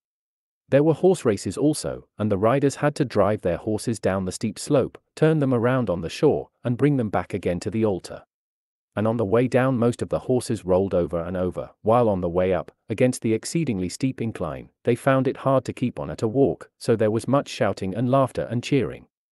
Book 5 1. The preceding narrative has described all that the Greeks did on their upward march with Cyrus and on their journey to the shore of the Euxine Sea, how they arrived at the Greek city of Trapezus. And how they paid the thank offerings for deliverance which they had vowed to sacrifice at the place where they should first reach a friendly land. After this they gathered together and proceeded to take counsel in regard to the remainder of their journey, and the first man to get up was Leon of Thurii, who spoke as follows, Well, I, for my part. Gentlemen, he said, am tired by this time of packing up and walking and running and carrying my arms and being in line and standing guard and fighting, and what I long for now is to be rid of these toils, since we have the sea, and to sail the rest of the way, and so reach Greece stretched out on my back. Like Odysseus, Upon hearing these words the soldiers shouted out that he was quite right, and another man said the same thing, and in fact all who rose to speak. Then Cheirisophus got up and spoke as follows I have a friend Anaxibius, gentleman, and he happens also to be admiral. So if you will send me to him, I presume I can bring back with me ships of war and merchant vessels to carry us. For yourselves, if you really wish to go by sea, wait until I return, and I shall return speedily. When they heard this, the soldiers were delighted, and voted that Cheirisophus should set sail with all speed. After him Xenophon rose and spoke as follows Cheirisophus, then, is setting off after ships, and we are to stay here. I am going to speak, therefore, of all the things that it seems to me proper for us to be doing while we wait. In the first place, we must obtain provisions from hostile territory, for we neither have an adequate market, nor have we. With some few exceptions, means wherewith to buy, but the territory is hostile, and hence there is danger that many of you will perish if you set out after provisions carelessly and unguardedly. Rather, it seems to me that you ought to get your provisions in foraging parties and not roam about at random, in order that you may be kept safe, and that we generals ought to have charge of this matter. This proposal was adopted. Listen, then, to this further point. Some of you are to journey forth after plunder. Now I think it is best for the man who is going out to inform us of the fact and to tell us also whither he is going, in order that we may know the number of men who are going out and the number who are staying behind, then we can help, if need be, in making preparations, and if there be occasion to go to any one's assistance, we shall know whither we are to go with such assistance, and if a man who is without experience is making an attempt in any quarter, we can advise him by trying to ascertain the strength of those against whom he may be going. This proposal also was adopted. Then, he said, consider this matter also. Our enemies have leisure for plundering and they are plotting against us, quite properly, seeing that we have appropriated what was theirs, and they are posted up above us. So it seems to me that we ought to have guards around our camp, supposing, then, that we take turns in standing guard and keeping watch, the enemy would be less able to harry us. Here is still another point to note. If we knew beyond doubt that Cheirisophus would bring back with him an adequate number of ships, there would be no need of what I am about to say, but since in fact that is uncertain, I think we should try to do our part by procuring ships here also. For if he does bring enough, then with those at hand here we shall have a more abundant supply to sail in, while if he does not, we shall use those which we have here. Now I see ships sailing past frequently. And if we can get the Trapezuntians to give us men of war and so bring these ships into port and keep them under guard, and shipping their rudders meanwhile, until we get enough to carry us, perhaps we should not lack such means of transport as we need. This proposal also was adopted. Again, he said, Do you not think it reasonable that we should maintain from our common fund the sailors we thus bring into port for as long a time as they may be waiting for our sakes, and that we should agree upon a price for our passage, so that in conferring a benefit upon us they may also benefit themselves? This proposal also was adopted. Now it seems to me, he continued, that if perchance this plan also shall fail to provide us with enough ships, we must turn to the roads, which we hear are difficult to travel, and direct the cities that are situated along the sea to repair them, for they will obey, not only from fear, but also from the desire to be rid of us. At this the soldiers set up a shout, saying that they did not want to go by land. And Xenophon, realizing their foolishness, did not put any proposal regarding this matter to vote, but persuaded the the cities to repair the roads voluntarily, urging that they would be rid of the army the more quickly if the roads should be made easy to travel. Furthermore, they got a 50-oared warship from the Trapezuntians, and put it under the command of Dexippus, a Laconian Perioecus. This fellow, however, paying no heed to the duty of collecting vessels, slipped away with his man of war and left the Euxine. He did indeed get his deserts afterwards, for while engaged in some intrigue at the court of Seuthes in Thrace he was killed by Nicander the Laconian. Also got a 30-oared galley, and put it under the command of Polycrates the Athenian, who brought into the camp all the merchant vessels that he captured. And they would unload the cargoes, in case the ships had any, and put them under guard, in order to keep these safe and to use the vessels themselves for transport service. While these things were going on, the Greeks were making forays in quest of booty, and while some parties would secure it, others did not. And in one case, when Cleaenetus led forth his own company and another against a difficult stronghold, the commander himself was killed and many of his men besides. 2. The time came when it was no longer possible to obtain provisions and return to the camp on the same day. Then Xenophon took some Trapezuntians for guides and led forth half the army to the country of the Drilae, leaving the other half behind to guard the camp, because the Colchians, since they had been driven out of their houses, were now gathered together in one great body and had taken a position on the heights above the camp. For the Trapezuntians would not lead the Greeks to districts from which provisions could be secured easily, because they were friendly to the people of those districts, but they were eager to lead them into the territory of the Drilae, at whose hands they were continually suffering losses, though their country was mountainous and difficult to traverse and its inhabitants the most warlike of all that dwell upon the Euxine. When the Greeks had reached the highlands, the Drilae set fire to such of their strongholds as seemed to them easy to capture, and fell back, and the Greeks could secure nothing except an occasional pig or ox or other animal that had escaped the fire. There was one stronghold, however, which was their metropolis, and into this they had all streamed. Around it was an exceedingly deep ravine, and the approaches to the place were difficult. Now the Peltasts, who had run five or six stadia ahead of the hoplites, crossed this ravine and, seeing quantities of sheep and other property, they essayed an attack upon the stronghold. In their train there followed a considerable number of spearmen who had set out after provisions, so that the party that crossed the ravine amounted to more than a thousand men. But when they found themselves unable with all their fighting to capture the place, for there was a wide trench around it, backed by a rampart, and upon the rampart palisades had been set and wooden towers constructed at frequent intervals, their next move was to try to withdraw, and then the enemy pressed hard upon them. To get away by running proved impossible, inasmuch as the descent from the stronghold to the ravine only allowed them to go in single file, and they accordingly sent a messenger to Xenophon, who was at the head of the hoplites. The messenger came and reported, There is a stronghold full of all kinds of stores. We cannot capture it, for it is strong, and we cannot easily get away, for the defenders rush out and attack us. And the road that leads back is a difficult one. Upon hearing this message Xenophon led on to the ravine, ordered the hoplites to halt their underarms, and himself crossed over with the captains and looked about to see whether it was better to withdraw the troops that had already crossed, or to lead over the hoplites also, on the presumption that the stronghold could be captured the withdrawal, it seemed clear, could not be accomplished without the loss of many lives, while the capture of the place, in the opinion of the captains, was feasible, and Xenophon fell in with their opinion, in reliance upon his sacrifices, for the seers had declared that while there would be fighting to do, the issue of the expedition would be fortunate. Accordingly he sent the captains to bring over the hoplites, while he himself remained on the further side, having drawn back the entire body of peltasts and forbidding any one to shoot at long range. Upon the arrival of the hoplites he ordered each of the captains to form his company in the way he thought it would fight most effectively, for near one another were the captains who had all the time been vying with one another in valor.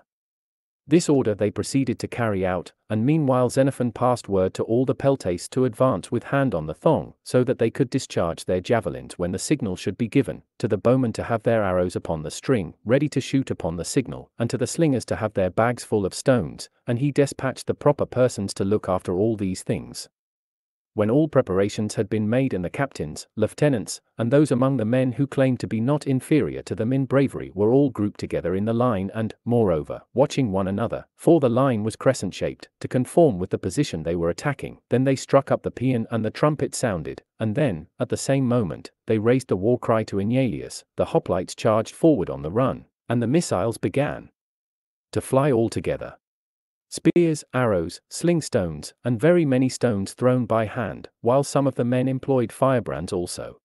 By reason of the quantity of the missiles the enemy abandoned both their ramparts and their towers, so that Agasias the Stymphalian, putting aside his arms and clad only in his tunic, climbed up, then pulled up another man, and meanwhile another had made the climb, so that the capture of the stronghold was accomplished, as it seemed.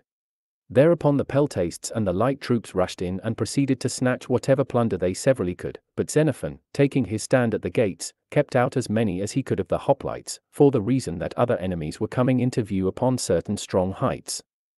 After no long interval a shout arose within and men came pouring forth in flight, some carrying with them what they had seized, then soon a number of men that were wounded, and there was a deal of pushing about the gates.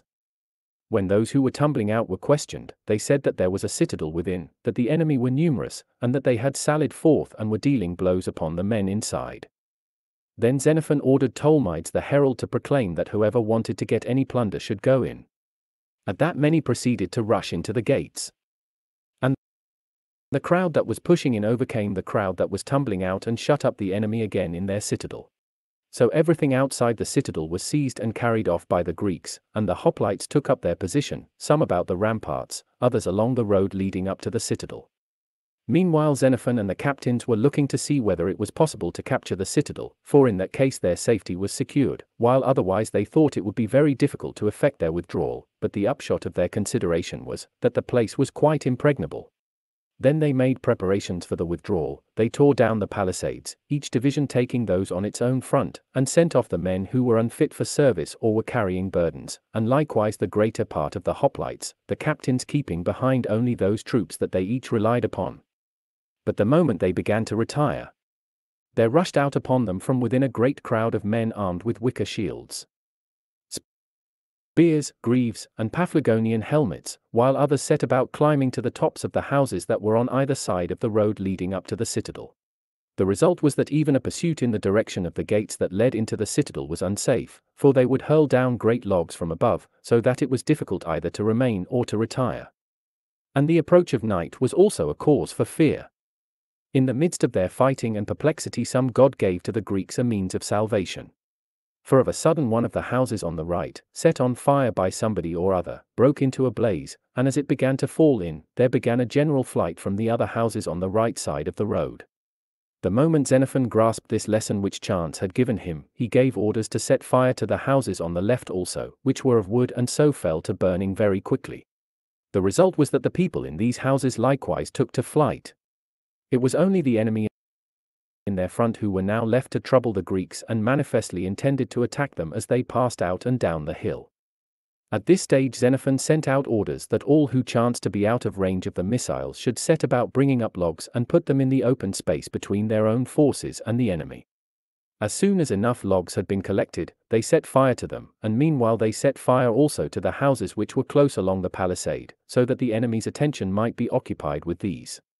It was in this way that they effected, with difficulty, their withdrawal from the stronghold, by putting fire between themselves and the enemy. And the whole city was burned down, houses, towers, palisades, and everything else except the citadel. On the next day the Greeks were for returning to camp with their provisions. But inasmuch as they feared the descent to Trapezus, for the way was steep and narrow, they laid a sham ambuscade, a man of Mysia, likewise bore the name of Mysus, took ten of the Cretans, stayed behind in a bit of undergrowth, and pretended to be trying to keep out of sight of the enemy, but their shields, which were of bronze, would now and then gleam through the bushes. So the enemy, catching glimpses of these proceedings, were fearful that it was an ambuscade, and meanwhile the Greek army was making its descent. When it seemed that they had got down far enough, a signal was given to the Mysian to flee at the top of his speed, and he and his companions arose and took to flight. The Cretans of the party, finding, as they said, that they were like to be overtaken in the running, plunged out of the road into the woods, and by tumbling down through the ravines made their escape. But the Mysian held to the road in his flight and kept shouting for help, and they did go to his aid, and picked him up wounded. Then the rescuers in their turn proceeded to retreat, faces to the front. While the enemy kept throwing missiles at them and some of the Cretans replied with their arrows. In this way they all reached the camp safe and sound. 3. And now.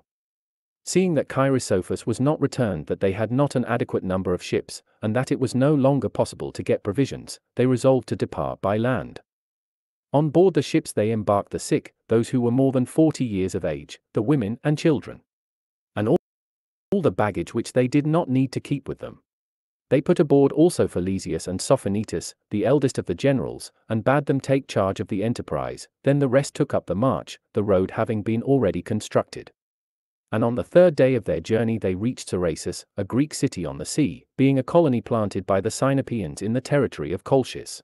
There they remained ten days, and the troops were reviewed under arms and numbered, and there proved to be 8,600 men.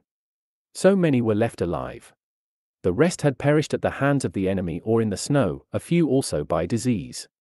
There, also, they divided the money received from the sale of the booty and the tithe, which they set apart for Apollo and for Artemis of the Ephesians, was distributed among the generals.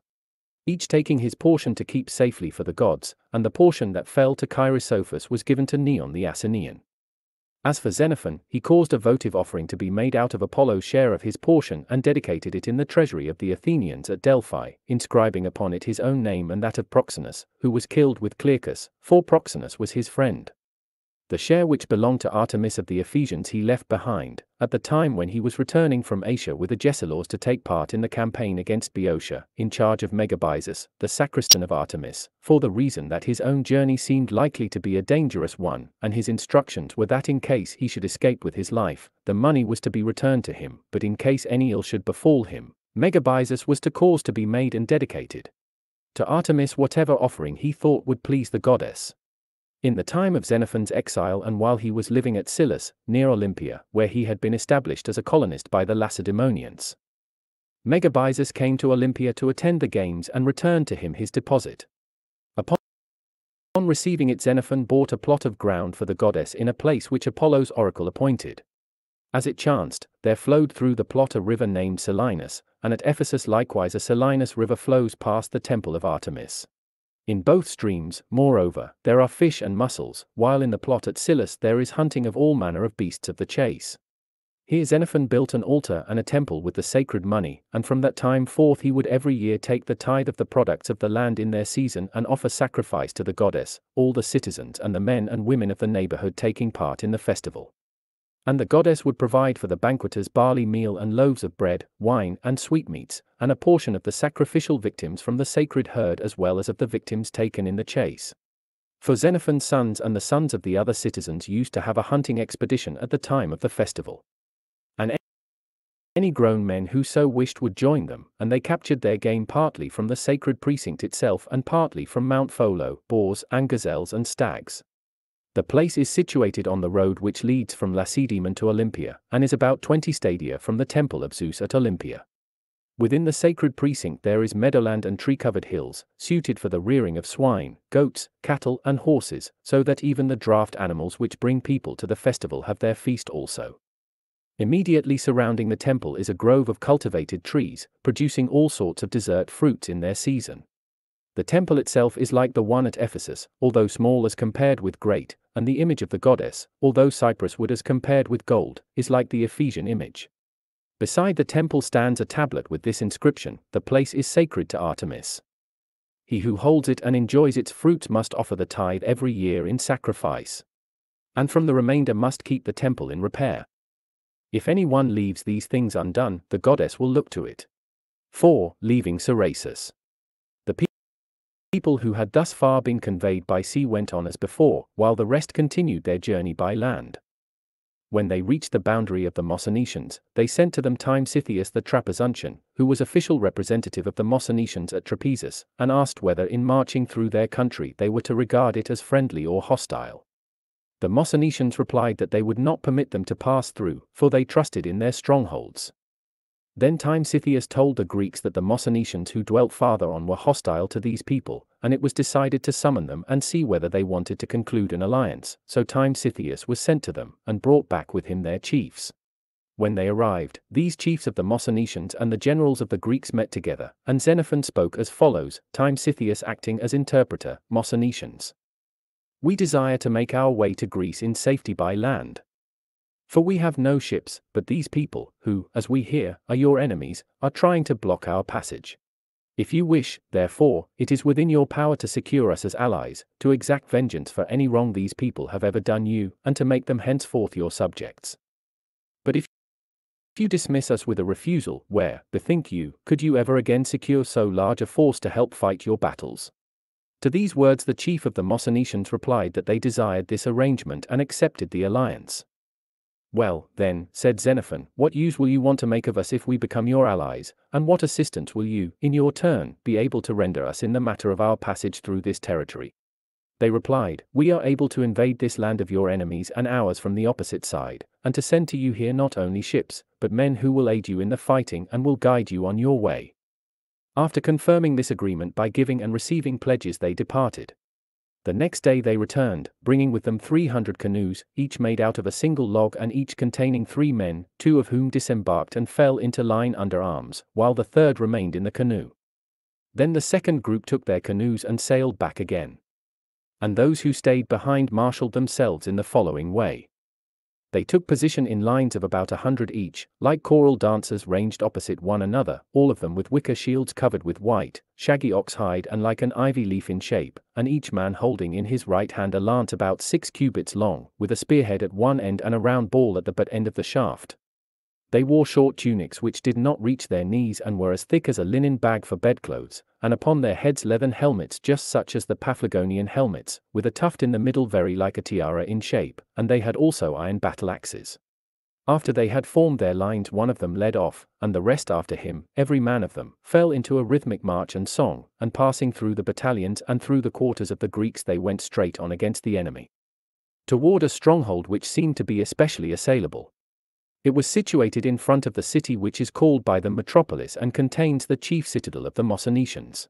In fact, it was for the possession of this citadel that the war was going on, for those who at any time held it were deemed to be masters of all the other Mossynoecians, and they said that the present occupants did not hold it by right, but that it was common property and they had seized it in order to gain a selfish advantage. The attacking party was followed by some of the Greeks, not under orders from their generals, but seeking plunder. As they approached, the enemy for a time kept quiet, but when they had got near the stronghold, they sallied forth and put them to flight, killing a considerable number of the barbarians and some of the Greeks who had gone up the hill with them, and pursuing the rest until they saw the Greeks coming to the rescue, then they turned and fell back. And after cutting off the heads of the dead men displayed them to the Greeks and to their own enemies. At the same time dancing to a kind of strain which they sang. And the Greeks were exceedingly angry, not only because the enemy had been made bolder, but because the Greeks who went to the attack with the barbarians had taken to flight, though in very considerable numbers, a thing which they had never done before in the course of the expedition. Then Xenophon called the Greeks together and said, Fellow soldiers, do not by any means lose heart on account of what has happened, for be sure that a good thing also has happened, no less important than the evil thing. In the first place, you know that those who are to guide us are really enemies to the people whose enemies we also are compelled to be. Secondly, and touching our own men, those among them who took little thought of the battle formation we use and got the idea that they could accomplish the same results in company with the barbarians as they could with us, have paid the penalty. Another time they will be less likely to leave our ordered lines. But you must make ready to prove to our friends among the barbarians that you are better men than they, and to show the enemy that they are not going to fight against the same sort of men now as the disorderly mass they met before. It was thus that the Greeks spent that day, but on the next, after obtaining favorable omens from their sacrifices, they took breakfast, formed the companies in column, and began the march, with the barbarians in the same formation posted on the left, the bowmen distributed in the spaces between the companies, and the van of the hoplites a little farther back for the enemy had some nimble troops who kept running down the hill and pelting the Greeks with stones, and these fellows were held back by the bowmen and peltasts. The rest of the Greek army, proceeding at a walk, advanced first against the stronghold from which the barbarians and those with them had been put to flight on the preceding day, for it was there that the enemy were now drawn up to oppose them. The barbarians did, indeed, meet the attack of the peltasts and engaged them in battle, but when the hoplites got near them, they turned to flight. The peltasts at once made after them and pursued them up the hill to the city, while the hoplites followed along, still keeping their lines. When they were at the top and near the houses of Metropolis, at that moment all the troops of the enemy massed together and did battle, they hurled their lances, and with other spears which they had, so thick and long that a man could only carry them with difficulty, tried to defend themselves in hand-to-hand fighting. As the Greeks, however, refused to give way, but kept pushing on to close quarters, the barbarians took to flight from that point also, every man of them abandoning the fortress. Their king in his wooden tower built upon the citadel, whom all the people jointly maintain and guard in his abiding place there, refused to come forth, as did also the commander of the stronghold which had been captured earlier, so they were burned up where they were, along with their towers. In plundering the strongholds the Greeks found in the houses ancestral stores, as the Mossynoecians described them, of heaped up loaves, while the new corn was laid away with the straw, the most of it being spelt. They also found slices of dolphin salted away in jars, and in other vessels dolphin blubber, which the Mossynoecians used in the same way as the Greeks use olive oil, and on the upper floors of the houses there were large quantities of flat nuts, without any divisions. Out of these nuts, by boiling them and baking them into loaves, they made the bread which they used most. The Greeks also found wine, which by reason of its harshness appeared to be sharp when taken unmixed, but mixed with water was fragrant and delicious. When they had breakfasted there, the Greeks took up their onward march, after handing over the fortress to the Mossynoecians who had helped them in the fighting. As for the other strongholds which they passed by, belonging to those who sided with the enemy, the most accessible were in some cases abandoned by their occupants, in other cases surrendered voluntarily. The greater part of these places were of the following description the towns were 80 stadia distant from one another. Some more, and some less, but the inhabitants could hear one another shouting from one town to the next, such heights and valleys there were in the country. And when the Greeks, as they proceeded, were among the friendly Mossynoecians, they would exhibit to them fattened children of the wealthy inhabitants, who had been nourished on boiled nuts and were soft and white to an extraordinary degree, and pretty nearly equal in length and breadth, with their backs adorned with many colors and their fore parts all tattooed with flower patterns. These Mossynoecians wanted also to have intercourse openly with the women who accompanied the Greeks, for that was their own fashion. And all of them were white, the men and the women alike. They were set down by the Greeks who served through the expedition, as the most uncivilized people whose country they traversed, the furthest removed from Greek customs.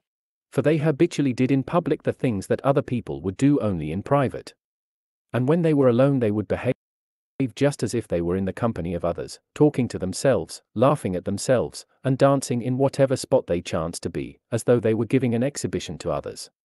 5. Through this country, both the hostile and the friendly portions of it, the Greeks marched eight stages, reaching then the land of the Chalybians. These people were few in number and subject to the Mossynoecians, and most of them gained their livelihood from working in iron. Next they reached the country of the Tibarenians, which was much more level and had fortresses upon the seacoast that were less strong. The generals were desirous of attacking these fortresses, so as to get a little something for the army, and accordingly they would not accept the gifts of hospitality which came from the Tibarenians, but, directing them to wait until they should take counsel, proceeded to offer sacrifices. After many victims had been sacrificed all the seers finally declared the opinion that the gods in no wise permitted war. So then the generals accepted the gifts of hospitality, and proceeding as through a friendly country for two days, they arrived at Cotyora, a Greek city and a colony of the Sinopeans, situated in the territory of the Tibarenians. As far as this point the army travelled by land. The length in distance of the downward journey, from the battlefield near Babylon to Cotyora, was 122 stages, 620 parasangs, or 18,600 stadia, and in time, 8 months. There they remained 45 days. During this time they first of all sacrificed to the gods, and all the several groups of the Greeks, nation by nation, instituted festal processions and athletic contests. As for provisions, they got them partly from Paphlagonia and partly from the estates of the Cotyorites, for the latter would not provide them with a market, nor would they receive their sick within the walls of the city. Meanwhile ambassadors came from Sinope, full of fears not only for the city of the Cotyorites, for it belonged to them and its inhabitants paid them tribute, but also for its territory, because they heard it was being laid waste. And coming to the Greek camp they spoke as follows. Hecatonymus, who was regarded as a clever orator, being their spokesman, soldiers, he said, the city of the Sinopeans has sent us, first, to applaud you as Greeks who stand victors over barbarians, and, secondly, to congratulate you that you have made your way through many dreadful troubles, as we have heard, in safety to this place. Now we claim, being ourselves Greeks, to receive from you, who are Greeks also, good treatment and no ill, for we, on our side, have never set the example by doing you any manner of harm. These Cotyorites are our colonists, and it was we who gave over to them this land, after we had taken it away from barbarians, therefore they pay us a stated tribute, as do the people of Cerasus and Trapezus, hence whatever harm you may do to these Cotyorites, the city of the Sinopeans regards as done to itself. At present we hear, firstly, that you have made your way into the city by force, some of you, and are quartered in the houses, and secondly, that you are taking from the estates by force whatever you may need without asking leave. Now these things we do not deem proper, and if you continue to do them, you force us to make friends with Corylas and the Paphlagonians and whomever else we can. In reply to these words Xenophon, on behalf of the soldiers, rose and said, For ourselves, men of Sinope, we have come back well content to have saved our bodies and our arms, for it was not possible at one and the same time to gather plunder and to fight with the enemy. As to our doings now, since we have reached Greek cities, we got our provisions in Trapezus by purchase, for the Trapezuntians provided us a market, and in return for the honors they bestowed upon us and the gifts of hospitality they gave the army, we paid them like honors. If any of the barbarians were their friends, we kept our hands off them, while upon their enemies, against whom they would themselves lead us, we wrought all the harm we could. Ask them what sort of people they found us to be, for the men are here present whom the city of Trapezus out of friendship, sent with us as guides. On the other hand, wherever we come, whether it be to a barbarian or to a Greek land, and have no market at which to buy, we take provisions, not out of wantonness, but from necessity. The Carduchians, for example, and the Taochians and Chaldeans were not subjects of the king and were exceedingly formidable, yet, even so, we made enemies of them because of this necessity of taking provisions, inasmuch as they would not provide a market. The Macronians, however, provided us as good a market as they could, and we therefore regarded them as friends, barbarians though they were, and took by force not a thing that belonged to them. As for the Cotyorites, whom you claim as yours, if we have taken anything that belonged to them, they are themselves to blame, for they did not behave toward us as friends. But shut their gates and would neither admit us within nor send a market without, and they alleged that the governor set over them by you was responsible for this conduct regard to your statement about people making their way into the city by force and being quartered there, we asked them to receive our sick into their houses, but when they refused to open their gates, we went in at a point where the place of itself received us, and we have done no deed of force save only that our sick are quartered in the houses, paying their own expenses, and that we are guarding the gates, in order that our sick may not be in the power of your governor, but that it may be in our power to get them back when we so wish. The rest of us, as you see, are quartered in the open in our regular formation, all ready, in case one does us a kindness, to return the like, or if it is an injury, to return that. As to the threat you uttered, that if you thought best you would enlist Corylas and the Paphlagonians as allies against us. We on our side are quite ready to make war with you both if it be necessary, for we have made war ere now with others who were many times your numbers. But if we think best to make a friend of the Paphlagonian, and we hear that he has a desire for your city and strongholds on the coast, we shall try to prove ourselves his friends by aiding him to accomplish his desires. Hereupon Hecatonymus' fellow ambassadors made it very clear that they were angry with him for the words he had spoken, and one of them took the floor and said that they had not come to make war, but to show that they were friends. And if you come, he continued, to the city of the Sinopeans, we shall receive you there with gifts of hospitality, and now we shall direct the people of this city to give you what they can, for we see that all you say is true. After this the Cotyorites sent gifts of hospitality, and the generals of the Greeks entertained the ambassadors of the Sinopeans, and they had a great deal of friendly conversation with one another on general matters, while in particular they made such inquiries as each party wished in regard to the rest of the journey. 6. Such was the end of that day. On the next the generals called an assembly of the soldiers, and they decided to invite the Sinopeans to join them in deliberating about the rest of their journey.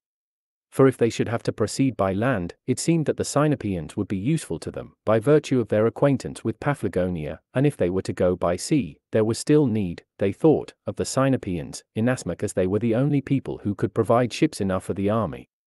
They accordingly invited the ambassadors in and proceeded to take counsel with them, asking them, as Greeks dealing with Greeks, to make a beginning of their kindly reception by showing friendliness and offering the best advice. Then Hecatonymus rose and, in the first place, defended himself in the matter of his remark that they would make a friend of the Paphlagonian, by saying that he did not mean that his own people would make war upon the Greeks.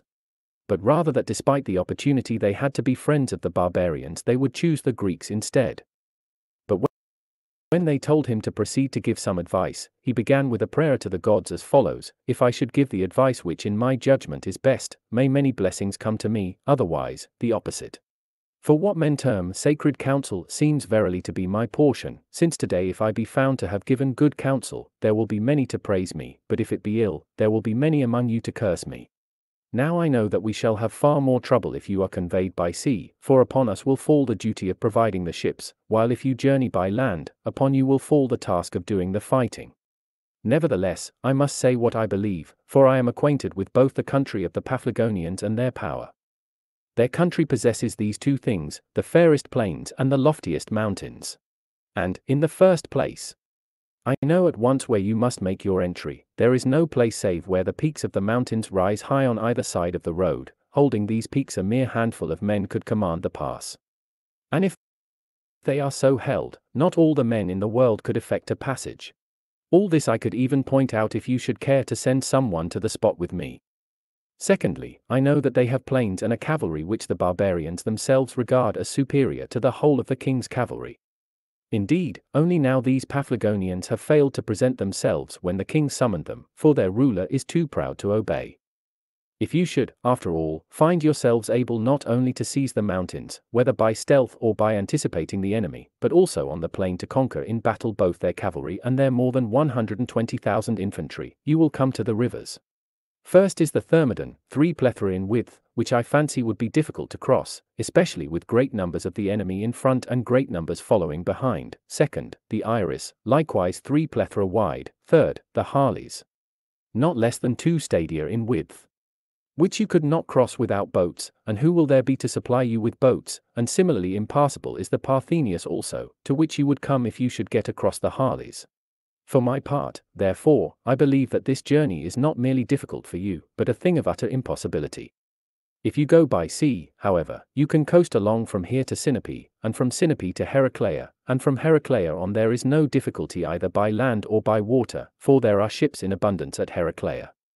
When he had thus spoken, some of his hearers were suspicious that he spoke as he did out of friendship for Corylas, for he was his official representative at Sinope, others imagined that he even had the idea of obtaining gifts on account of this advice, while still others suspected that the real purpose of his speech was to prevent the Greeks from going by land and so doing some harm to the territory of the Sinopeans. At any rate, however, the Greeks voted to make the journey by sea. After this Xenophon said, Men of Sinope, my troops have chosen the route which you advise, but the matter stands in this way, if there are to be ships enough so that not so much as one man will be left behind here, we shall set sail, but if the plan should be to let some of us stay behind and others sail, we shall not set foot on the ships. For we know that wherever we hold the upper hand, should be able both to keep ourselves safe and to obtain provisions, but let us once get caught where we are weaker than the enemy, and it is perfectly clear that we shall be in the position of slaves. Upon hearing these words, the Sinopeans told them to send ambassadors. And they sent Callimachus the Arcadian, Ariston the Athenian, and Samolas the Achaean.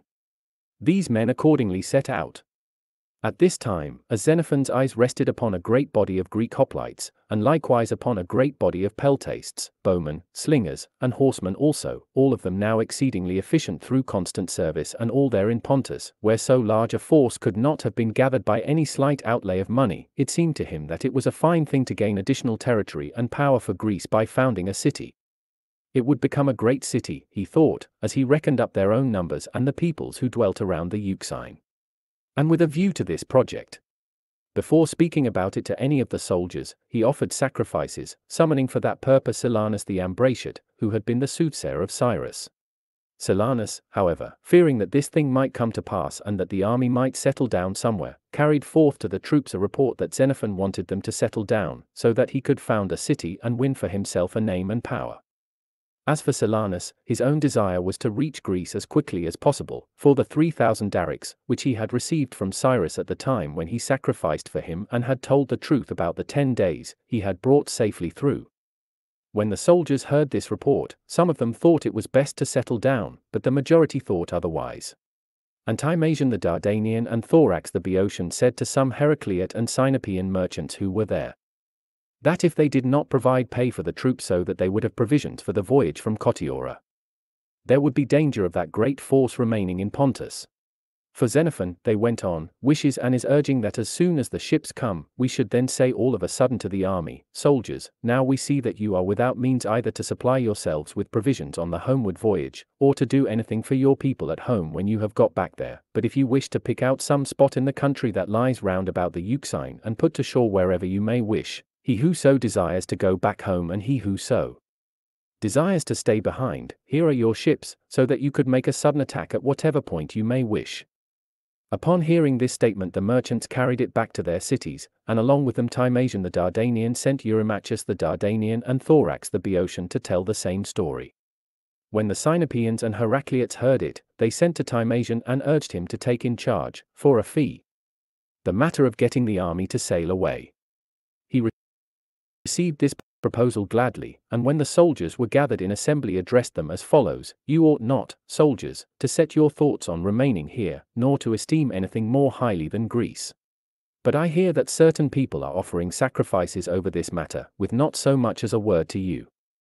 Now I promise, in case you set sail from here, to provide you with pay from the first of the month at the rate of a Cyzicene per month to each man, and I will take you to Troas, the place from which I am an exile, and my city will be at your service, for they will receive me willingly.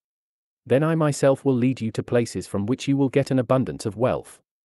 I am acquainted with Aeolis, Phrygia, Troas, and the entire province of Pharnabazus, partly because I come from that region, and partly because I have campaigned there with Clearchus and Dercylidas. Next rose Thorax the Boeotian, who was at odds with Xenophon over the generalship of the army, and said that once they got out of the Euxine they would have the Chersonese, a fair and prosperous country, where any one who so desired might dwell, while any who did not desire to do this, might return home. It was ridiculous, he said, when there was plenty of fertile land in Greece, to be hunting for it in the domain of the barbarians. And until you reach that spot, he continued, I also, like Timasion, promise you regular pay. All this he said with full knowledge of what the Heracleots and the Sinopeans were promising Timasion for getting the army to sail away. Xenophon meanwhile was silent. Then Philesius and Lycon the Achaeans rose and said that it was outrageous for Xenophon to be privately urging people to settle down and sacrificing with a view to that plan, while publicly saying not a word about the matter. Thus Xenophon was compelled to rise and speak as follows I offer, soldiers, as you see, all the sacrifices I can both on your behalf and my own in order that I may perchance say and think and do such things as will be fairest and best both for you and me. And in the present case I was sacrificing for guidance on this point only. Whether it was better to begin to speak before you and to act regarding this project, or not to touch the matter at all. Now Silanus, the soothsayer, answered me in respect to the main issue that the omens were favorable, for he knew well enough that I was not unacquainted with divination, from being always present at the sacrifices, but he said that there appeared in the omens a kind of fraud and plot against me, manifestly because he knew that he was himself plotting to traduce me before you. For he spread abroad the report that I was intending to do these things at once, without getting your consent. Now, if I saw that you were without resources, I should be looking about for a plan by which you might get possession of a city, with the provision that afterwards he who chose might sail back home at once, while he who did not wish to go at once might return after he had accumulated enough to bestow a little something upon his people at home.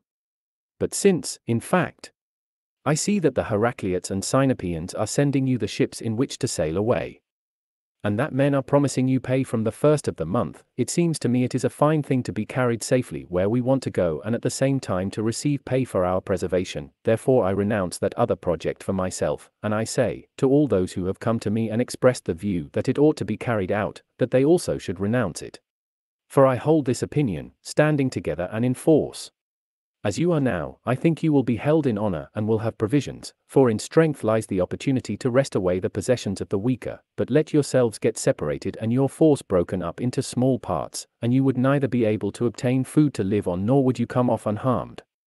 I think, therefore, just as you do, that we should set out for Greece, and that if it does come to pass that any man is caught deserting before the entire army is in a place of safety, he should be brought to trial as a wrongdoer. And whoever is of this opinion, he continued, let him raise his hand. Up went every hand.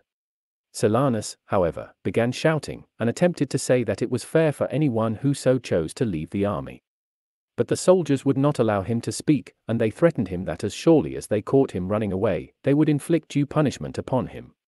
After that, when the Heracleots learned that it had been voted to sail away, and that Xenophon himself had put the question to vote, they did send the ships, but in the matter of the money they had promised to Timasion and Thorax they turned out to be deceivers. Consequently the men who had promised the pay were panic-stricken, and stood in fear of the army. They therefore took with them the other generals to whom they had communicated their earlier doings, namely, all the generals except Neon the Asinian, who was acting as lieutenant for Cheirisophus because Cheirisophus had not yet returned, and came to Xenophon, with the message that they had changed their minds and thought it was best to sail to the Phasis, inasmuch as there were ships at hand, and seize the land of the Phasians. Their king, as it chanced, was a grandson of Aeetes. Xenophon replied that he would not say a word to the army about this plan, but, he went on, gather the men together and speak to them yourselves, if you wish. Then Timasion the Dardanian declared it as his opinion that they should not hold an assembly. but that each general should first endeavor to persuade his own captains. So they went away and set about doing this. 7. The soldiers, accordingly, learned by inquiry that this plan was being agitated. And Neon said that Xenophon had won over the other generals and was intending to deceive the soldiers and lead them back to the phasis.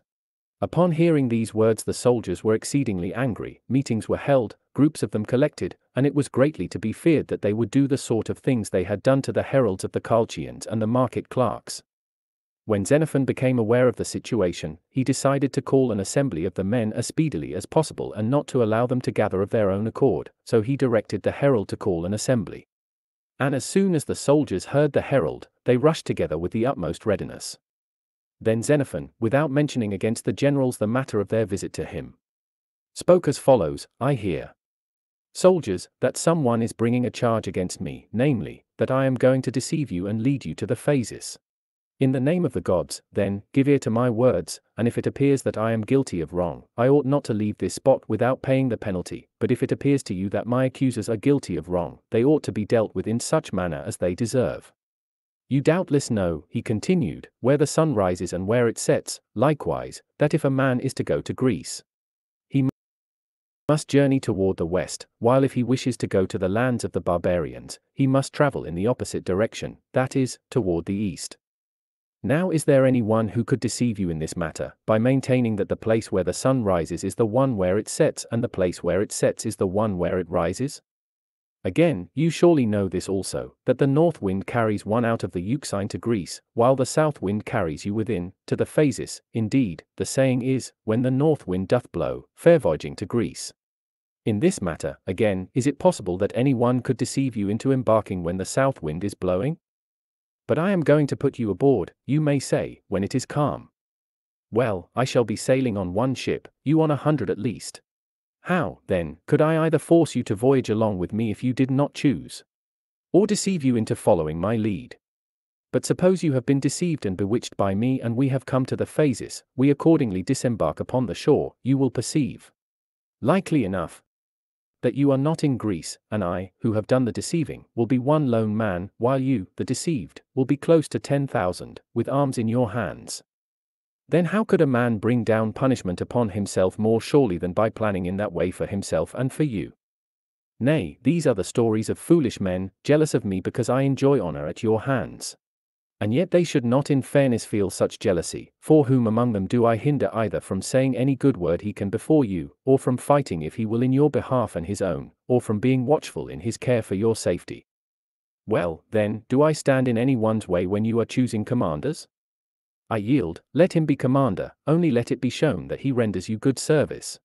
For my part, however, what I have said on these points seems to me sufficient, but if any one among you imagines either that he could be deceived himself by such tales, or could deceive another by these tales, let him speak and explain.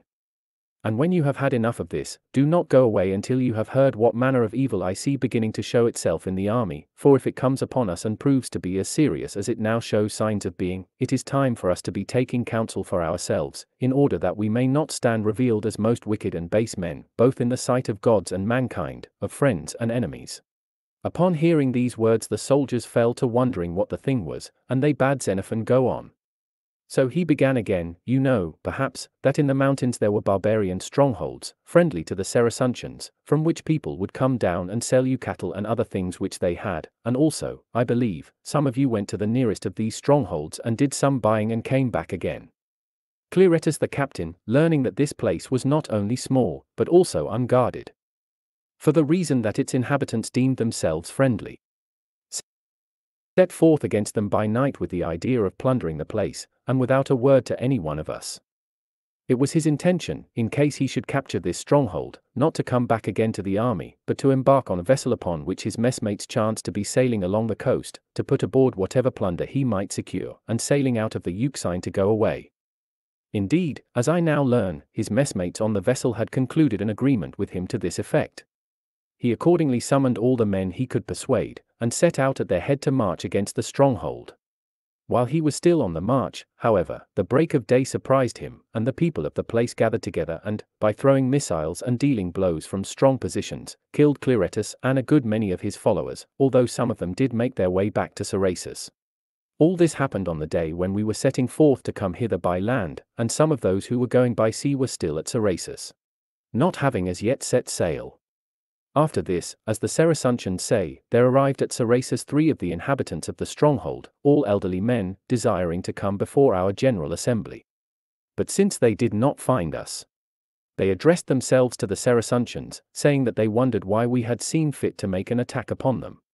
When, however, the Cerasuntians replied, so their statement ran, that it was not by public authority that the affair took place, the envoys were pleased, and were intending to sail hither in order to tell us what had happened, and to urge that we should ourselves take and bury the bodies of our dead.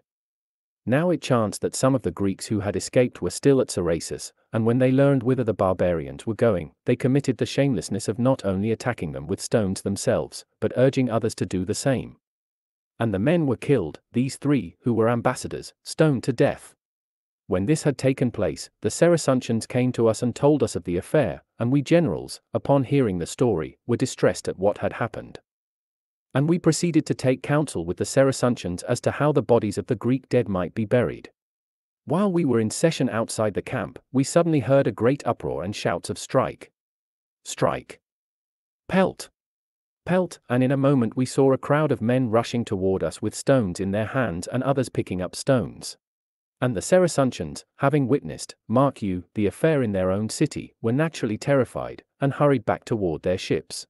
For that matter, by Zeus, there were some of our own number who were terrified. I went up to the men, however, and asked what the trouble was. Some of them did not know at all, but nevertheless they had stones in their hands. When I did come upon a man who knew, he told me that the market clerks were treating the army most outrageously. At this moment, some one saw the market clerk, Zelarchus, retreating toward the sea, and set up a shout, and when the rest heard it, they rushed upon him as though a wild boar or a stag had been sighted.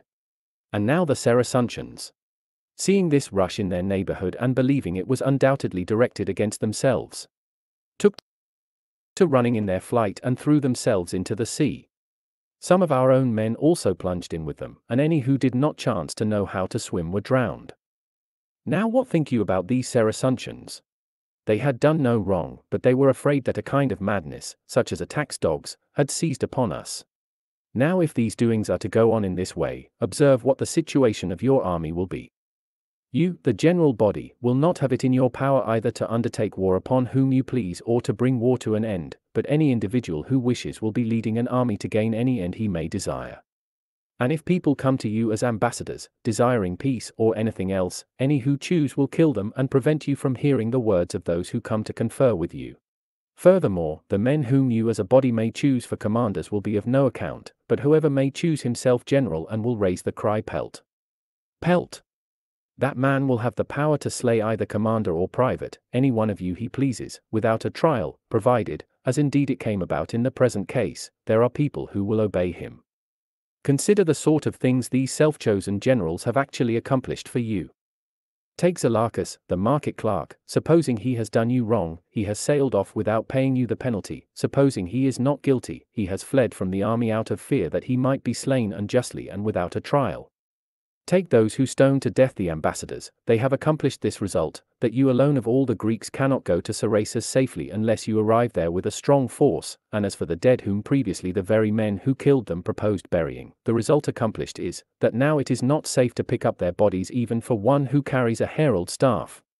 For who will care to go as herald when he has the blood of heralds upon his hands?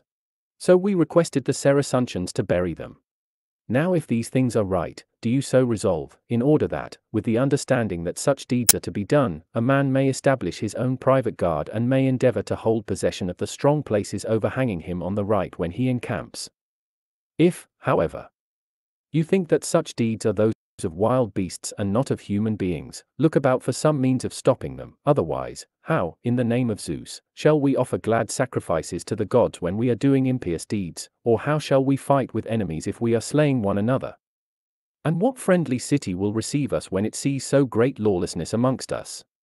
Who will dare to supply us a market if in matters of the greatest import we show ourselves guilty of such offences?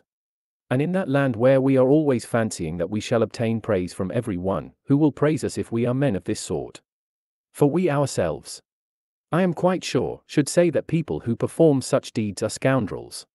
Hereupon all rose and proposed that the men who began this affair should be duly punished, and that henceforth no one should be again permitted to make a beginning of lawlessness, but if any should so begin, they were to be put on trial for their lives, and the generals were to bring all offenders to trial, and trials were likewise to be held in the matter of any other offences which any one had committed since the time when Cyrus was killed, and they appointed the captains to serve as a jury.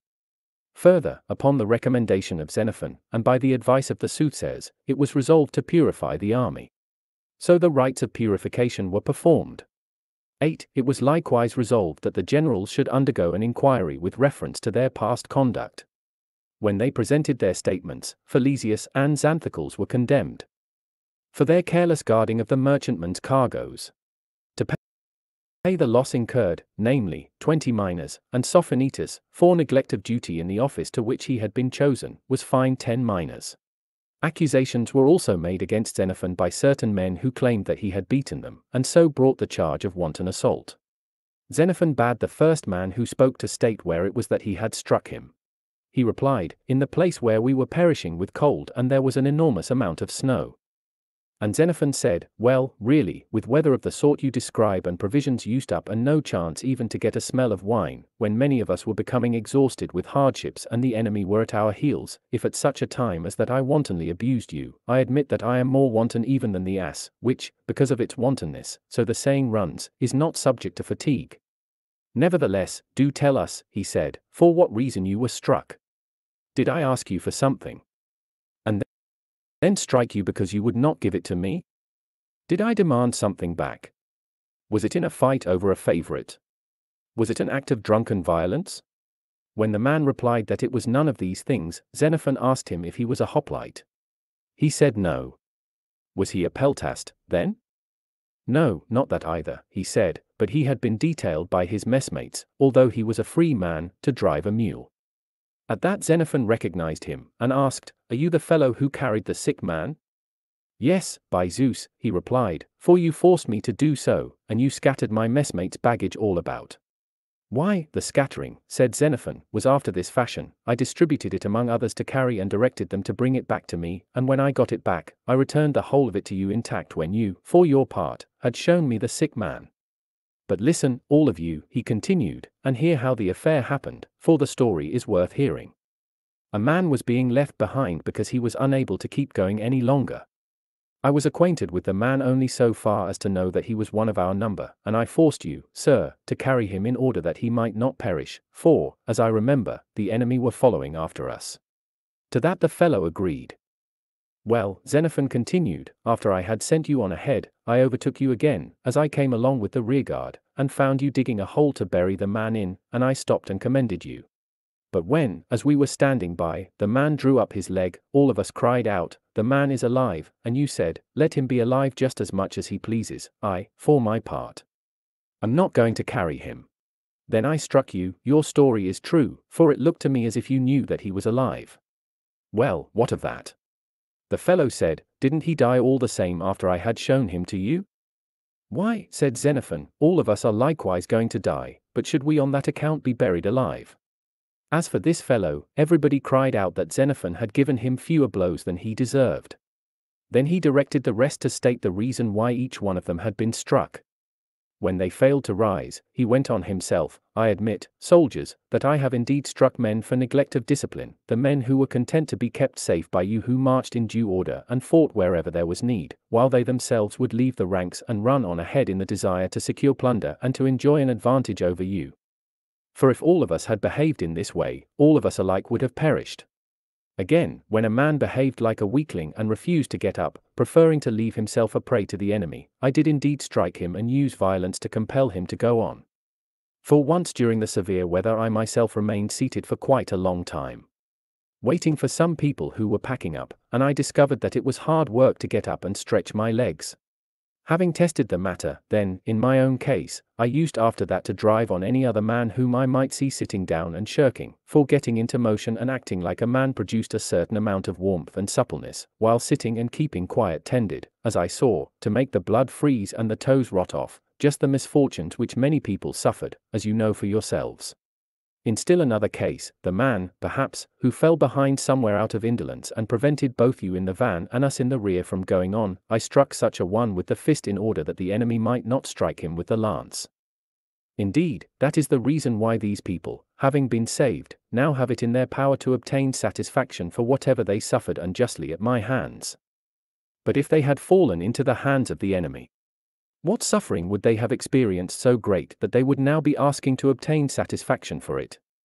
My defense, he continued, is simple. If it was for his good that I punished any one, I think I should render the sort of account that parents render to sons and teachers to pupils. For that matter, surgeons also burn and cut patients for their good. But if you believe it was out of wantonness that I did these things, take note that now, by the blessing of the gods, I am more confident than I was then, and that I am bolder now than then, and drink more wine. But nevertheless, I strike no man, for the reason that I see you are in calm waters.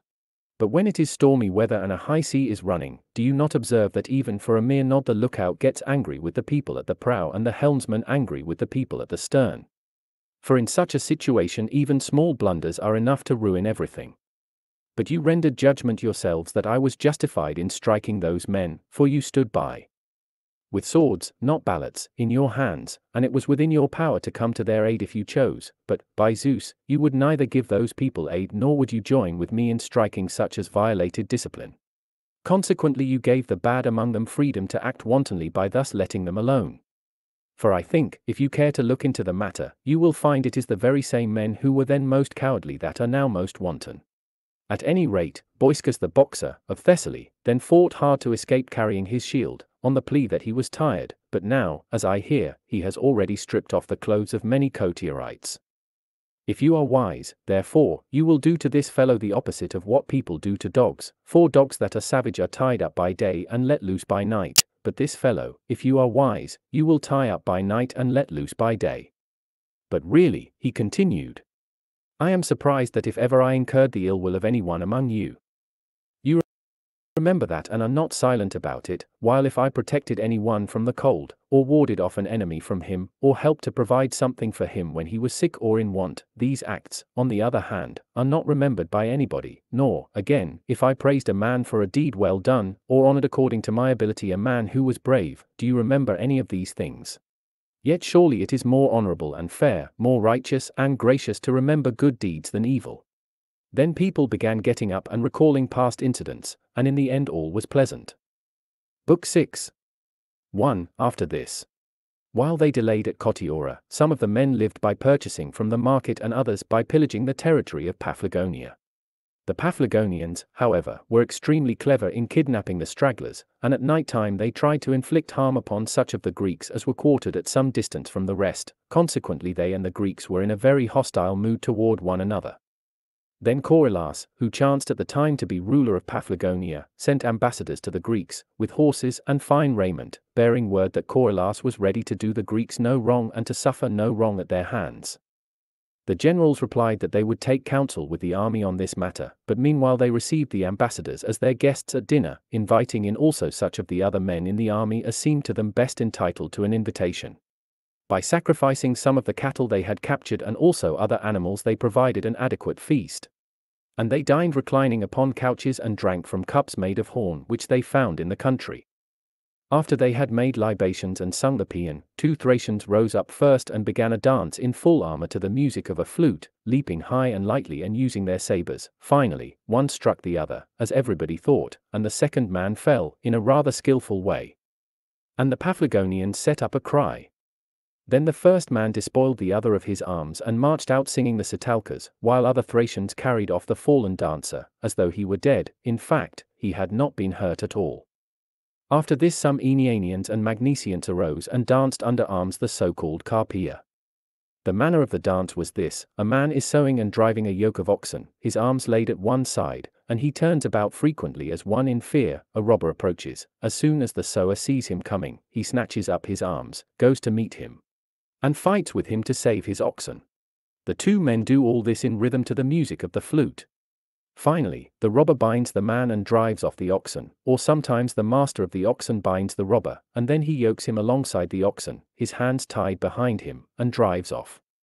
After this a Mysian came in carrying a light shield in each hand, and at one moment in his dance he would go through a pantomime as though two men were arrayed against him, again he would use his shields as though against one antagonist, and again he would whirl and throw somersaults while holding the shields in his hands, so that the spectacle was a fine one. Lastly, he danced the Persian dance, clashing his shields together and crouching down and then rising up again, and all this he did, keeping time to the music of the flute. After him the Mantineans and some of the other Arcadians arose, arrayed in the finest arms and accoutrements they could command. And marched in time to the accompaniment of a flute playing the martial rhythm and sang the paean and danced. Just as the Arcadians do in their festal processions in honor of the gods. And the Paphlagonians, as they looked on, thought it most strange that all the dances were under arms. Thereupon the Mysian, seeing how astounded they were, persuaded one of the Arcadians who had a dancing girl to let him bring her in, after dressing her up in the finest way he could and giving her a light shield. And she danced the Pyrrhic with grace. Then there was great applause, and the Paphlagonians asked whether women also fought by their side. And the Greeks replied that these women were precisely the ones who put the king to flight from his camp. Such was the end of that evening. On the next day they introduced the ambassadors to the army, and the soldiers passed a resolution to do the Paphlagonians no wrong and to suffer no wrong at their hands. After this the ambassadors departed, and the Greeks, inasmuch as it seemed that vessels enough were at hand, embarked and sailed for a day and a night with a fair wind, keeping Paphlagonia on the left. On the second day they reached Sinope, and came to anchor at Harmene in the territory of Sinope. The Sinopeans dwell, indeed, in Paphlagonia, but are colonists of the Milesians.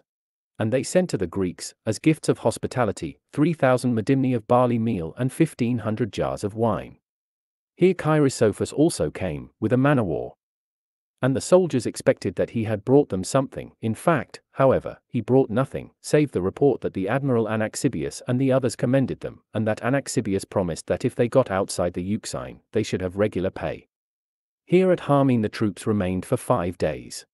By this time, since it seemed that they were getting near Greece, the question came into their minds more than before how they might reach home with a little something in hand.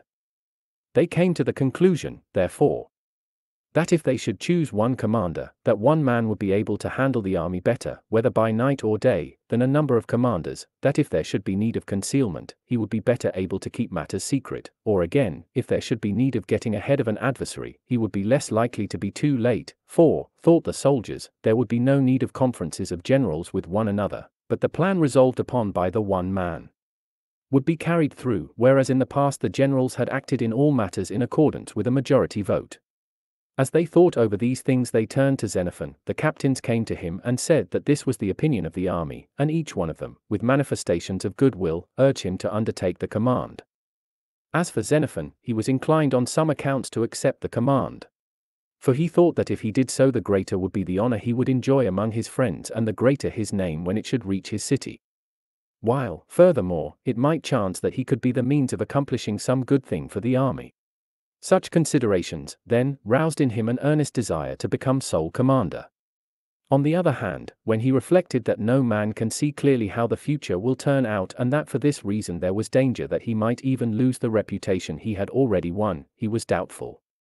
Quite unable as he was to decide the question, it seemed best to him to consult the gods, and he accordingly brought two victims to the altar and proceeded to offer sacrifice to King Zeus, the very god that the oracle at Delphi had prescribed for him, and it was likewise from this god, as he believed, that the dream came which he had at the time when he took the first steps toward assuming a share in the charge of the army. Moreover, he recalled that when he was setting out from Ephesus to be introduced to Cyrus, an eagle screamed upon his right, it was sitting.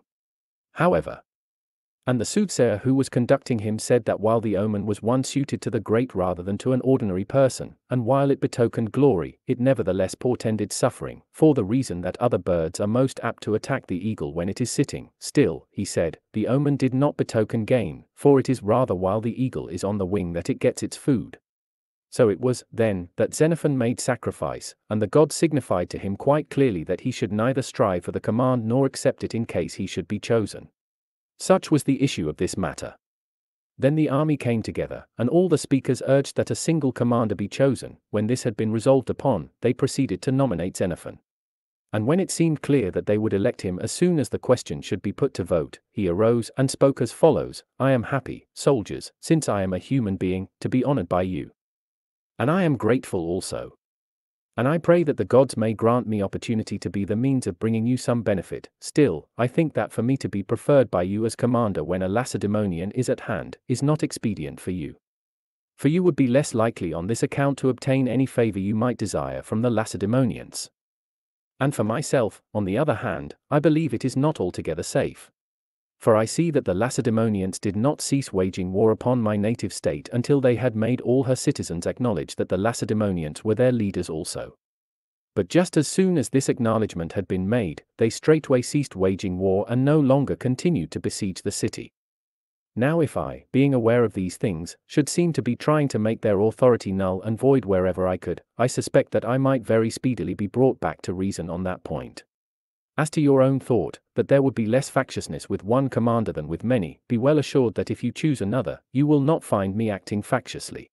For I believe that when a man engaged in war factiously opposes a commander, that man man is factiously opposing his own safety, but if you choose me, I should not be surprised if you should find someone else feeling angry both with you and with myself.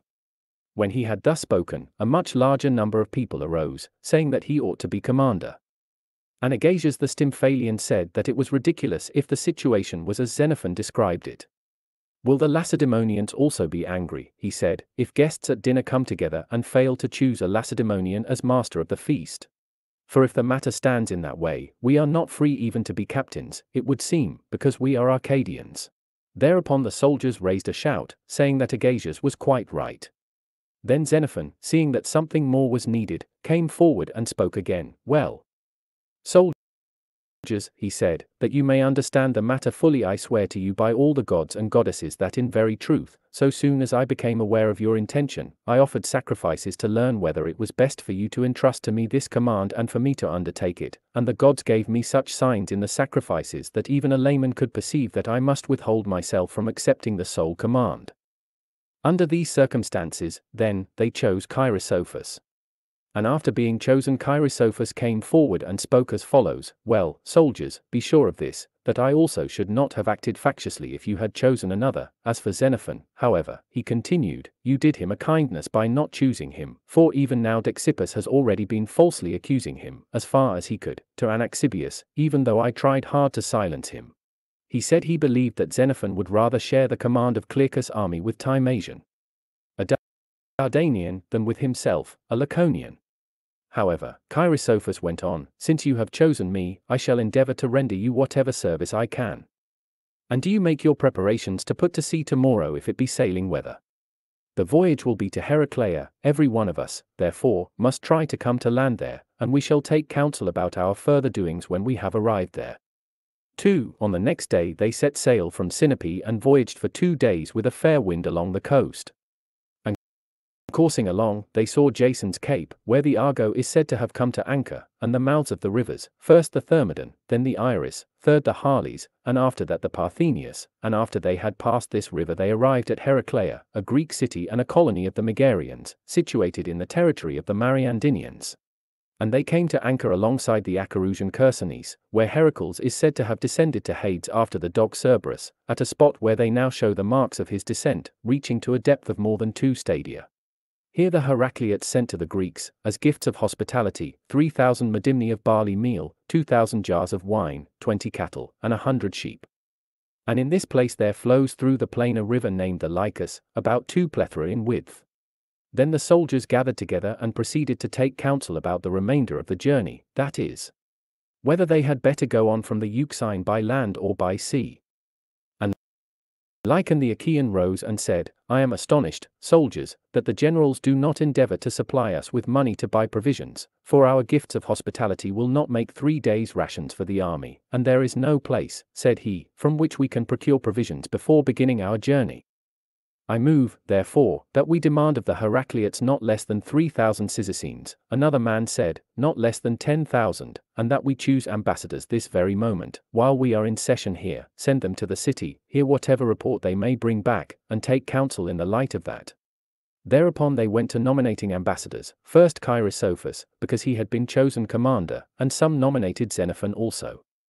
Both men, however, offered vigorous resistance, for both held the same view, that they ought not to coerce a friendly city of Greeks into giving what they did not offer of their own accord. As these two seemed disinclined to act, they sent Lycon the Achaean, Callimachus the Parrhasian, and Agasias the Stymphalian. These men went and put before the Heracleots the resolutions adopted by the army, and Lycon, so the report ran, even added threats, in case they should refuse compliance. After hearing the ambassadors, the Heracleots said that they would consider the matter, and immediately they set about gathering their property from the country and moved the market within the walls, meanwhile the gates had been closed and arms were to be seen upon the walls. Thereupon those who had brought about this agitation accused the generals of spoiling their undertaking, and the Arcadians and Achaeans proceeded to band themselves together, under the leadership particularly of Callimachus the Parrhasian and Lycon the Achaean. Their words were to this effect, that it was shameful that Peloponnesians should be under the command of an Athenian and a Lacedaemonian who contributed no troops to the army. And that the hardships should fall to themselves and the gains to others. All despite the fact that the preservation of the army was their achievement, for it was, they said, the Arcadians and Achaeans who had achieved this result, and the rest of the army amounted to nothing. In truth, more than half the army did consist of Arcadians and Achaeans. If they were wise, therefore, they would band together by themselves, choose generals from their own number, make the journey by themselves, and try to get a little good out of it. This course was resolved upon, and whatever Arcadians or Achaeans there were with Cheirisophus and Xenophon left these commanders and joined forces, and they chose ten generals from their own number, decreeing that these ten were to do whatever might be decided upon by vote of the majority. So it was that the supreme command of Cheirisophus came to an end then and there, on the sixth or seventh day from the day of his election. Xenophon, however, was desirous of making the journey in company with Cheirisophus, believing that this was a safer plan than for each of them to proceed independently, but Neon urged him to go by himself. For he had heard from Cheirisophus that Cleander, the Lacedaemonian governor at Byzantium, had said he was coming to Calpe harbor with triremes. It was Neon's purpose, then, that no one else should get a share in this opportunity, but that he himself and Cheirisophus and their soldiers should sail away upon the triremes, and this was the reason for his advice to Xenophon. As for Cheirisophus, he was so despondent over what had happened and, besides, felt such hatred toward the army for its action, that he allowed Neon to do whatever he chose. For a time, indeed, Xenophon did try to get clear of the army and sail away home, but when he sacrificed to Heracles the leader, consulting him as to whether it was better and more proper for him to continue the journey with such of the soldiers as had remained with him, or to be rid of them, the god indicated to him by the sacrifices that he should stay with them.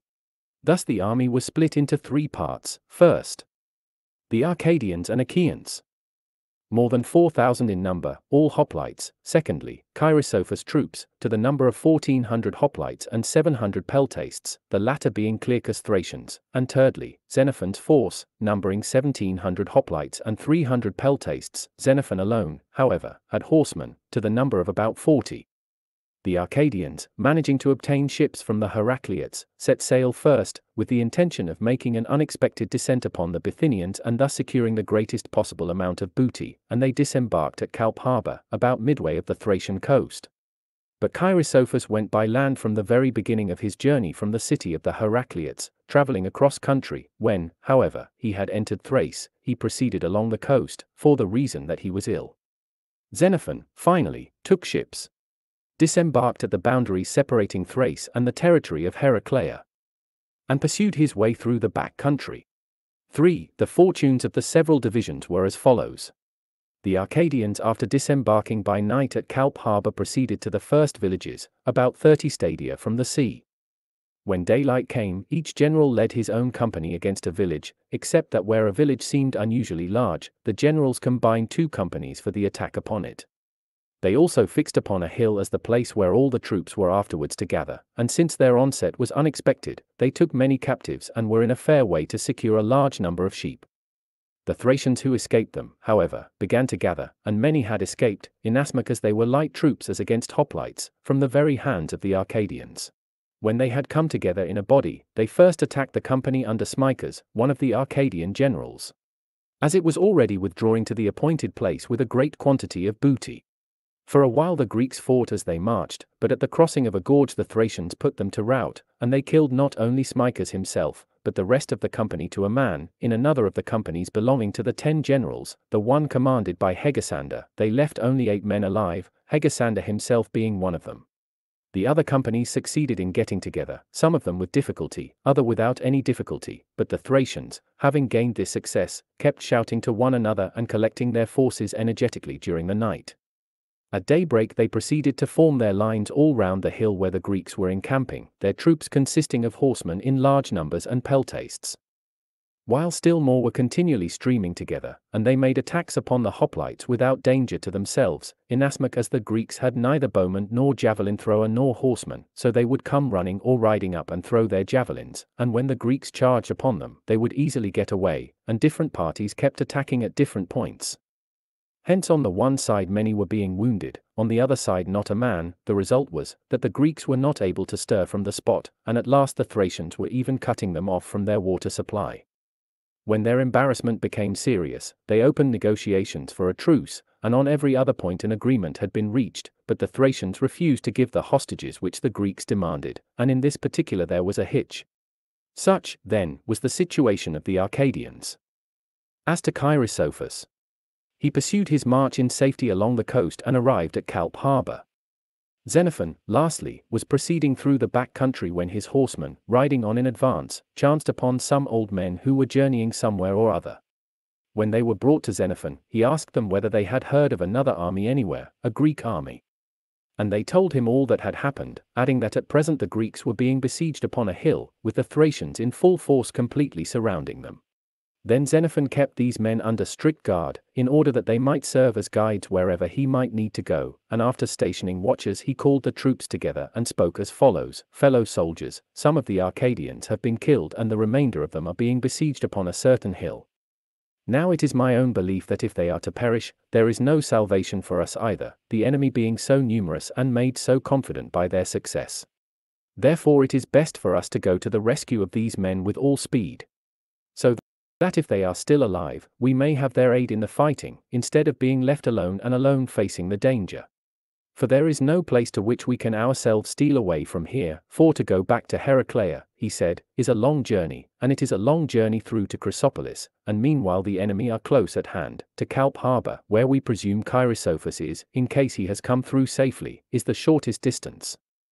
But firstly, mark you, having arrived there we have neither ships wherein to sail away nor provisions for so much as a single day if we remain in the place, and secondly, it is worse to have the blockaded force destroyed and take our chances in company with Cheirisophus troops only, than to have these men saved and then unite all our forces and together strive for deliverance.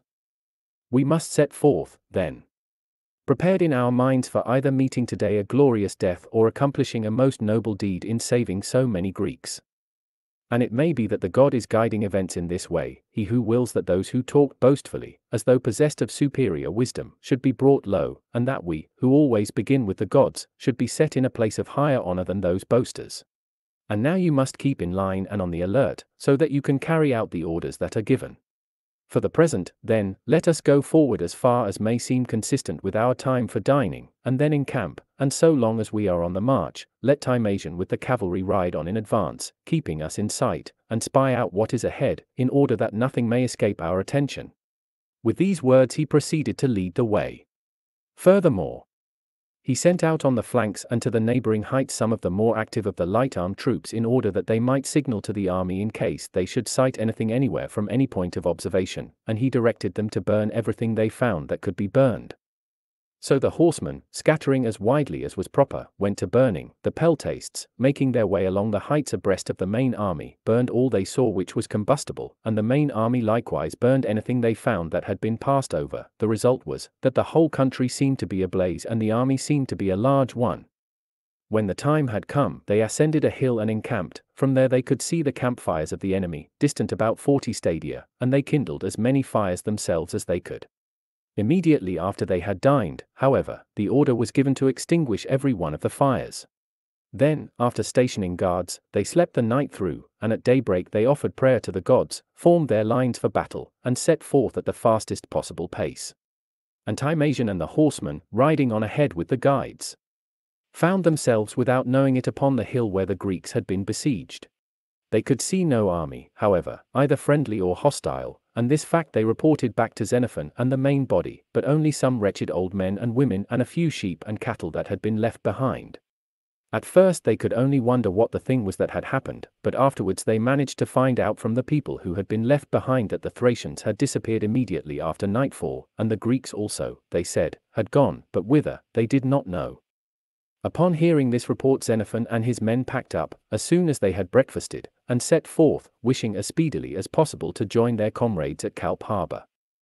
As they proceeded, they could see the track of the Arcadians and Achaeans along the road leading towards Calpe.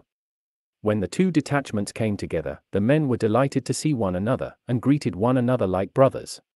And the Arcadians inquired of Xenophon's troops why they had put out their fires, for we imagined at first, they said, when we could no longer see your fires, that you meant to come against the enemy during the night, and the enemy likewise, so at least it seemed to us, feared this, and on that account departed, for it was at about that time that they went away. But when you failed to arrive, although the requisite time had passed, we supposed that you had learned of our situation and, seized with fear, had stealthily made off toward the sea, and we thought it best not to be left behind. That was the reason, then, why we also proceeded hither. For, During that day they bivouacked where they were. Upon the beach by the harbour.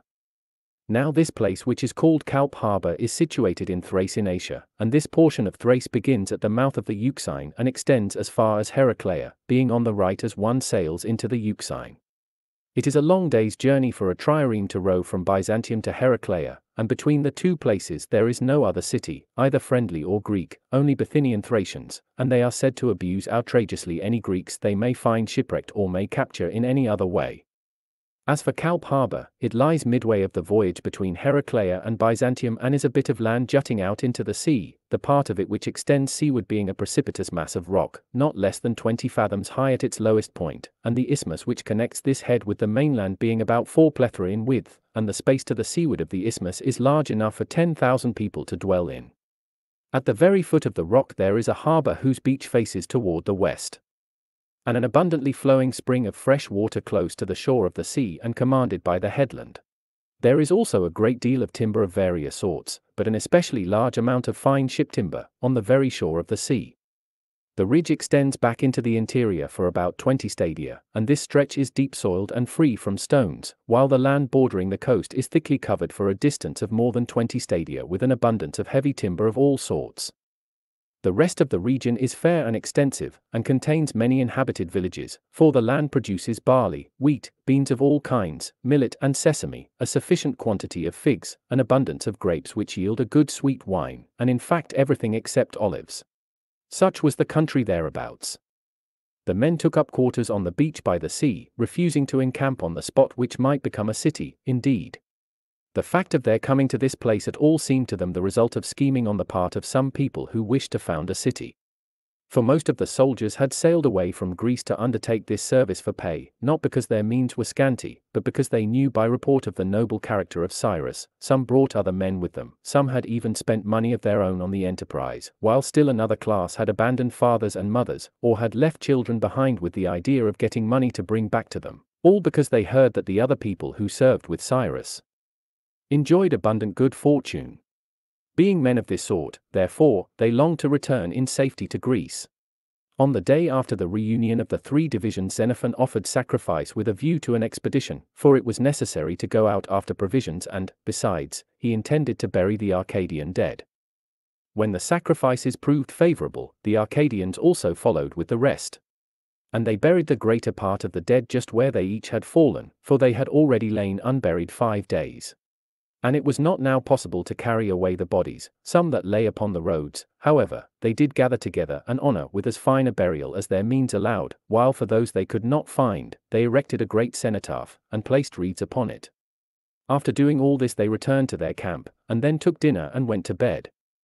On the following day all the soldiers held a meeting, the chief movers in the matter being Agasias the Stymphalian, a captain, Hieronymus the Elean, also a captain and some others from among the eldest of the Arcadians.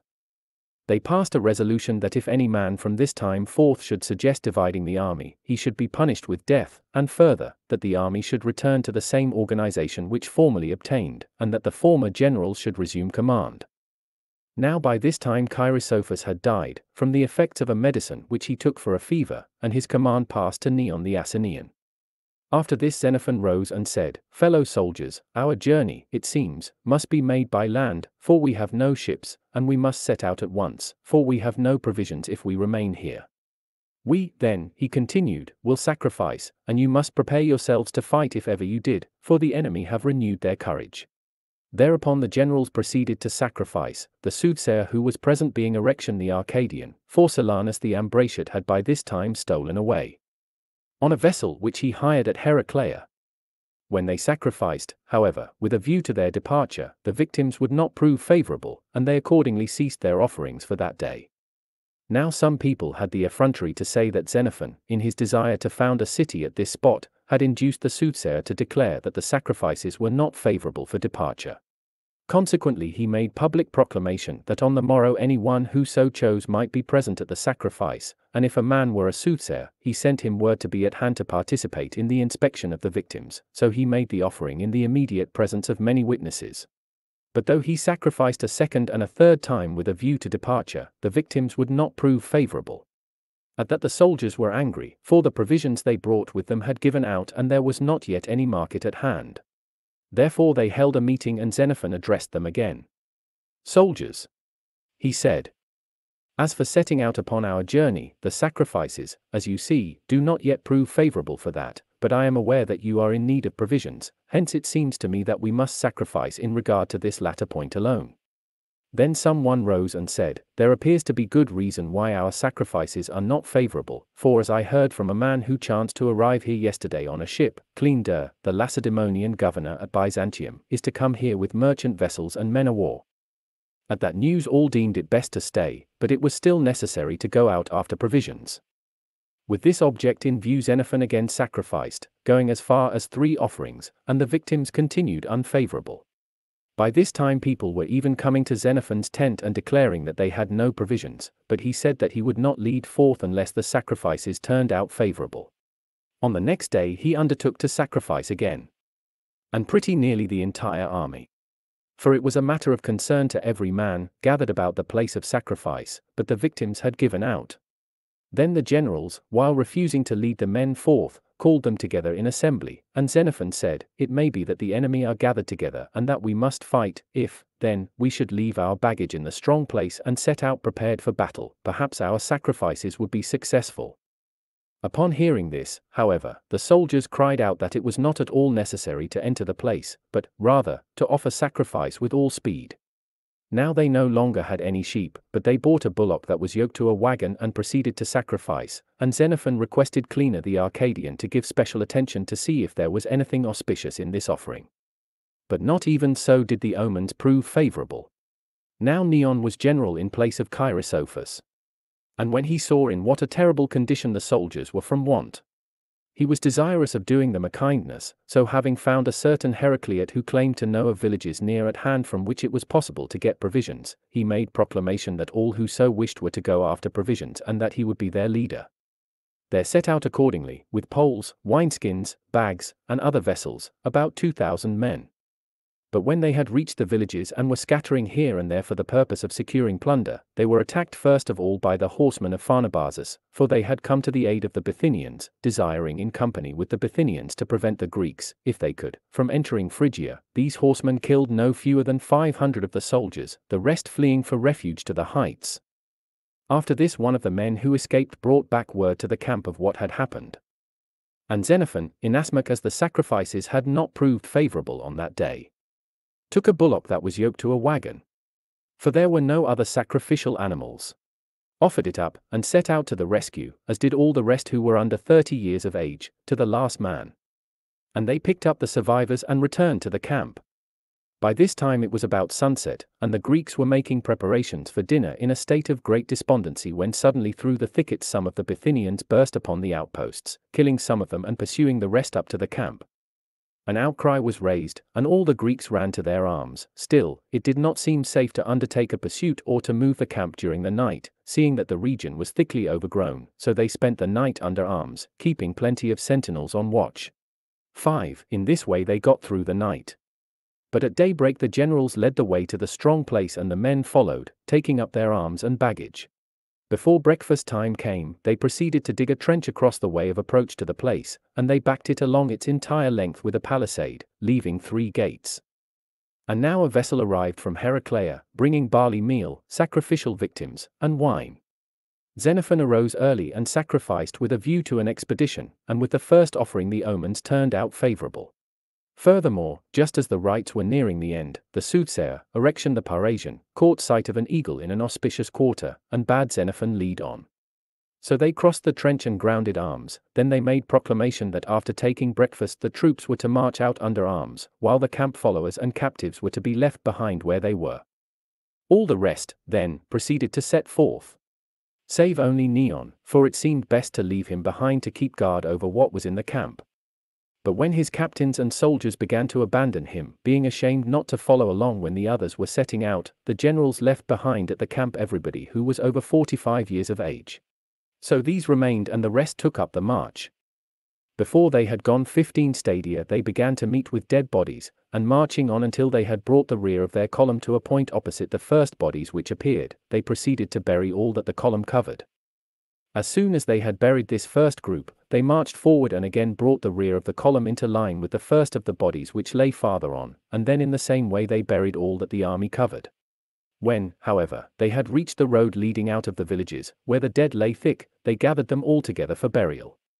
It was now past midday, and, still leading the army forward, they were engaged in getting provisions outside the villages anything there was to be seen within the limits of their line, when suddenly they caught sight of the enemy passing over some hills which lay opposite them, his force consisting of horsemen in large numbers and foot soldiers, all in battle formation. In fact, it was Spithridates and Rhathines, who had been sent out with their army by Pharnabazus. As soon as the enemy sighted the Greeks, they came to a halt, at a distance from the Greeks of about 15 stadia. Hereupon Arexion, the soothsayer of the Greeks, immediately offered sacrifice, and at the first victim the omens proved favorable.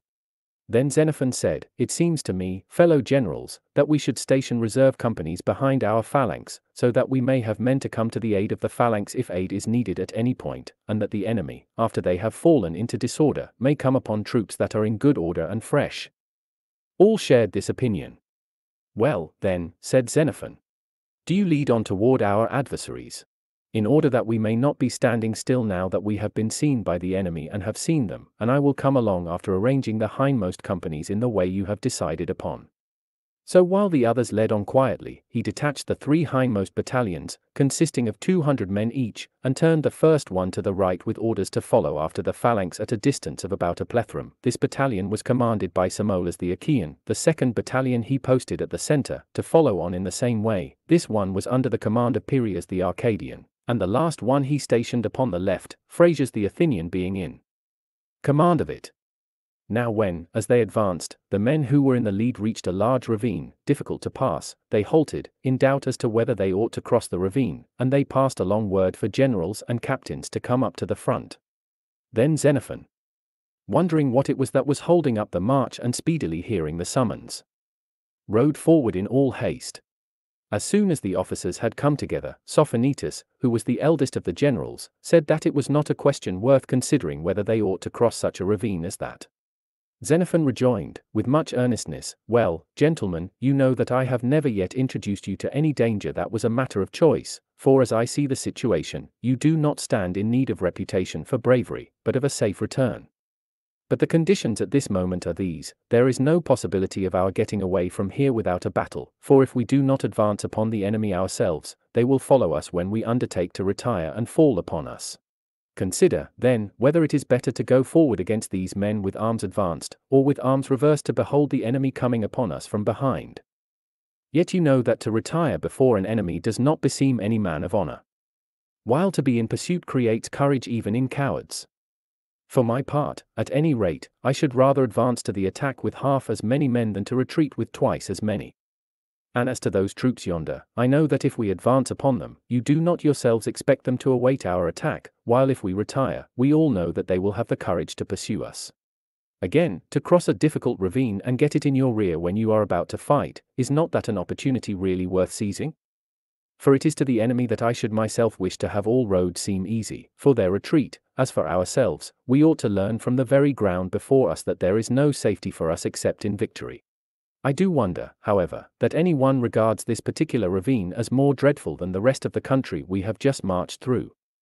For how is that plain to be recrossed unless we are victorious over the enemy's horsemen? How the mountains which we have passed through? If such a throng of peltasts are to be following at our heels?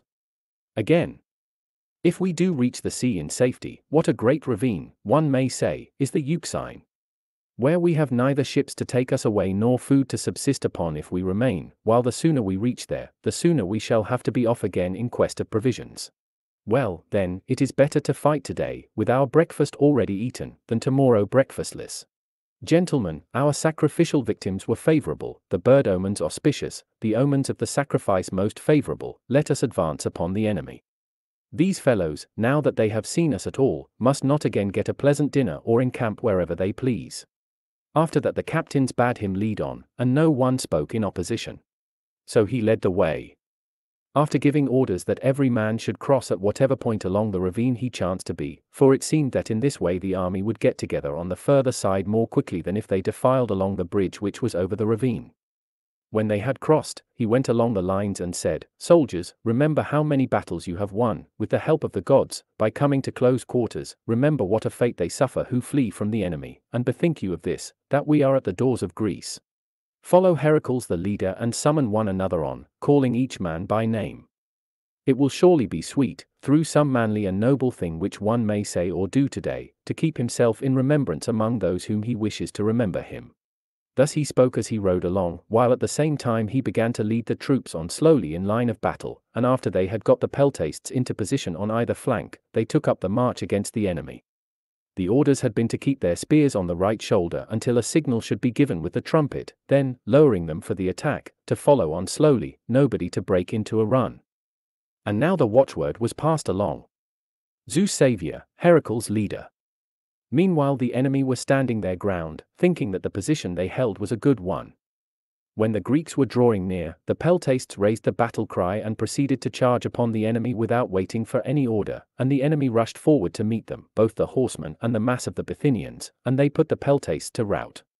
But when the phalanx of the hoplites kept moving on to meet them, marching rapidly, and at the same time the trumpet sounded, and they struck up the paean and after that raised the battle cry, and at the same moment couched their spears, then the enemy no longer awaited the attack, but took to flight.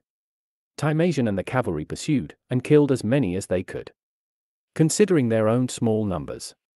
Now the left wing of the enemy, opposite which the Greek cavalry were stationed, was dispersed at once, but the right, since it was not vigorously pursued, got together upon a hill, as soon as the Greeks saw that they were standing their ground there, they deemed it the easiest and safest course to charge upon them immediately.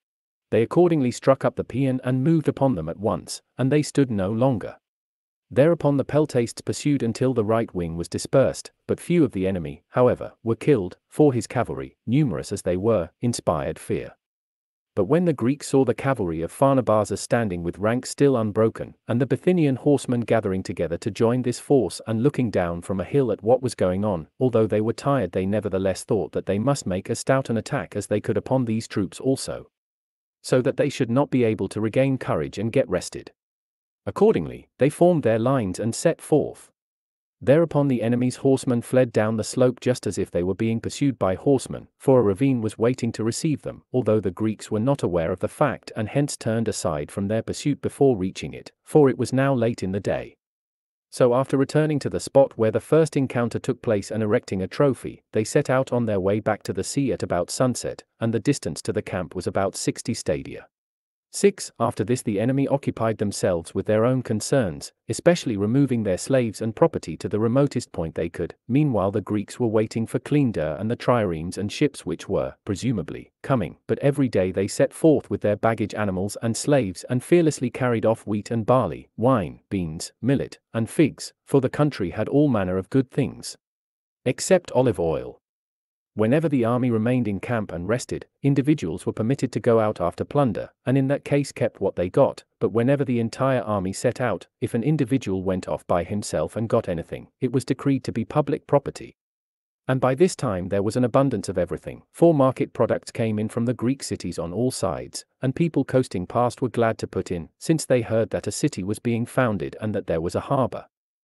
Even the hostile peoples who dwelt nearby began now to send envoys to Xenophon, for they heard that he was the man who was making a city of the place, to ask what they must do in order to be his friends, and Xenophon would always show these envoys to the soldiers. Meanwhile Cleander arrived with two triremes, but not a single merchant ship. It so chanced that the army was out foraging when he arrived. While certain individuals had gone in quest of plunder to a different place in the mountains and had secured a large number of sheep, so fearing that they might be deprived of them. They told their story to Dexippus, the man who slipped away from Trapezus with the 50 oared warship, and urged him to save their sheep for them, with the understanding that he was to get some of the sheep himself and give the rest back to them. So he immediately proceeded to drive away the soldiers who were standing about and declaring that the animals were public property, and then he went and told Cleander that they were attempting robbery. Cleander directed him to bring the robber before him. So he seized a man and tried to take him to Cleander, but Agasias, happening to meet them, rescued the man, for he was one of his company. Then the other soldiers who were at hand set to work to stone Dexippus, calling him the traitor. And many of the sailors from the triremes got frightened and began to flee toward the sea, and Cleander also fled. Xenophon, however, and the other generals tried to hold them back, and told Cleander that nothing was the matter but that the resolution of the army was the reason for this incident taking place. But Cleander, goaded on by Dexippus and angered on his own account also because he had been frightened, declared that he would sail away and issue a proclamation forbidding any city to receive them, on the ground that they were enemies. And at this time the Lacedaemonians held the hegemony over all the Greeks.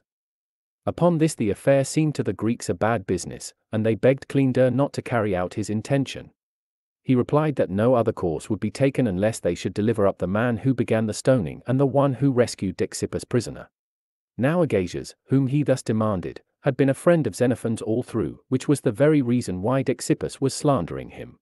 After that the commanders, perplexed as they were, called a meeting of the army, and while some of them made light of Cleander, Xenophon thought that it was no trifling matter, and he arose and said, Fellow soldiers, it seems to me it is no trifling matter if Cleander is to go away with such an intention toward us as he has expressed.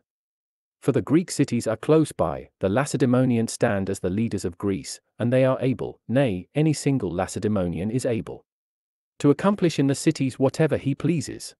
Hence if this man shall begin by shutting us out of Byzantium, and then shall send word to the other governors not to receive us into their cities, on the ground that we are disobedient to the Lacedaemonians and lawless, and if, further, this report about us shall reach Anaxibius, the Lacedaemonian admiral, it will be difficult for us either to remain or to sail away, for at present the Lacedaemonians are supreme both on land and sea, now the rest of us must not be kept away from Greece for the sake of one or two men, but we must obey whatever order the Lacedaemonians may give us, for the cities from which we come likewise obey them. For my own part, therefore. For I hear that Dexippus is saying to Cleander that Agasias would not have done what he did if I had not given him the order. For my own part. I say, I relieve both you and Agasias of the accusation if Agasias himself shall say that I was in any way responsible for this occurrence, and I pass judgment against myself, if I have taken the lead in stone throwing or any other sort of violence, that I deserve to suffer the uttermost penalty, and I shall submit to the penalty. And I maintain also that if he holds any one else responsible, that man ought to put himself in Cleander's hands for trial, for in that way you would stand relieved of the accusation. But as matters are now, it will be hard if we who expected to obtain both praise and honor in Greece, shall find instead that we are not even on an equality with the rest of the Greeks, but are shut out from their cities.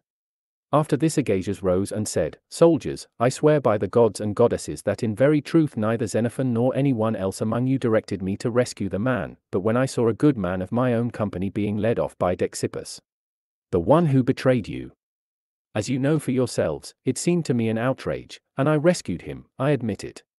Now do not you deliver me up, but I will myself, as Xenophon proposes, put myself in Cleander's hands, so that he may try me and do with me whatever he may choose, do not for this cause make war upon the Lacedaemonians, but rather accomplish a safe return, each of you to the place where he wishes to go. I beg you, however, to choose some of your own number and send them with me to Cleander so that if I pass over anything, they may speak, and act too, on my behalf. Thereupon the army empowered him to choose whomever he wished and take them with him, and he chose the generals. After this Agasias set off to Cleander and with him the generals and the man he had rescued. And the generals said, We have been sent to you, Cleander by the army, and they ask you, in case you accuse them all, to bring them to trial yourself and deal with them as you please, or in case you accuse some one individual. Or two or more, they demand of these men that they put themselves in your hands for trial. Therefore, if you have any charge against any one of us, we are now here before you, if you have any charge against any one else, tell us, for no one who is ready to yield obedience to us will fail to present himself before you. After this Agasias came forward and said, I am the person, Cleander, who rescued this man here from Dexippus when he was leading him off, and who gave the order to strike Dexippus. For I know that this soldier here is a good man, and I know also that Dexippus was chosen by the army to be commander of the fifty-oared warship which we begged for and obtained from the Trapezuntians on the understanding that with it we were to collect vessels whereon we might return in safety, and that this Dexippus slipped away from us, and betrayed the soldiers in whose company he had gained deliverance. So we have robbed the Trapezuntians of their warship and are rascals in their estimation. All on account of this Dexippus, indeed, we have lost our very lives, so far as lay in this fellow's power, for he heard, just as we did, that it was impossible, returning by land, to cross the rivers and reach Greece in safety. It was from that sort of a fellow, then, that I rescued his prisoner. Had it been you who were leading him off, or any one of your men, and not one of our runaways, be well assured that I should have done nothing of this kind and believe that if you now put me to death, you are putting to death a good man for the sake of a coward and a scoundrel. Upon hearing these words, Cleander said that he had no commendation for Dexippus if he had behaved in this way, but that he nevertheless thought that even if Dexippus were an utter scoundrel, he ought not to have suffered violence, rather, he continued, he should first have had a trial, just as you are yourselves asking in the present case, and should then have received his punishment. For the moment. Therefore, Go away, leaving this man here with me, and when I issue the order, be present for the trial. And I bring no charge either against the army or any other person now that this man himself admits that he rescued the prisoner. Then the one who had been rescued said, For myself, Cleander, in case you really imagine that I was being led off for some wrongdoing, I neither struck nor stoned anybody, but merely said that the sheep were public property for a resolution had been passed by the soldiers that if any one should do any plundering on his own account when the entire army went out, what he secured was to be public property. That was what I said, and thereupon this fellow seized me and proceeded to lead me off, in order that nobody might utter a word, but that he might save the booty for the plunderers in violation of the ordinance, and get his own share out of it. In reply to this Cleander said, Well, since that is your statement, stay behind. So that we can take up your case also. After that Cleander and his party proceeded to breakfast, and Xenophon called a meeting of the army and advised the sending of a delegation to Cleander to intercede for the men. Thereupon the troops resolved to send the generals and captains, Dracontius the Spartan, and such others as seemed fitted for the mission, and to request Cleander by all means to release the two men. So Xenophon came before him and said, You have the men, Cleander, and the army has submitted to you and allowed you to do what you pleased both with these men and with their entire body. But now they beg and entreat you to give them the two men, and not to put them to death, for many other labors these two have performed for the army in the past. Should they obtain this favor at your hands, they promise you in return that, if you wish to be their leader and if the gods are propitious, they will show you not only that they are orderly, but that they are able, with the help of the gods, while yielding obedience to their commander, to feel no fear of the enemy. They make this further request of you, that when you have joined them and assumed command of them, you make trial both of Dexippus and of the rest of them to see how the two sorts of men compare, and then give to each his deserts. Upon hearing these words Cleander replied, Well, by the twin gods, my answer to you all will be speedy indeed. I give you the two men and I will myself join you, and if the gods so grant, I will lead you to Greece. These words of yours are decidedly the opposite of what I have been hearing about you from some people, namely, that you were trying to make the army disloyal to the Lacedaemonians. After this they thanked him and departed, taking the two men with them, and Cleander undertook sacrifices with a view to the journey and associated amicably with Xenophon, so that the two men struck up a friendship. Furthermore, when Cleander came to see for himself that the troops carried out their orders with good discipline, he was more than ever eager to become their commander. When, however, although he continued his sacrifices over three days, the victims would not prove favorable, he called a meeting of the generals and said, The victims do not prove favorable to me as the man to lead you onward, but it is not for you to be despondent on that account, since to you, as it seems, is given the office of delivering these soldiers. To the road, then. And we shall give you, when you have reached your journey's end, as splendid a reception as we can. Thereupon the soldiers voted to present to him the sheep that were public property, and he accepted them, but gave them back again to the troops. Then he sailed away. And the soldiers, after selling the corn they had gathered together and the other booty they had secured, set out on their march through the country of the Bithynians. But when in following the direct road they failed to find any booty, to enable them to reach friendly territory with a little something in hand, they resolved to turn about and take the opposite direction for one day and night. By so doing, they secured slaves and sheep in abundance, and on the sixth day they arrived at Chrysopolis, in Chalcedonia, where they remained for seven days, selling their spoils. Book 7 1. The preceding narrative has described all that the Greeks did on their upward march with Cyrus until the time of the battle, all that took place after the death of Cyrus on their journey to the Euxine Sea, and the whole course of their doings while they were traveling on, by land and water, from the Euxine, until they got beyond its mouth, arriving at Chrysopolis, in Asia. After this Pharnabazus, in fear that the Greek army might carry on a campaign against his own land, sent to Anaxibius, the admiral, who chanced to be at Byzantium, and asked him to carry the army across out of Asia, promising to do everything for him that might be needful. Anaxibius accordingly summoned the generals and captains to Byzantium, and gave them promises that if they crossed over, the soldiers would have regular pay. The rest of the officers replied that they would consider the matter and report back to him, but Xenophon told him that he intended to part company with the army at once, and wanted to sail home. Anaxibius, however, bade him cross over with the others, and leave them only after that. Xenophon said, therefore, that he would do so. And now Seuthes the Thracian sent Medosades to Xenophon and urged him to help him to bring the army across, adding that if he did render such assistance, he would not be sorry for it. Xenophon replied, Why, the army is going to cross over, so far as that is concerned. Let not Seuthes pay anything either to me or to anyone else, but as soon as it has crossed. When I myself am to leave the army, let him deal with those who stay on and are in authority, in any way that may seem to him safe. After this, all the soldiers crossed over to Byzantium. And Anaxibius would not give them pay, but made proclamation that the troops were to take their arms and their baggage and go forth from the city, saying that he was going to send them back home and at the same time to make an enumeration of them. At that the soldiers were angry, for they had no money with which to procure provisions for the journey, and they set about packing up with reluctance. Xenophon meanwhile, since he had become a friend of Cleander, the governor, called to take leave of him, saying that he was to sail home at once. And Cleander said to him, Do not do so, if you do, said he, you will be blamed, for even now certain people are laying it to your charge that the army is slow about moving away. Xenophon replied, Why? I am not responsible for that, it is rather that the soldiers lack food supplies and on that account are depressed about their going away. Nevertheless, said Cleander, I advise you to go forth from the city as though you were planning to make the journey with them, and to leave them only when the army has got outside. Well, then, said Xenophon, we will go to Anaxibius and negotiate about this matter. So they went and put the question before him.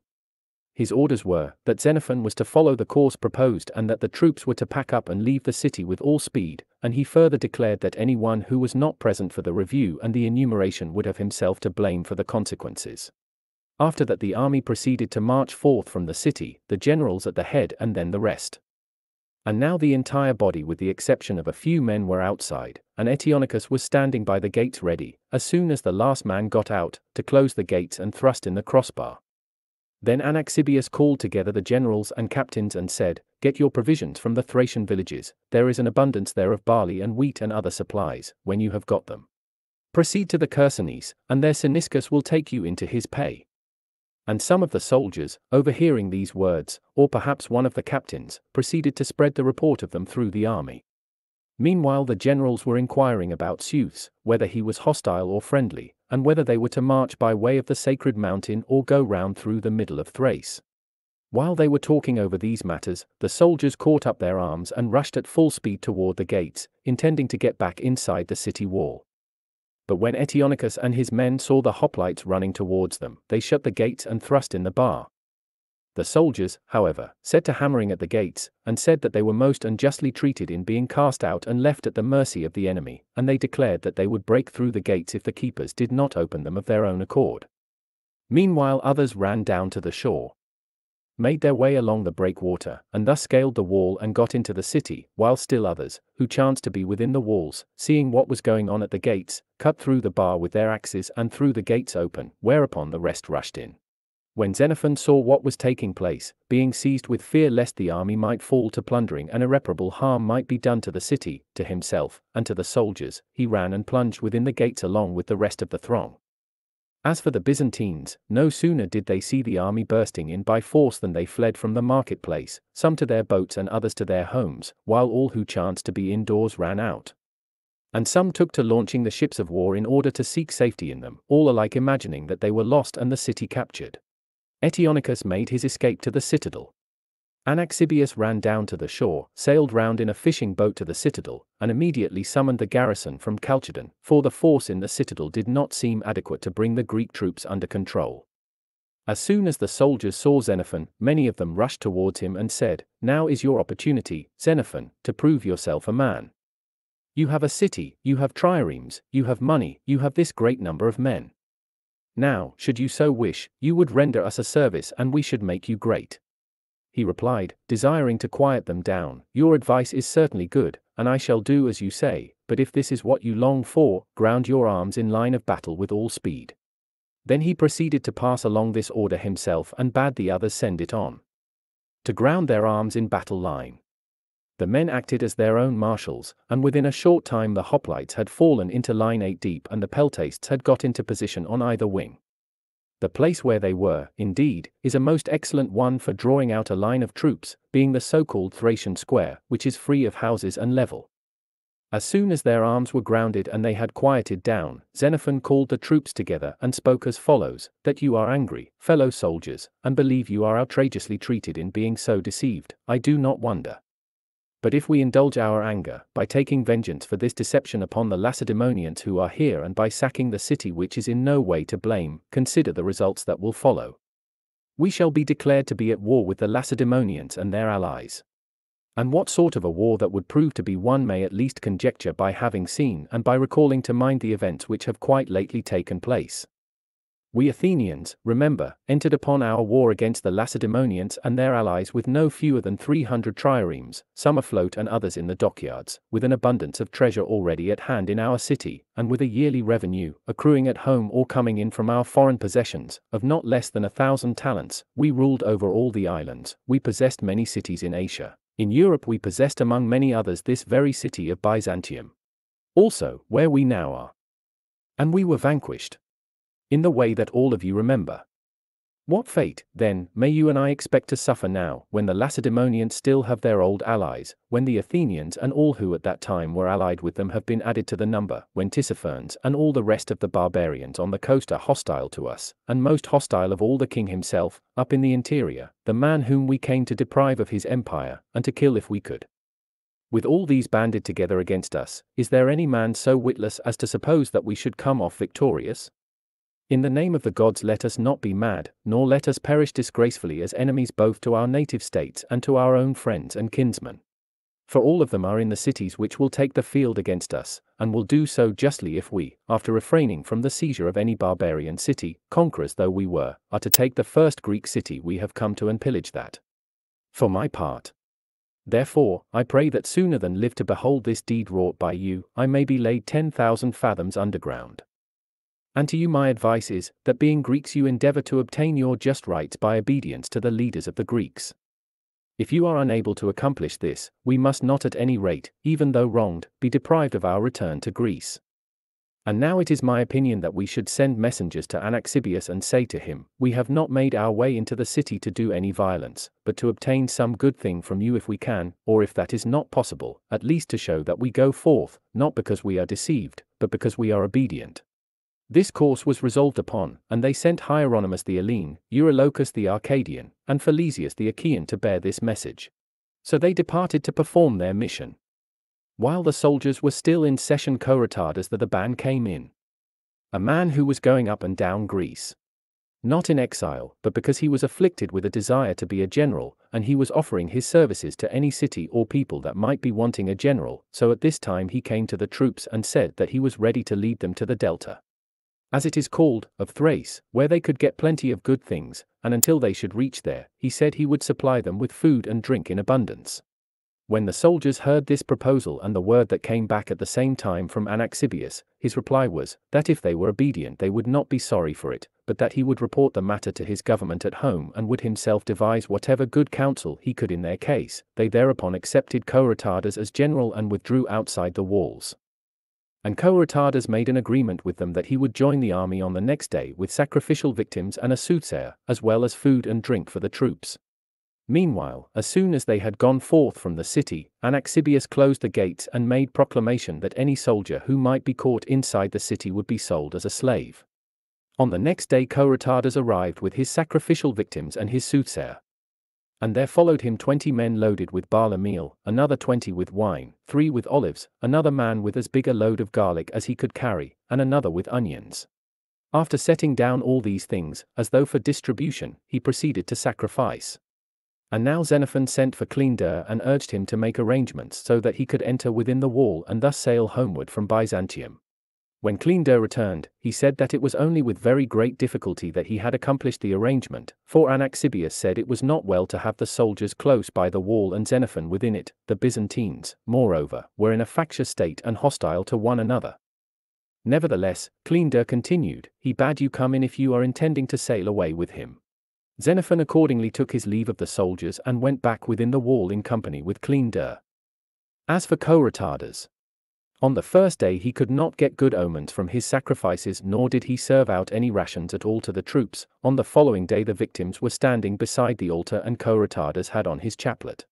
Ready for the sacrifice, when Timasion the Dardanian, Neon the Asinian, and Cleanor the Orchomenian came up and told him not to make the offering, for he was not to be leader of the army unless he should give them provisions. So he ordered rations to be served out. When it proved, however, that his supply fell far short of amounting to a day's food for each of the soldiers, he took his victims and went away, renouncing his generalship. 2. There now remained in command of the army Neon the Asinian, Phryniscus the Achaean, Philesius the Achaean, Xanthocles the Achaean, and Timasion the Dardanian, and they proceeded to some villages of the Thracians which were near Byzantium and there encamped. Now the generals were at variance in their views, Cleanor and Phryniscus wanted to lead the army to Seuthes, for he had been trying to persuade them to this course and had given one of them a horse and the other a woman, Neon wanted to go to the Chersonese. Thinking that if the troops should fall under the control of the Lacedaemonians, he would be leader of the entire army, and Timasion was eager to cross back again to Asia, for he thought that in this way he could accomplish his return home. As for the troops, to return home was what they also desired. As time wore on, however, many of the soldiers either sold their arms up and down the country and set sail for home in any way they could, or else mingled with the people of the neighboring Greek cities. And Anaxibius was glad to hear the news that the army was breaking up, for the thought that if this process went on, Pharnabazus would be very greatly pleased. While Anaxibius was on his homeward voyage from Byzantium, he was met at Cyzicus by Aristarchus, Cleander's successor as governor of Byzantium, and it was reported that his own successor as admiral, Polus, had by this time all but reached the Hellespont. Anaxibius, then, charged Aristarchus to sell as slaves all the soldiers of Cyrus' army that he might find left behind at Byzantium. As for Cleander, he had not sold one of them, but had even been caring for their sick out of pity and compelling the Byzantines to receive them in their houses, but the moment Aristarchus arrived he sold no fewer than four hundred. When Anaxibius had coasted along to Parium, he sent to Pharnabazus, according to the terms of their agreement. As soon as Pharnabazus learned, however, that Aristarchus had come to Byzantium as governor and that Anaxibius was no longer admiral, he paid no heed to Anaxibius, but set about making the same arrangement with Aristarchus in regard to Cyrus' army as he had had with Anaxibius. Thereupon Anaxibius summoned Xenophon and urged him by all manner of means to set sail as quickly as possible and join the army, and not only to keep it together, but likewise to collect the greatest number he could of those who had become scattered from the main body, and then, after leading the entire force along the coast to Perinthus, to take it across to Asia with all speed, he also gave him a thirty-oared warship and a letter. And sent with him a man who was to order the Perinthians to furnish Xenophon with horses and speed him on his way to the army as rapidly as possible.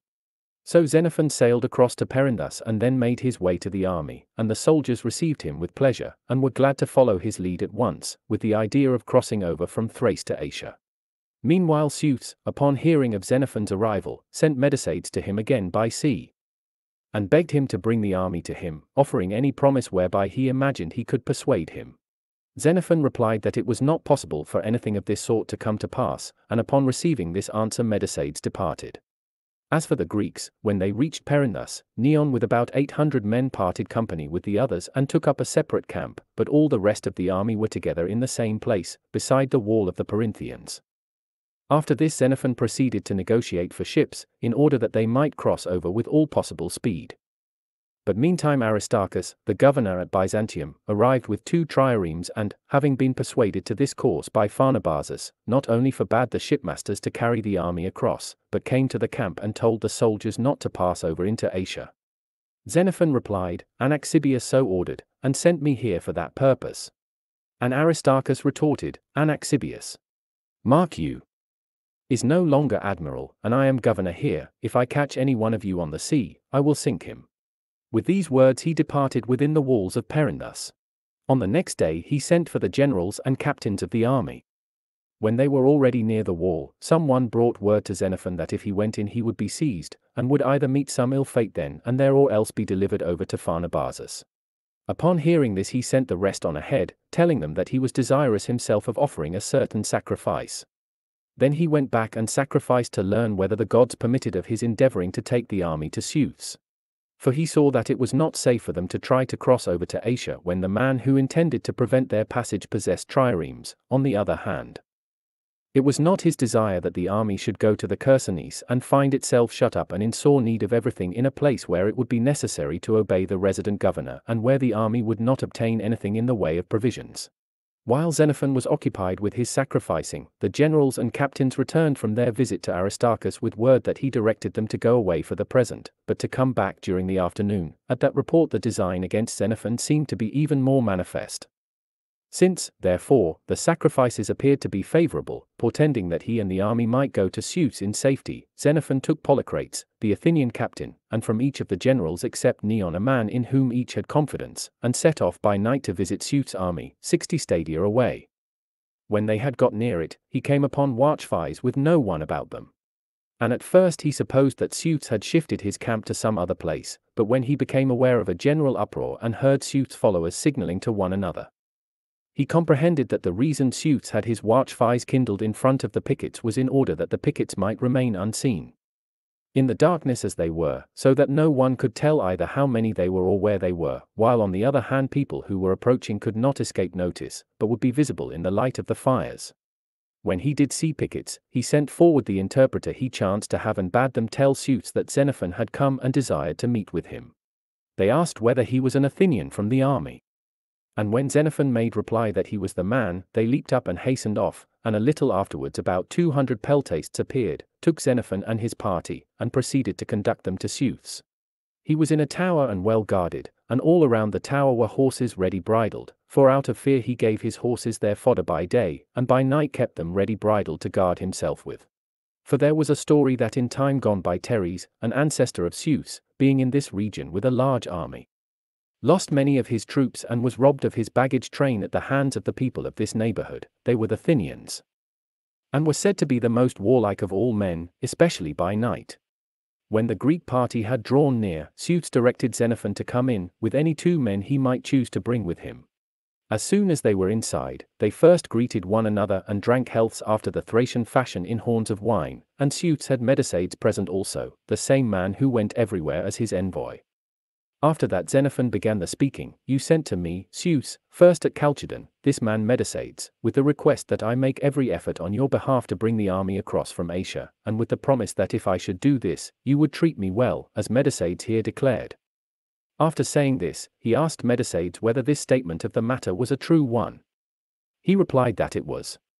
Medosades here came to me a second time after I had crossed over from Parium to rejoin the army, and promised that if I should bring the army to you, you would not only treat me in all ways as a friend and a brother, but in particular would give me the places on the sea coast of which you hold possession.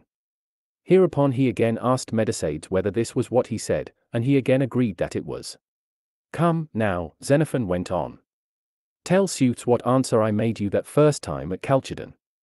You answered that the army was going to cross over to Byzantium and there was no need, so far as that was concerned, of paying anything to you or anyone else. You also stated that when you had got across, you were yourself to leave the army, and it turned out just as you said. What then did I say? Xenophon asked, at the time when you came to me near Selymbria. You said that the project was not possible, but that you were going to Perinthus and intended to cross over from there to Asia. Well, then, said Xenophon, at this moment I am here myself, along with Phryniscus here, one of the generals, and Polycrates yonder, one of the captains, and outside are representatives of the other generals except Neon the Laconian, in each case the man most trusted by each general. If you wish, therefore, to have the transaction better safeguarded, call them in also. Go and say to them, Polycrates, that I direct them to leave their arms behind. And do you yourself leave your saber out there before coming back again. Upon hearing these words Seuthes said that he should not distrust any one who was an Athenian, for he knew, he said, that the Athenians were kinsmen of his, and he believed they were loyal friends. After this, when those who were to be present had come in, Xenophon began by asking Seuthes what use he wanted to make of the army. Then Seuthes spoke as follows, Maesades was my father, and his realm embraced the Melanditae, the Thynians, and the Tranipsae. Now when the affairs of the Odrysians fell into a bad state, my father was driven out of this country, and thereafter sickened and died, while I, the son, was brought up as an orphan at the court of Medocus, the present king. When I became a young man, however, I could not endure to live with my eyes turned toward another's table, so I sat myself down on the same seat with Medocus as a suppliant and besought him to give me as many men as he could in order that I might inflict whatever harm I could upon those who drove us out, and might live without turning my eyes toward his table. Thereupon he gave me the men and the horses that you will see for yourselves as soon as day has come. And now I live with them, plundering my own ancestral land. But if you should join me, I think that with the aid of the gods I could easily recover my realm. It is this that I want. What, then, said Xenophon, should you be able, in case we came, to give to the rank and file, to the captains, and to the generals? Tell us, so that these men here may carry back word. And Seuthes promised to give to each soldier a Cyzicene, to the captains twice as much, and to the generals four times as much, furthermore, as much land as they might wish, yokes of oxen, and a fortified place upon the seacoast. But, said Xenophon, if we make this attempt and do not succeed, because of some intimidation on the part of the Lacedaemonians, will you receive into your country any one who may wish to leave the army and come to you? And he replied, Nay. More than that, I will make you my brothers, table companions, sharers to the uttermost in all that we may find ourselves able to acquire. And to you, Xenophon, I will also give my daughter, and if you have a daughter, I will buy her after the Thracian fashion, and I will give you for a residence Bisanthe, the very fairest of all the places I have upon the seacoast. 3. After hearing these words and giving and receiving pledges, they rode away, and before daybreak they arrived at the camp and made their report, each one to those who had sent him. When day came, Aristarchus again summoned the generals, but they resolved to disregard the summons of Aristarchus and instead to call a meeting of the army and all the troops gathered except Neon's men, who were encamped about ten stadia away. When they had gathered, Xenophon arose and spoke as follows Soldiers, as for sailing across to the place where we wish to go, Aristarchus with his triremes prevents our doing that. The result is that it is not safe for us to embark upon boats, but this same Aristarchus directs us to force our way to the Chersonese, through the sacred mountain, and if we make ourselves masters of the mountain and get to the Chersonese, he says that he will not sell you any more, as he did at Byzantium, that you will not be cheated any more but will receive pay, and that he will not shut his eyes any more, as he does now, to your being in want of provisions. So much for what Aristarchus says, but Seuthes says that if you come to him, he will treat you well. Now, therefore, make up your minds whether you will consider this question here and now or after you have set forth in quest of provisions. My own opinion is, seeing that here we neither have money with which to buy nor are permitted to take anything without money, that we ought to set forth to the villages from which we are permitted to take. Since their inhabitants are weaker than ourselves, and that there, possessed of provisions and hearing what the service is that one wants us for, we should choose whatever course may seem best to us. Whoever, he said, holds this opinion, let him raise his hand. Every hand was raised. Go away, then, Xenophon continued, and pack up, and when the word is given, follow the van. After this, Xenophon led the way and the troops followed. Neon, indeed, and messengers from Aristarchus tried to persuade them to turn back, but they would not listen to them. When they had advanced as much as thirty stadia, Seuthes met them. And Xenophon, catching sight of him, bade him ride up to the troops, in order that he might tell him within hearing of the greatest possible number what they had decided upon as advantageous. When he had come up, Xenophon said, We are on our way to a place where the army will be able to get food, there we shall listen both to you and to the Laconians' messengers. And make whatever choice may seem to be best. If, then, you will guide us to a spot where there are provisions in greatest abundance, we shall think we are being hospitably entertained by you. And Seuthes replied, Why, I know a large number of villages, close together and containing all sorts of provisions, that are just far enough away from us so that, when you have covered the distance, you would enjoy your breakfast. Lead on, then, said Xenophon. When they had reached the villages, in the afternoon, Noon, the soldiers gathered together and Seuthes spoke as follows I ask you, soldiers, to take the field with me, and I promise to give to you who are in the ranks a Cyzicene and to the captains and generals the customary pay. Besides this, I shall honor the man who deserves it. Food and drink you will obtain, just as today, by taking from the country, but whatever may be captured I shall expect to retain for myself, so that by selling it I may provide you your pay.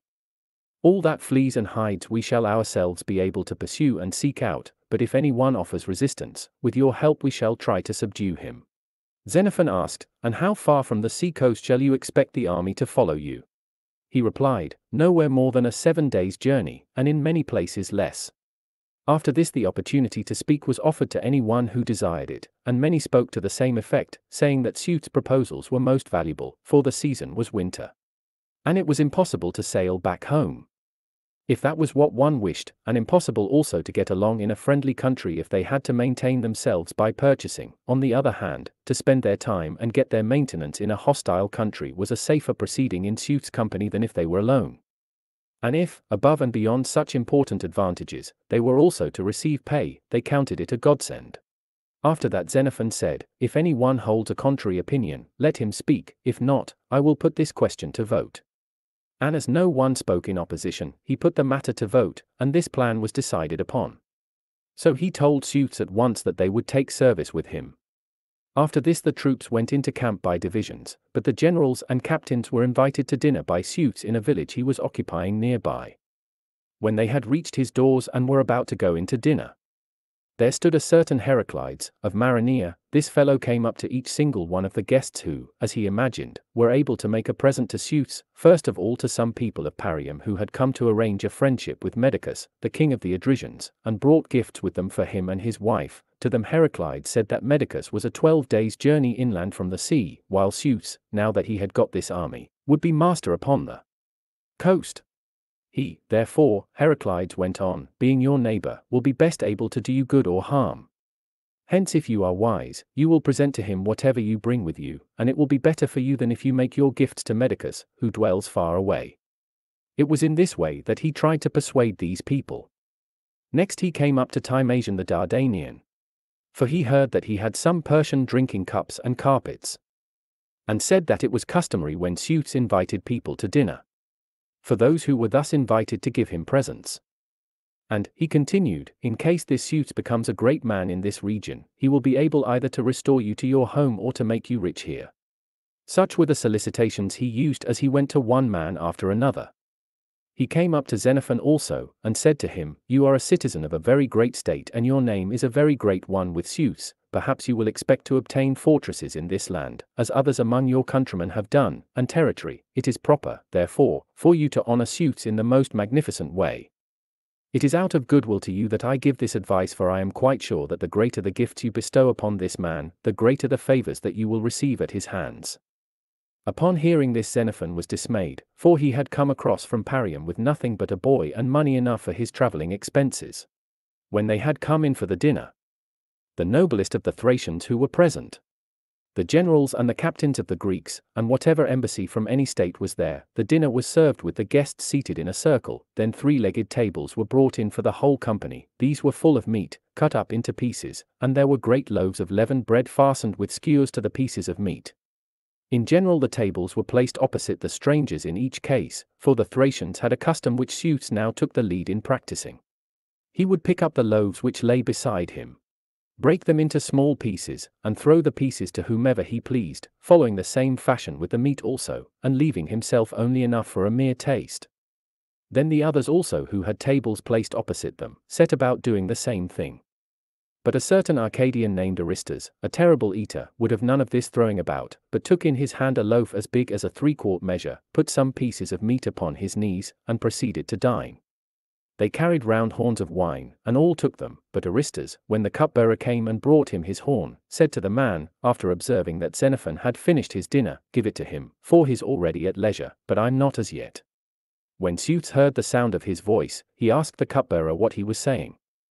And the cupbearer, who understood Greek, told him. So then there was an outburst of laughter.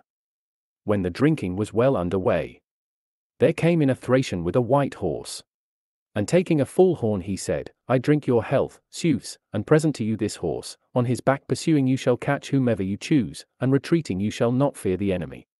Another brought in a boy and presented him in the same way, with a health to Seuthes, while another presented clothes for his wife. Timasion also drank his health and presented to him a silver bowl and a carpet worth ten minas. Then one Gnesippus, an Athenian, arose and said that it was an ancient and most excellent custom that those who had possessions should give to the king for honor's sake, and that to those who had naught the king should give, so that, he continued, I too may be able to bestow gifts upon you and do you honor. As for Xenophon, he was at a loss to know what he should do, for he chanced, as one held in honor, to be seated on the stool nearest to Seuthes and Heraclides directed the cupbearer to proffer him the horn. Then Xenophon, who already as it happened had been drinking a little, arose courageously after taking the horn and said, And I, Seuthes, give you myself and these my comrades to be your faithful friends, and not one of them do I give against his will, but all are even more desirous than I of being your friends. And now they are here, asking you for nothing more, but rather putting themselves in your hands and willing to endure toil and danger on your behalf.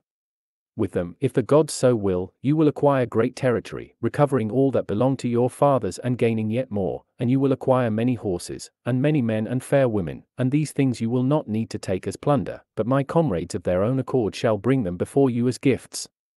Up rose Seuthes, drained the horn with Xenophon, and joined him in sprinkling the last drops. After this there came in musicians blowing upon horns such as they use in giving signals. And playing upon trumpets of raw ox hide not only measured notes, music like that of a harp. And Seuthes himself got up, raised a war cry, and sprang aside very nimbly, as though avoiding a missile. There entered also a company of buffoons. When the sun was about setting, the Greeks arose and said that it was time to post sentinels and give out the watchword. They also urged Seuthes to issue an order that none of the Thracians were to enter the Greek camp by night, for, they said, our enemies are Thracians and our friends are yourselves. As the Greeks were setting forth, Seuthes arose with them, not in the least like a drunken man.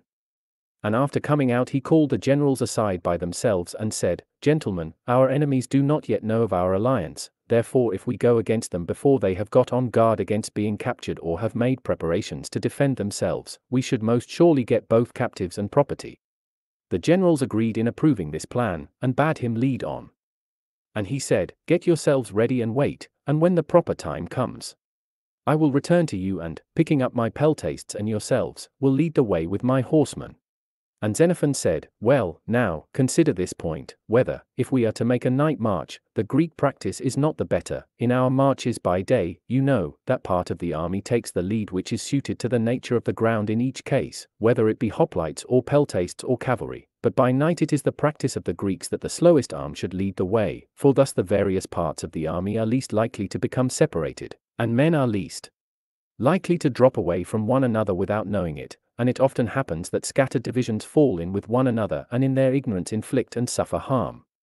Then Seuthes replied, You are right, and I will adopt your practice. I will give you guides from among the oldest men, who know the country best. And I myself will bring up the rear with my horsemen, for I can speedily reach the front if need be. Then they gave out Athena as the watchword, on account of their kinship, after this conference they went to rest. When it was about midnight, Seuthes was at hand with his horsemen armed with breastplates and his peltasts equipped with their arms. And as soon as he had given over their guides to the Greeks, the hoplites took the lead, the peltasts followed, and the horsemen brought up the rear. When day came, Seuthes rode along to the front and expressed his approval of the Greek practice. For many times, he said, while marching by night with even a small force he himself, along with his cavalry, had got separated from his infantry, but now, he continued, we find ourselves at daybreak all together, just as we should be. But do you wait where you are and take a rest, and I will return after I have looked around a little. With these words he rode off along a mountain side, following a kind of road. When he had reached a place where there was deep snow, he looked about to see whether there were human footprints, either leading onward or back. As soon as he saw that the road was untrodden, he quickly returned and said, All will be well, gentlemen, if God will, for we shall fall upon these people before they know it. Now I will lead the way with the cavalry, so that if we catch sight of any one, he may not slip through our fingers and give word to the enemy, and do you follow after me, and in case you get left behind, keep to the trail of the horses. Once we have crossed over the mountains, we shall come to many prosperous villages. By the time it was midday he was already upon the heights, and catching sight of the villages below he came riding up to the hoplites and said, Now I am going to let the horsemen charge down to the plain on the run. And to send the peltasts against the villages. Do you, then, follow as fast as you can, so that if any resistance is offered, you may meet it? Upon hearing these words Xenophon dismounted from his horse. And Seuthes asked, Why do you dismount, for there is need of haste? I know, Xenophon replied, that I am not the only one you need, and the hoplites will run faster and more cheerfully if I also am on foot leading the way. After this Seuthes went off, and with him Timasion at the head of about forty horsemen of the Greeks. Then Xenophon gave orders that the active men up to 30 years of age should move up from their several companies to the front. So he himself ran along with them, while Cleanor led the rest. When they had reached the villages, Seuthes with about 30 horsemen rode up to him and said, Here's the very thing, Xenophon, that you were saying, these fellows are caught, but unhappily my horsemen have gone off unsupported. Scattering in their pursuit. And I fear that the enemy may get together somewhere in a body and work some harm. On the other hand, some of us also must remain in the villages, for they are full of people. Well, Xenophon replied, I myself with the troops I have will seize the heights, and you direct Cleanor to extend his line through the plain alongside the villages. When they had done these things, there were gathered together captives to the number of a thousand, two thousand cattle, and ten thousand smaller animals besides. Then they bivouacked where they were. 4. On the following day, after Seuthes had burned up the villages completely and left not a single house, in order that he might inspire the rest of his enemies also with fear of the sort of fate they would suffer if they did not yield him obedience, he went back again.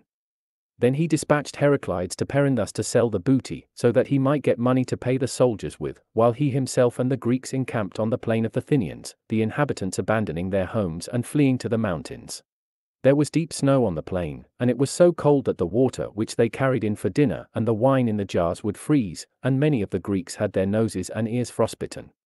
Then it became clear why the Thracians wear fox-skin caps on their heads and over their ears, and tunics not merely about their chests, but also round their thighs, and why, when on horseback, they wear long cloaks reaching to their feet instead of mantles. And now Seuthes allowed some of his captives to go off to the mountains with word that if the Thynians did not come down to the plain to live and did not yield him obedience, he would burn up their villages also and their corn, and they would perish with hunger. Thereupon the women, children, and older men did come down, but the younger men bivouacked in the villages under the mountain. And Seuthes, upon learning of this, ordered Xenophon to take the youngest of the hoplites and follow him. So they arose during the night, and at daybreak reached the villages. Now most of the villagers made their escape, for the mountain was close at hand, but all that he did capture, Seuthes shot down unsparingly. There was a certain Episthenes of Olynthus who was a lover of boys, and upon seeing a handsome boy, just in the bloom of youth and carrying a light shield, on the point of being put to death, he ran up to Xenophon and besought him to come to the rescue of a handsome lad. So Xenophon went to Seuthes and begged him not to kill the boy, telling him of Episthenes' turn of mind. How he had once assembled a battalion with an eye to nothing else save the question whether a man was handsome. And that with this battalion he proved himself a brave man. And Seuthes asked, Would you even be willing, Episthenes, to die for this boy's sake? Then Episthenes stretched out his neck and said, Strike, if the lad bids you and will be grateful. Seuthes asked the boy whether he should strike Episthenes in his stead. The boy forbade it, and besought him not to slay either. Thereupon Episthenes threw his arms around the boy and said, It is time, Seuthes, for you to fight it out with me for this boy, for I shall not give him up. And Seuthes laughed and let the matter go. He resolved, however, to establish a camp where they were, in order that the people on the mountain should not be supplied with food from these villages, either. So he himself went quietly down the mountain and encamped upon the plain, while Xenophon with his picked men took quarters in the uppermost village below the summit and the rest of the Greeks close by, among the so-called mountain Thracians. Not many days had passed after this when the Thracians on the mountain came down and entered into negotiations with Seuthes in regard to a truce and hostages. And Xenophon came and told Seuthes that his men were in bad quarters and the enemy were close at hand, he would be better pleased, he said, to bivouac in the open in a strong position than to be in the houses and run the risk of being destroyed. But Seuthes bade him have no fear and showed him hostages that had come from the enemy. Meanwhile some of the people on the mountain came down and actually requested Xenophon himself to help them obtain the truce he agreed to do so, told them to have no fear, and gave them his word that they would suffer no harm if they were obedient to Seuthes. But they, as it proved, were talking about this matter merely in order to spy out the situation. All this happened during the day, but in the night that followed the Thynians issued from the mountain and made an attack. And the master of each separate house acted as guide to that house, for in the darkness it would have been difficult to find the houses in these villages in any other way, for each house was surrounded by a paling made of great stakes, to keep in the cattle. When they had reached the doors of a particular house, some would throw in javelins, others would lay on with their clubs, which they carried, so it was said, to knock off the heads of hostile spears, and still others would be setting the house on fire, meanwhile calling Xenophon by name and bidding him come out and be killed, or else, they said, he would be burned up then and there. And now fire was already showing through the roof, and Xenophon and his men inside the house had equipped themselves with breastplates and were furnished with shields and swords and helmets, when Silanus the Macistian, a lad of about eighteen years, gave a signal with the trumpet, and on the instant they leaped forth with swords drawn, and so did the Greeks from the other houses. Then the Thracians took to flight, swinging their shields around behind them. As was their custom, and some of them who tried to jump over the palings were captured hanging in the air with their shields caught in the stakes, while others missed the ways that led out and were killed, and the Greeks continued the pursuit till they were outside the village. Some of the Thynians, however, turned about in the darkness and hurled javelins at men who were running along past a burning house, throwing out of the darkness toward the light, and they wounded Hieronymus the Epitalian, a captain, and Theogenes the Locrian, also a captain. No one, however, was killed, but some men had clothes and baggage burned up. Meanwhile, Seuthes came to their aid with seven horsemen of his front line and his Thracian trumpeter. And from the instant he learned of the trouble, through all the time that he was hurrying to the rescue, every moment his horn was kept sounding, the result was, that this also helped to inspire fear in the enemy. When he did arrive, he clasped their hands and said that he had supposed he should find many of them slain. After this Xenophon asked Seuthes to give over the hostages to him and to join him on an expedition to the mountain if he so pleased, otherwise, to let him go by himself. On the next day, accordingly, Seuthes gave over the hostages, men already elderly and the most powerful, so it was said, of the mountaineers, and came himself with his troops. Now by this time Seuthes had a force quite three times as large as before, for many of the Odrysians, hearing what success Seuthes was enjoying, came down from the upper country to take service with him. And when the Thynians saw from their mountain masses of hoplites, masses of peltasts, and troops of horsemen, they descended and besought him to grant them a truce, agreeing to do anything and everything and urging him to receive pledges. Thereupon Seuthes summoned Xenophon, disclosed to him the proposals they were making, and said that he should not grant them a truce if Xenophon wanted to punish them for their attack. And Xenophon said, Why, for my part one think I have abundant satisfaction as it is. If these people are to be slaves instead of free men, he added, however, that he advised Seuthes to take as hostages in the future those who were most capable of doing harm and to leave the old men at home. Thus it was that all the people in this region surrendered. 5. And now they crossed over to the country of the Thracians above Byzantium. In the so-called Delta, this was beyond the domain of Maesades, being the land of Teres the Odrysian. There Heraclides presented himself, with the proceeds from the sale of the booty and Seuthes, leading forth three pairs of mules, for there were no more than three, and the yokes of oxen besides, called Xenophon and bade him take for himself and then distribute the rest among the generals and captains. Xenophon replied, Well, for my part one am content to get something at a later time, give rather to these generals and captains who have followed with me. So one of the mule teams was given to Timasion the Dardanian, one to Cleanor the Orchomenian, and one to Phryniscus the Achaean, while the yokes of oxen were distributed among the captains. Seuthes also paid over the wages of the troops, but for twenty days only of the month that had now passed, for Heraclides said that he had not obtained any more than that from his sale. Xenophon was angered at this, and said to him with an oath, It seems to me, Heraclides, that you are not caring for Seuthes' interest as you should, for if you were, you would have brought back with you our wages in full, even if you had to borrow something, in case you could not do it in any other way, or to sell your own clothes. This made Heraclides not only angry, but fearful that he might be banished from the favor of Seuthes, and from that day he slandered Xenophon before Seuthes to the best of his ability. As for the soldiers, they held Xenophon to blame for their not having received their pay, and Seuthes, on the other hand, was angry with him because he was insistent in demanding their pay for the soldiers. Hitherto, he had continually been mentioning the fact that upon his return to the coast he was going to give Xenophon Bisanthe and Ganos and Neon Teichos, but from this time he did not allude to a single one of these places again. For Heraclides had put in this slanderous suggestion with the rest, that it was not safe to be giving over fortresses to a man who had a force of troops.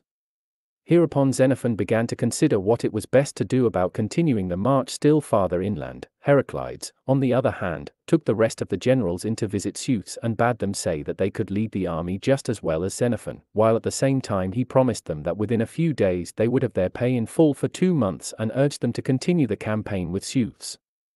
And Timasion said, Well, so far as I am concerned, I shall undertake no campaign without Xenophon even if there is going to be five months' pay.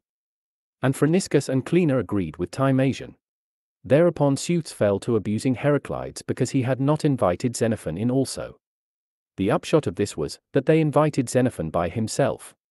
And he, comprehending the rascality of Heraclides, in wanting to make him an object of suspicion to the other generals, brought with him when he came all the generals and the captains when all of them had been prevailed upon, they continued the march with Seuthes, and, keeping the Pontus upon the right through the country of the millet-eating Thracians, as they are called, arrived at Salmydessus. Here many vessels sailing to the Pontus run aground and are wrecked, for there are shoals that extend far and wide.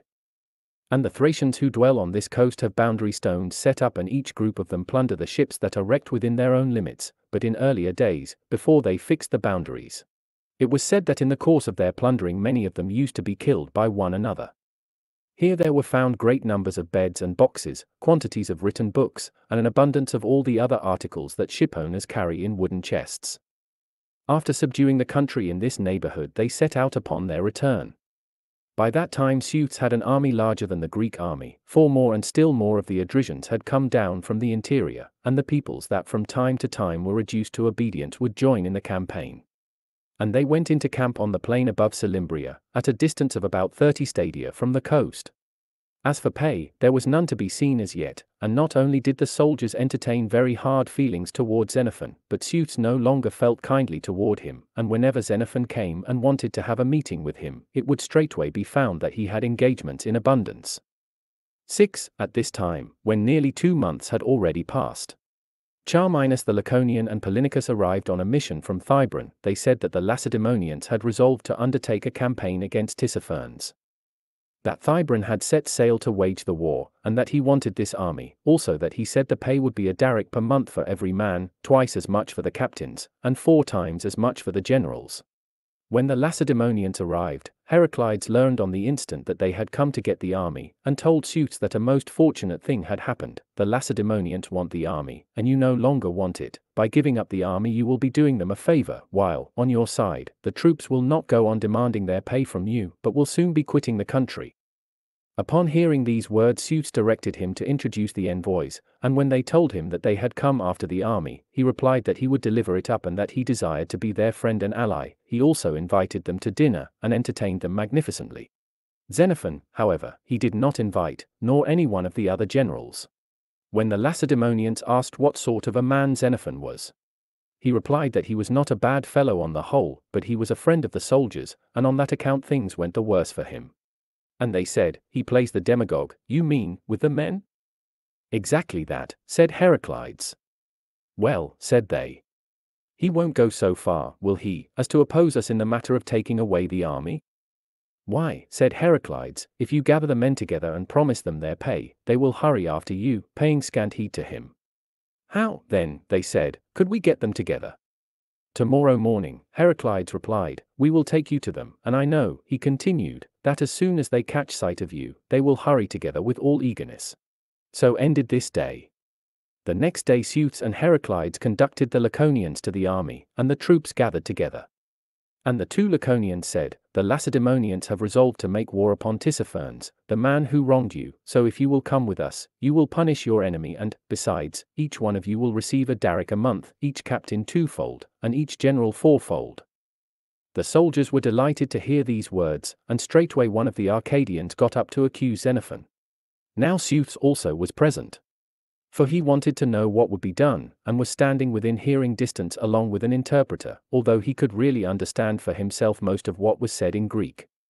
Thereupon this Arcadian said, For our part, Lacedaemonians, we should have been with you a long time ago if Xenophon had not talked us over and led us off to this region, where we have never ceased campaigning, by night or day, through an awful winter, while he gets the fruits of our toils, for Seuthes has enriched him personally while he defrauds us of our pay, so for myself, if I could see this fellow stoned to death as punishment for having dragged us about as he has done, I should consider that I had my pay and should feel no anger over the toils I have endured. After this speaker another arose and talked in the same way, and then another. After that Xenophon spoke as follows, Well, it is true, after all, that a human being must expect anything and everything. Seeing that I now find myself blamed by you in a matter where I am conscious, at least, in my own opinion, of having shown the utmost zeal in your behalf. I turned back after I had already set out for home, not, heaven knows it was not, because I learned that you were prospering, but rather because I heard that you were in difficulties, and I turned back to help you in any way I could. When I had arrived, although Seuthes here sent many messengers to me and made me many promises if only I would persuade you to come to him, I did not try to do that, as you know for yourselves. Instead, I led you to a place from which I thought you could most speedily cross over to Asia, for I believed that this course was the best one for you and I knew it was the one you desired. But when Aristarchus came with his triremes and prevented our sailing across, at that moment, and surely it was exactly the proper step, I gathered you together so that we might consider what we should better do. So you with your own ears heard Aristarchus direct you to march to the Chersonese and you heard Seuthes urge you to take the field with him. And then every man of you spoke in favor of going with Seuthes, and every man of you voted to do so. What wrong, therefore, did I do in that matter, when I led you to the place where you had all decided to go? I come now to the time when Seuthes began to play false with you in the matter of your pay. If I am his supporter in that, it would be just for you to blame me and hate me, but if the truth is that I, who before that was the most friendly to him of us all, am now most of all at variance with him, how can it be just in this case that, when I sided with you rather than with Seuthes, I should be blamed by you about the things in which I am at variance with him? But it is possible, you might say, that I really have received from Seuthes the money that belongs to you, and am only tricking you then this at least is clear, if Seuthes was in fact paying anything to me.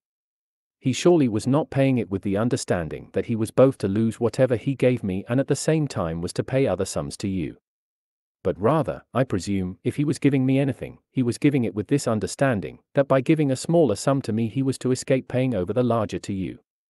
Now if you imagine that this is the case, it is within your power upon the instant to make this transaction a vain one for us both by exacting your money from him. For it is clear that, if I have received anything from Seuthes, he will demand it back from me, and, moreover, he will demand it back with justice if I am failing to fulfill to him the undertaking for which I was accepting his gifts. But it is far from being true in my opinion, that I have received what belongs to you, for I swear to you by all the gods and goddesses that I have not even received what Seuthes promised to me for my own services. He is present here himself, and as he listens, he knows as well as I do whether I am swearing falsely. Furthermore, to make your wonder the greater, I swear besides that I have not even received what the other generals have received, nay, not even so much as some of the captains. And why, then, did I follow this course? I supposed, soldiers, that the more I helped this man to bear the poverty in which he then was, the more I should make him my friend when he should have gained power. But in fact, I no sooner see him enjoying prosperity than I recognize his true character. One might say, Are you not ashamed of being so stupidly deceived? I certainly should be ashamed, by Zeus, if I had been deceived by one who was an enemy, but for one who is a friend. To deceive seems to me more shameful than to be deceived. For if there is such a thing as precaution toward friends, I know that we took every precaution not to afford this man a just pretext for not paying us what he had promised, for we neither did this man any wrong, nor did we mismanage his affairs, nor yet did we shrink like cowards from any service to which he summoned us. But, you might say, Shorty's ought to have been taken at the time, so that he could not have deceived us even if he had wanted to do so. In reply to that, listen to words which I never should have spoken in this man's presence if you had not seemed to me utterly senseless, or at least exceedingly thankless toward me. Recollect in what sort of troubles you then found yourselves, troubles out of which I delivered you when I brought you to Seuthes. Did you not go to Perinthus, and did not Aristarchus the Lacedaemonian forbid your entering and shut the gates against you? So you encamped outside, under the sky, though it was midwinter. And you got your provisions by purchase at a market.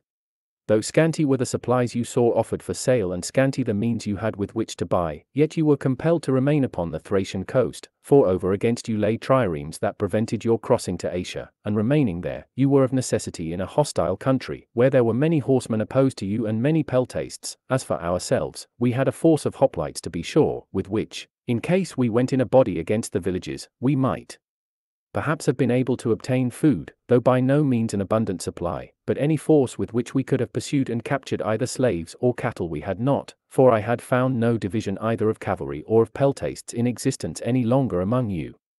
Now, when you were in such straits, if I had obtained for you, without demanding into the bargain any pay whatsoever, simply an alliance with Seuthes, who possessed both the cavalry and the peltasts that you were in need of, would you have thought that I had carried through a bad plan on your behalf? For you remember, I imagine, that when you had joined forces with these troops, you not only found food in greater abundance in the villages, for the reason that the Thracians were compelled to flee in greater haste, but you also got a larger share of cattle and captives. In fact, we never saw the face of an enemy again after the cavalry had joined us, whereas up to that time the enemy had been following boldly at our heels with horsemen and peltasts and had prevented us from scattering in any direction in small parties and thus securing a greater abundance of provisions. And if, then, the man who aided in providing you this security did not give you, besides, very generous pay for your security, is that such a dreadful misfortune? And do you think that on that account you cannot possibly let me go alive? As matters stand now, what is your situation in departing from here? Have you not passed the winter amid an abundance of provisions, and, whatever you have received from Seuthes? Is it not really so much clear gain? For it was the enemy's possessions that you have been consuming.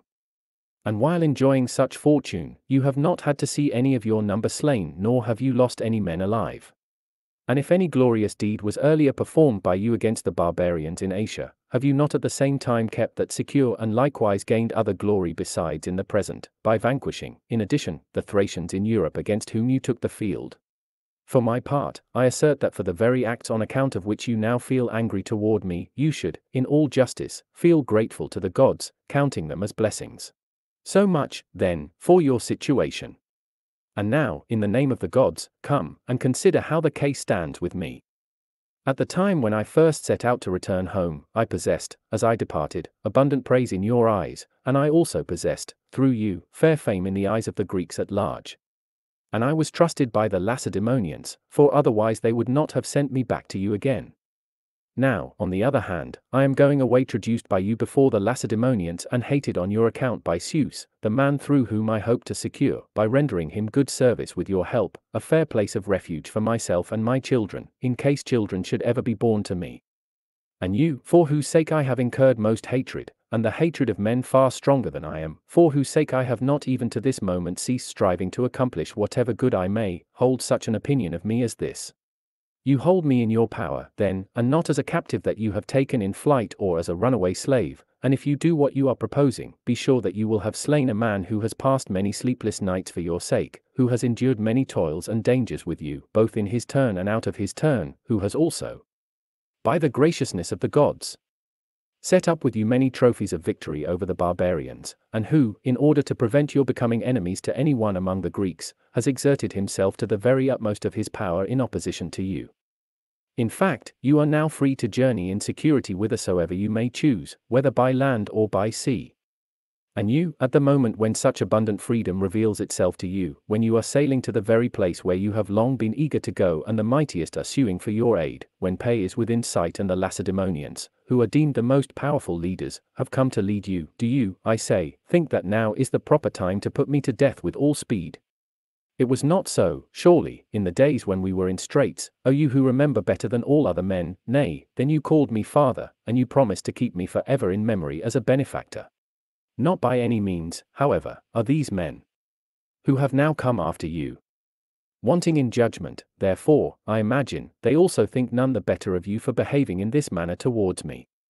With these words he ceased speaking. Then Charminus the Lacedaemonian arose and said, No, by the twin gods, I, at any rate, think you are unjust in being angry with this man, for I can bear witness for him myself.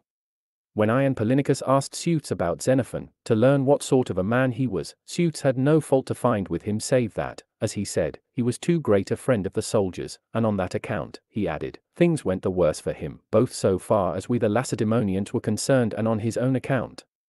After him Eurylochus of Lusi rose and said, Yes, and I believe, men of Lacedaemon, that you ought to assume leadership over us in this enterprise first of all, in exacting our pay from Seuthes whether he will or no, and that you should not take us away till that is done.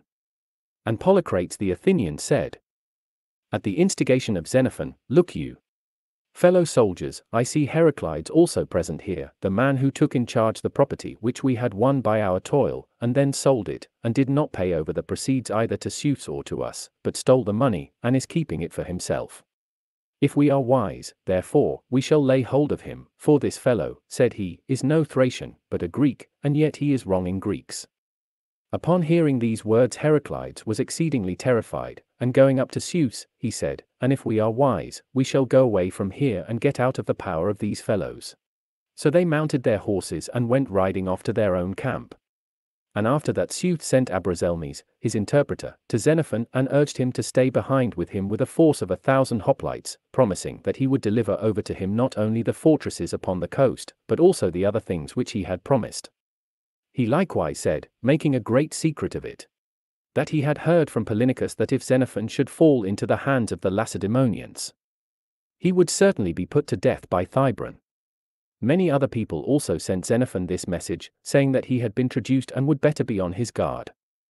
And he, hearing these reports, took two victims and proceeded to offer sacrifice to Zeus the king, to learn whether it was better and more profitable for him to remain with Seuthes on the conditions that Seuthes proposed, or to depart with the army the god directed him to depart. 7. After that Seuthes encamped at a greater distance away, while the Greeks took up quarters in villages from which they could secure provisions in greatest abundance before their journey to the coast. Now these villages had been given by Seuthes to Medosades. When, therefore, Medosades saw that the supplies in the villages were being used up by the Greeks, he was angry, and taking with him an Odrysian who was exceedingly powerful, from among those who had come down from the interior, and likewise about thirty horsemen, he came and summoned Xenophon forth from the Greek camp. So Xenophon took certain of the captains as well as others who were fit men for the purpose, and came to meet him. Then Medosades said, You Greeks are committing a wrong, Xenophon, in plundering our villages. Therefore we give you public warning, I on behalf of Seuthes, and this man who has come from Medocus, who is king in the interior, to depart from the country, and if you fail to depart, we shall not leave you a free hand, but in case you continue to do harm to our territory, we shall defend ourselves against you as against enemies. Upon hearing these words Xenophon said, As for you, when you say such things as these it is painful even to give you an answer, yet for the sake of this young man I will speak, that he may know what sort of people you are and what we are. For we, he went on, before we became friends of yours, marched whithersoever we chose through this country. Plundering where we wished and burning where we wished, and whenever you came to us as envoy. You used then to bivouac with us without fear of any enemy. Your people, on the other hand, never came into this country, or if at any time you did come, you would bivouac as in the land of men stronger than yourselves, keeping your horses all bridled. But after you had once become friends of ours and now through us, with the aid of the gods, enjoy possession of this land, you seek to drive us forth, out of this very land that you received from us, who held it by right of strength, for as you know yourself, the enemy were not able to drive us out. And yet, so far from deeming it proper to speed us on our way after bestowing gifts upon us and doing us kindnesses in return for the benefits you have received at our hands, you will not, so far as you have the power to prevent it, allow us at the moment of our departure even to bivouac in the country. And in uttering these words you are not ashamed either before the gods or before this Odrysian. Who now sees you possessed of riches? Whereas before you became our friend, you got your living, as you said yourself, from pillaging. But really, why do you, he added, address these words to me?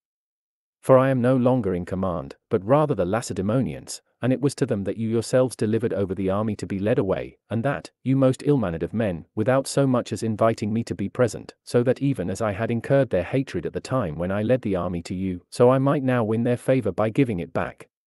When the Odrysian heard this, he said, As for me, Medosades, I sink beneath the earth for shame at this which I hear.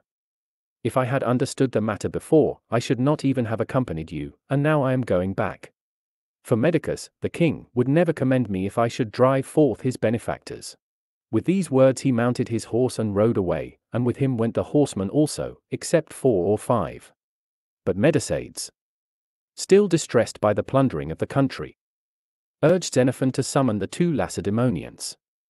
And Xenophon, taking with him the best men he had, went to Charminus and Polynicus and said that Medosades was summoning them in order to give them the same warning as he had already given him to depart from the country. I should think, therefore, he continued, that you might recover for the army the pay that is due if you should say that the army has requested you to aid them in exacting their pay from Seuthes whether he will or no. And that the troops say that they would follow you eagerly in case they should obtain it, also, that their words seem to you just, and that you promised them not to depart until the soldiers should obtain their rights. When they had heard him, the Laconians replied that they would make such statements, adding others as forceful as they could make them, and straightway they set forth, taking with them all the important men of the army. Upon their arrival Charminus said, If you have anything to say to us, Medosades, say it, if not, we have something to say to you. And Medosades replied, very submissively, I say, and Seuthes also says the same, that we ask that those who have become friends of ours should not suffer harm at your hands, for whatever harm you may do to them, you are then and there doing to us, for they are ours. As for ourselves, then, said the Laconians, we shall depart whenever the men who obtained these possessions for you have received their pay, failing that. We intend here and now to lend them our assistance and to punish the men who, in violation of their oaths, have done them wrong. And if you belong to that number, it is with you that we shall begin in obtaining their rights. Then Xenophon said, Would you be willing, Medosades, to leave the question to these people, for you were saying that they are your friends, in whose country we are, to vote, one way or the other, whether it is proper for you or ourselves to depart from their country. Medosades said no to that, but he urged, as his preference, that the two Laconians should go to Seuthes themselves about the pay, and said that he thought they might persuade Seuthes, or if they would not consent to go, he asked them to send Xenophon along with himself, and promised to support him. And he begged them not to burn the villages. Thereupon they sent Xenophon, and with him the men who seemed to be fittest. When he had come, he said to Seuthes, I am here, Seuthes. Not to present any demand, but to show you, if I can, that you were wrong in getting angry with me because in the name of the soldiers I zealously demanded from you what you had promised them, for I believed that it was no less to your advantage to pay them than it was to theirs to get their pay. For, in the first place, I know that next to the gods it was these men who set you in a conspicuous position, since they made you king over a large territory and many people, hence it is not possible for you to escape notice, whether you perform an honorable deed or a base one. Now it seemed to me an important thing that a man in such a place should not be thought to have dismissed benefactors without gratitude, an important thing also to be well spoken of by six thousand men, but most important of all that you should by no means set yourself down as untrustworthy in whatever you say. For I see that the words of untrustworthy men wander here and there without result, without power, and without honor, but if men are seen to practice truth, their words, if they desire anything, have power to accomplish no less than force in the hands of other men, and if they wish to bring one to reason, I perceive that their threats can do this no less than present chastisement applied by others, and if such men make a promise to any one, they accomplish no less than others do by an immediate gift. Recall for yourself what amount you paid to us in advance in order to obtain us as allies. You know that it was nothing, but because you were trusted to carry out truthfully whatever you said, you induced that great body of men to take the field with you and to gain for you a realm worth not merely thirty talents, the sum which these men think they ought now to recover, but many times as much. First of all, then, this trust, the very thing which gained your kingdom for you, is being sold for this sum. Come, now, recall how great a thing you then deemed it to achieve the conquests which you now have achieved. For my part, I am sure you would have prayed that the deeds now done might be accomplished for you rather than that many times that amount of money might fall to your lot. Now I count it greater hurt and shame not to hold these possessions firmly now than not to have gained them then, by so much as it is a harder fate to become poor after being rich than not to become rich at all, and by so much as it is more painful to be found a subject after being a king than not to become king at all.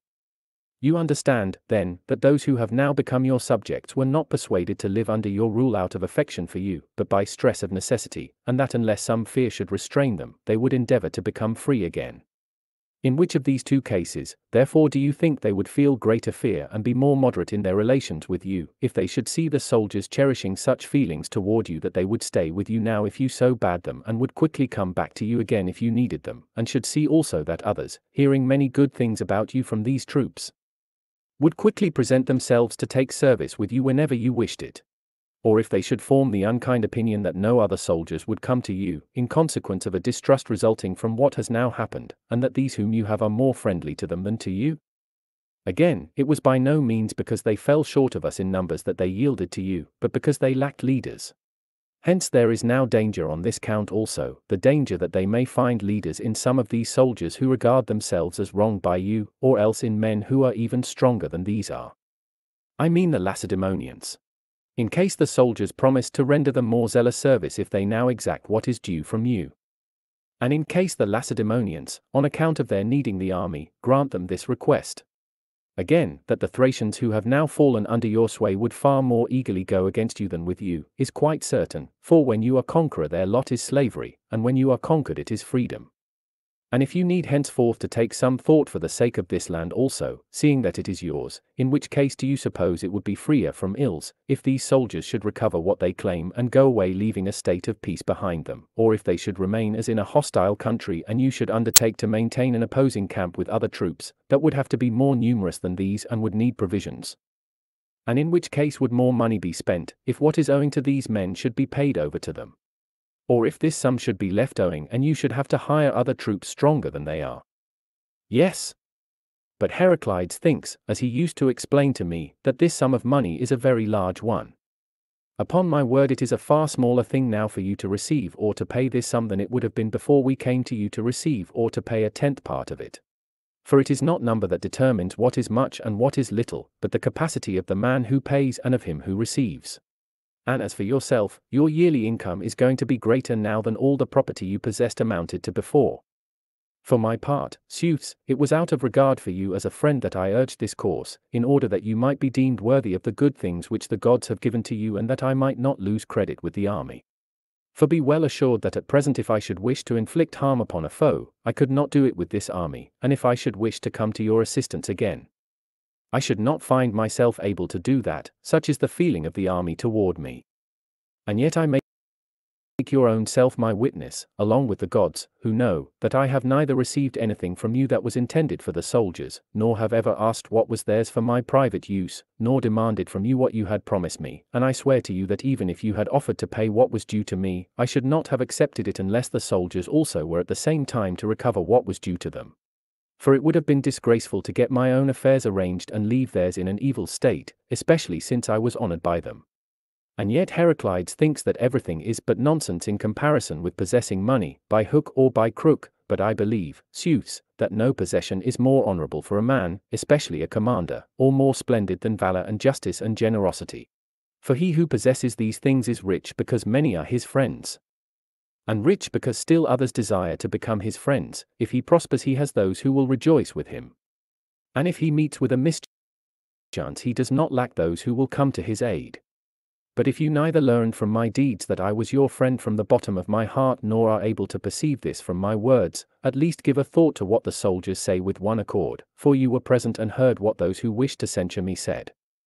They accused me before the Lacedaemonians of regarding you more highly than I did the Lacedaemonians, while on their own account they charged me with being more concerned that your affairs should be well than that their own should be, and they also said that I had received gifts from you. And yet, touching these gifts, do you imagine it was because they had observed in me some ill will toward you that they charged me with having received them from you, or because they perceived in me abundant goodwill for you? For my part, I presume that everybody believes he ought to show goodwill to the man from whom he receives gifts. You? however, before I had rendered you any service, welcomed me with a pleasure which you showed by your eyes, your voice, and your hospitality, and you could not make promises enough about all that should be done for me, yet now that you have accomplished what you desired and have become as great as I could possibly make you, have you now the heart to allow me to be held in such dishonor among the soldiers? But truly I have confidence, not only that time will teach you that you must resolve to pay what is due, but also that you will not yourself endure to see those men who have freely given you good service, accusing you. I ask you, therefore, when you render payment, to use all zeal to make me just such a man in the eyes of the soldiers as I was when you made me your friend. Upon hearing these words, Seuthes cursed the man who was to blame for the fact that the soldiers' wages had not been paid long ago, and everybody suspected that Heraclides was that man, for I, said Seuthes, never intended to defraud them, and I will pay over the money. Thereupon Xenophon said again, Then since you intend to make payment, I now request you to do it through me, and not to allow me to have, on your account, a different standing with the army now from what I had at the time when we came to you. And Seuthes replied, But you will not be less honored among the soldiers on my account if you will stay with me, keeping only a thousand hoplites, and, besides, I will give over the fortresses to you and the other things that I promised. And Xenophon answered, This plan is not a possible one, so dismiss us. Yet really, said Seuthes, I know that it is also safer for you to stay with me than to go away. And Xenophon replied, Well, I thank you for your solicitude, it is not possible, however, for me to stay, but wherever I may enjoy greater honor, be sure that it will be a good thing for you as well as myself. Thereupon Seuthes said, As for ready money, I have only a little, and that I give you, a talent, but I have six hundred cattle, and sheep to the number of four thousand, and nearly a hundred and twenty slaves. Take these, and likewise the hostages of the people who wronged you, and go your way. Xenophon laughed and said, Now supposing all this does not suffice to cover the amount of the pay, whose talent shall I say I have? Would I not better, seeing that it is really a source of danger to me, be on my guard against stones on my way back? For you heard the threats. For the time, then, he remained there at Seuthes' quarters. On the next day Seuthes delivered over to them what he had promised, and sent men with them to drive the cattle. As for the soldiers, up to this time they had been saying that Xenophon had gone off to Seuthes to dwell with him and to receive what Seuthes had promised him, but when they caught sight of him, they were delighted, and ran out to meet him. As soon as Xenophon saw Charminus and Polynicus, he said to them, This property has been saved for the army through you, and to you I turn it over, do you, then, dispose of it and make the distribution to the army. They, accordingly, took it over, appointed booty vendors, and proceeded to sell it, and they incurred a great deal of blame. As for Xenophon, he would not go near them, but it was plain that he was making preparations for his homeward journey, for not yet had sentence of exile been pronounced against him at Athens. His friends in the camp, however, came to him and begged him not to depart until he should lead the army away and turn it over to Thybron. 8. From there they sailed across to Lampsacus, where Xenophon was met by Euclides, the Phliasian seer, son of the Cleagoras who painted the mural paintings in the Lyceum. Euclides congratulated Xenophon upon his safe return, and asked him how much gold he had got. He replied, swearing to the truth of his statement, that he would not have even enough money to pay his traveling expenses on the way home unless he should sell his horse and what he had about his person. And Euclides would not believe him. But when the Lampsacene sent gifts of hospitality to Xenophon and he was sacrificing to Apollo, he gave Euclides a place beside him, and when Euclides saw the vitals of the victims, he said that he well believed that Xenophon had no money. But I am sure, he went on, that even if money should ever be about to come to you, some obstacle always appears, if nothing else, your own self. In this Xenophon agreed with him. Then Euclides said, Yes, Zeus the merciful is an obstacle in your way and asked whether he had yet sacrificed to him. Just as at home, he continued, where I was wont to offer the sacrifices for you, and with whole victims. Xenophon replied that not since he left home had he sacrificed to that god. Euclides, accordingly, advised him to sacrifice just as he used to do, and said that it would be to his advantage. And the next day, upon coming to Ophrynium, Xenophon proceeded to sacrifice, offering whole victims of swine after the custom of his fathers, and he obtained favorable omens.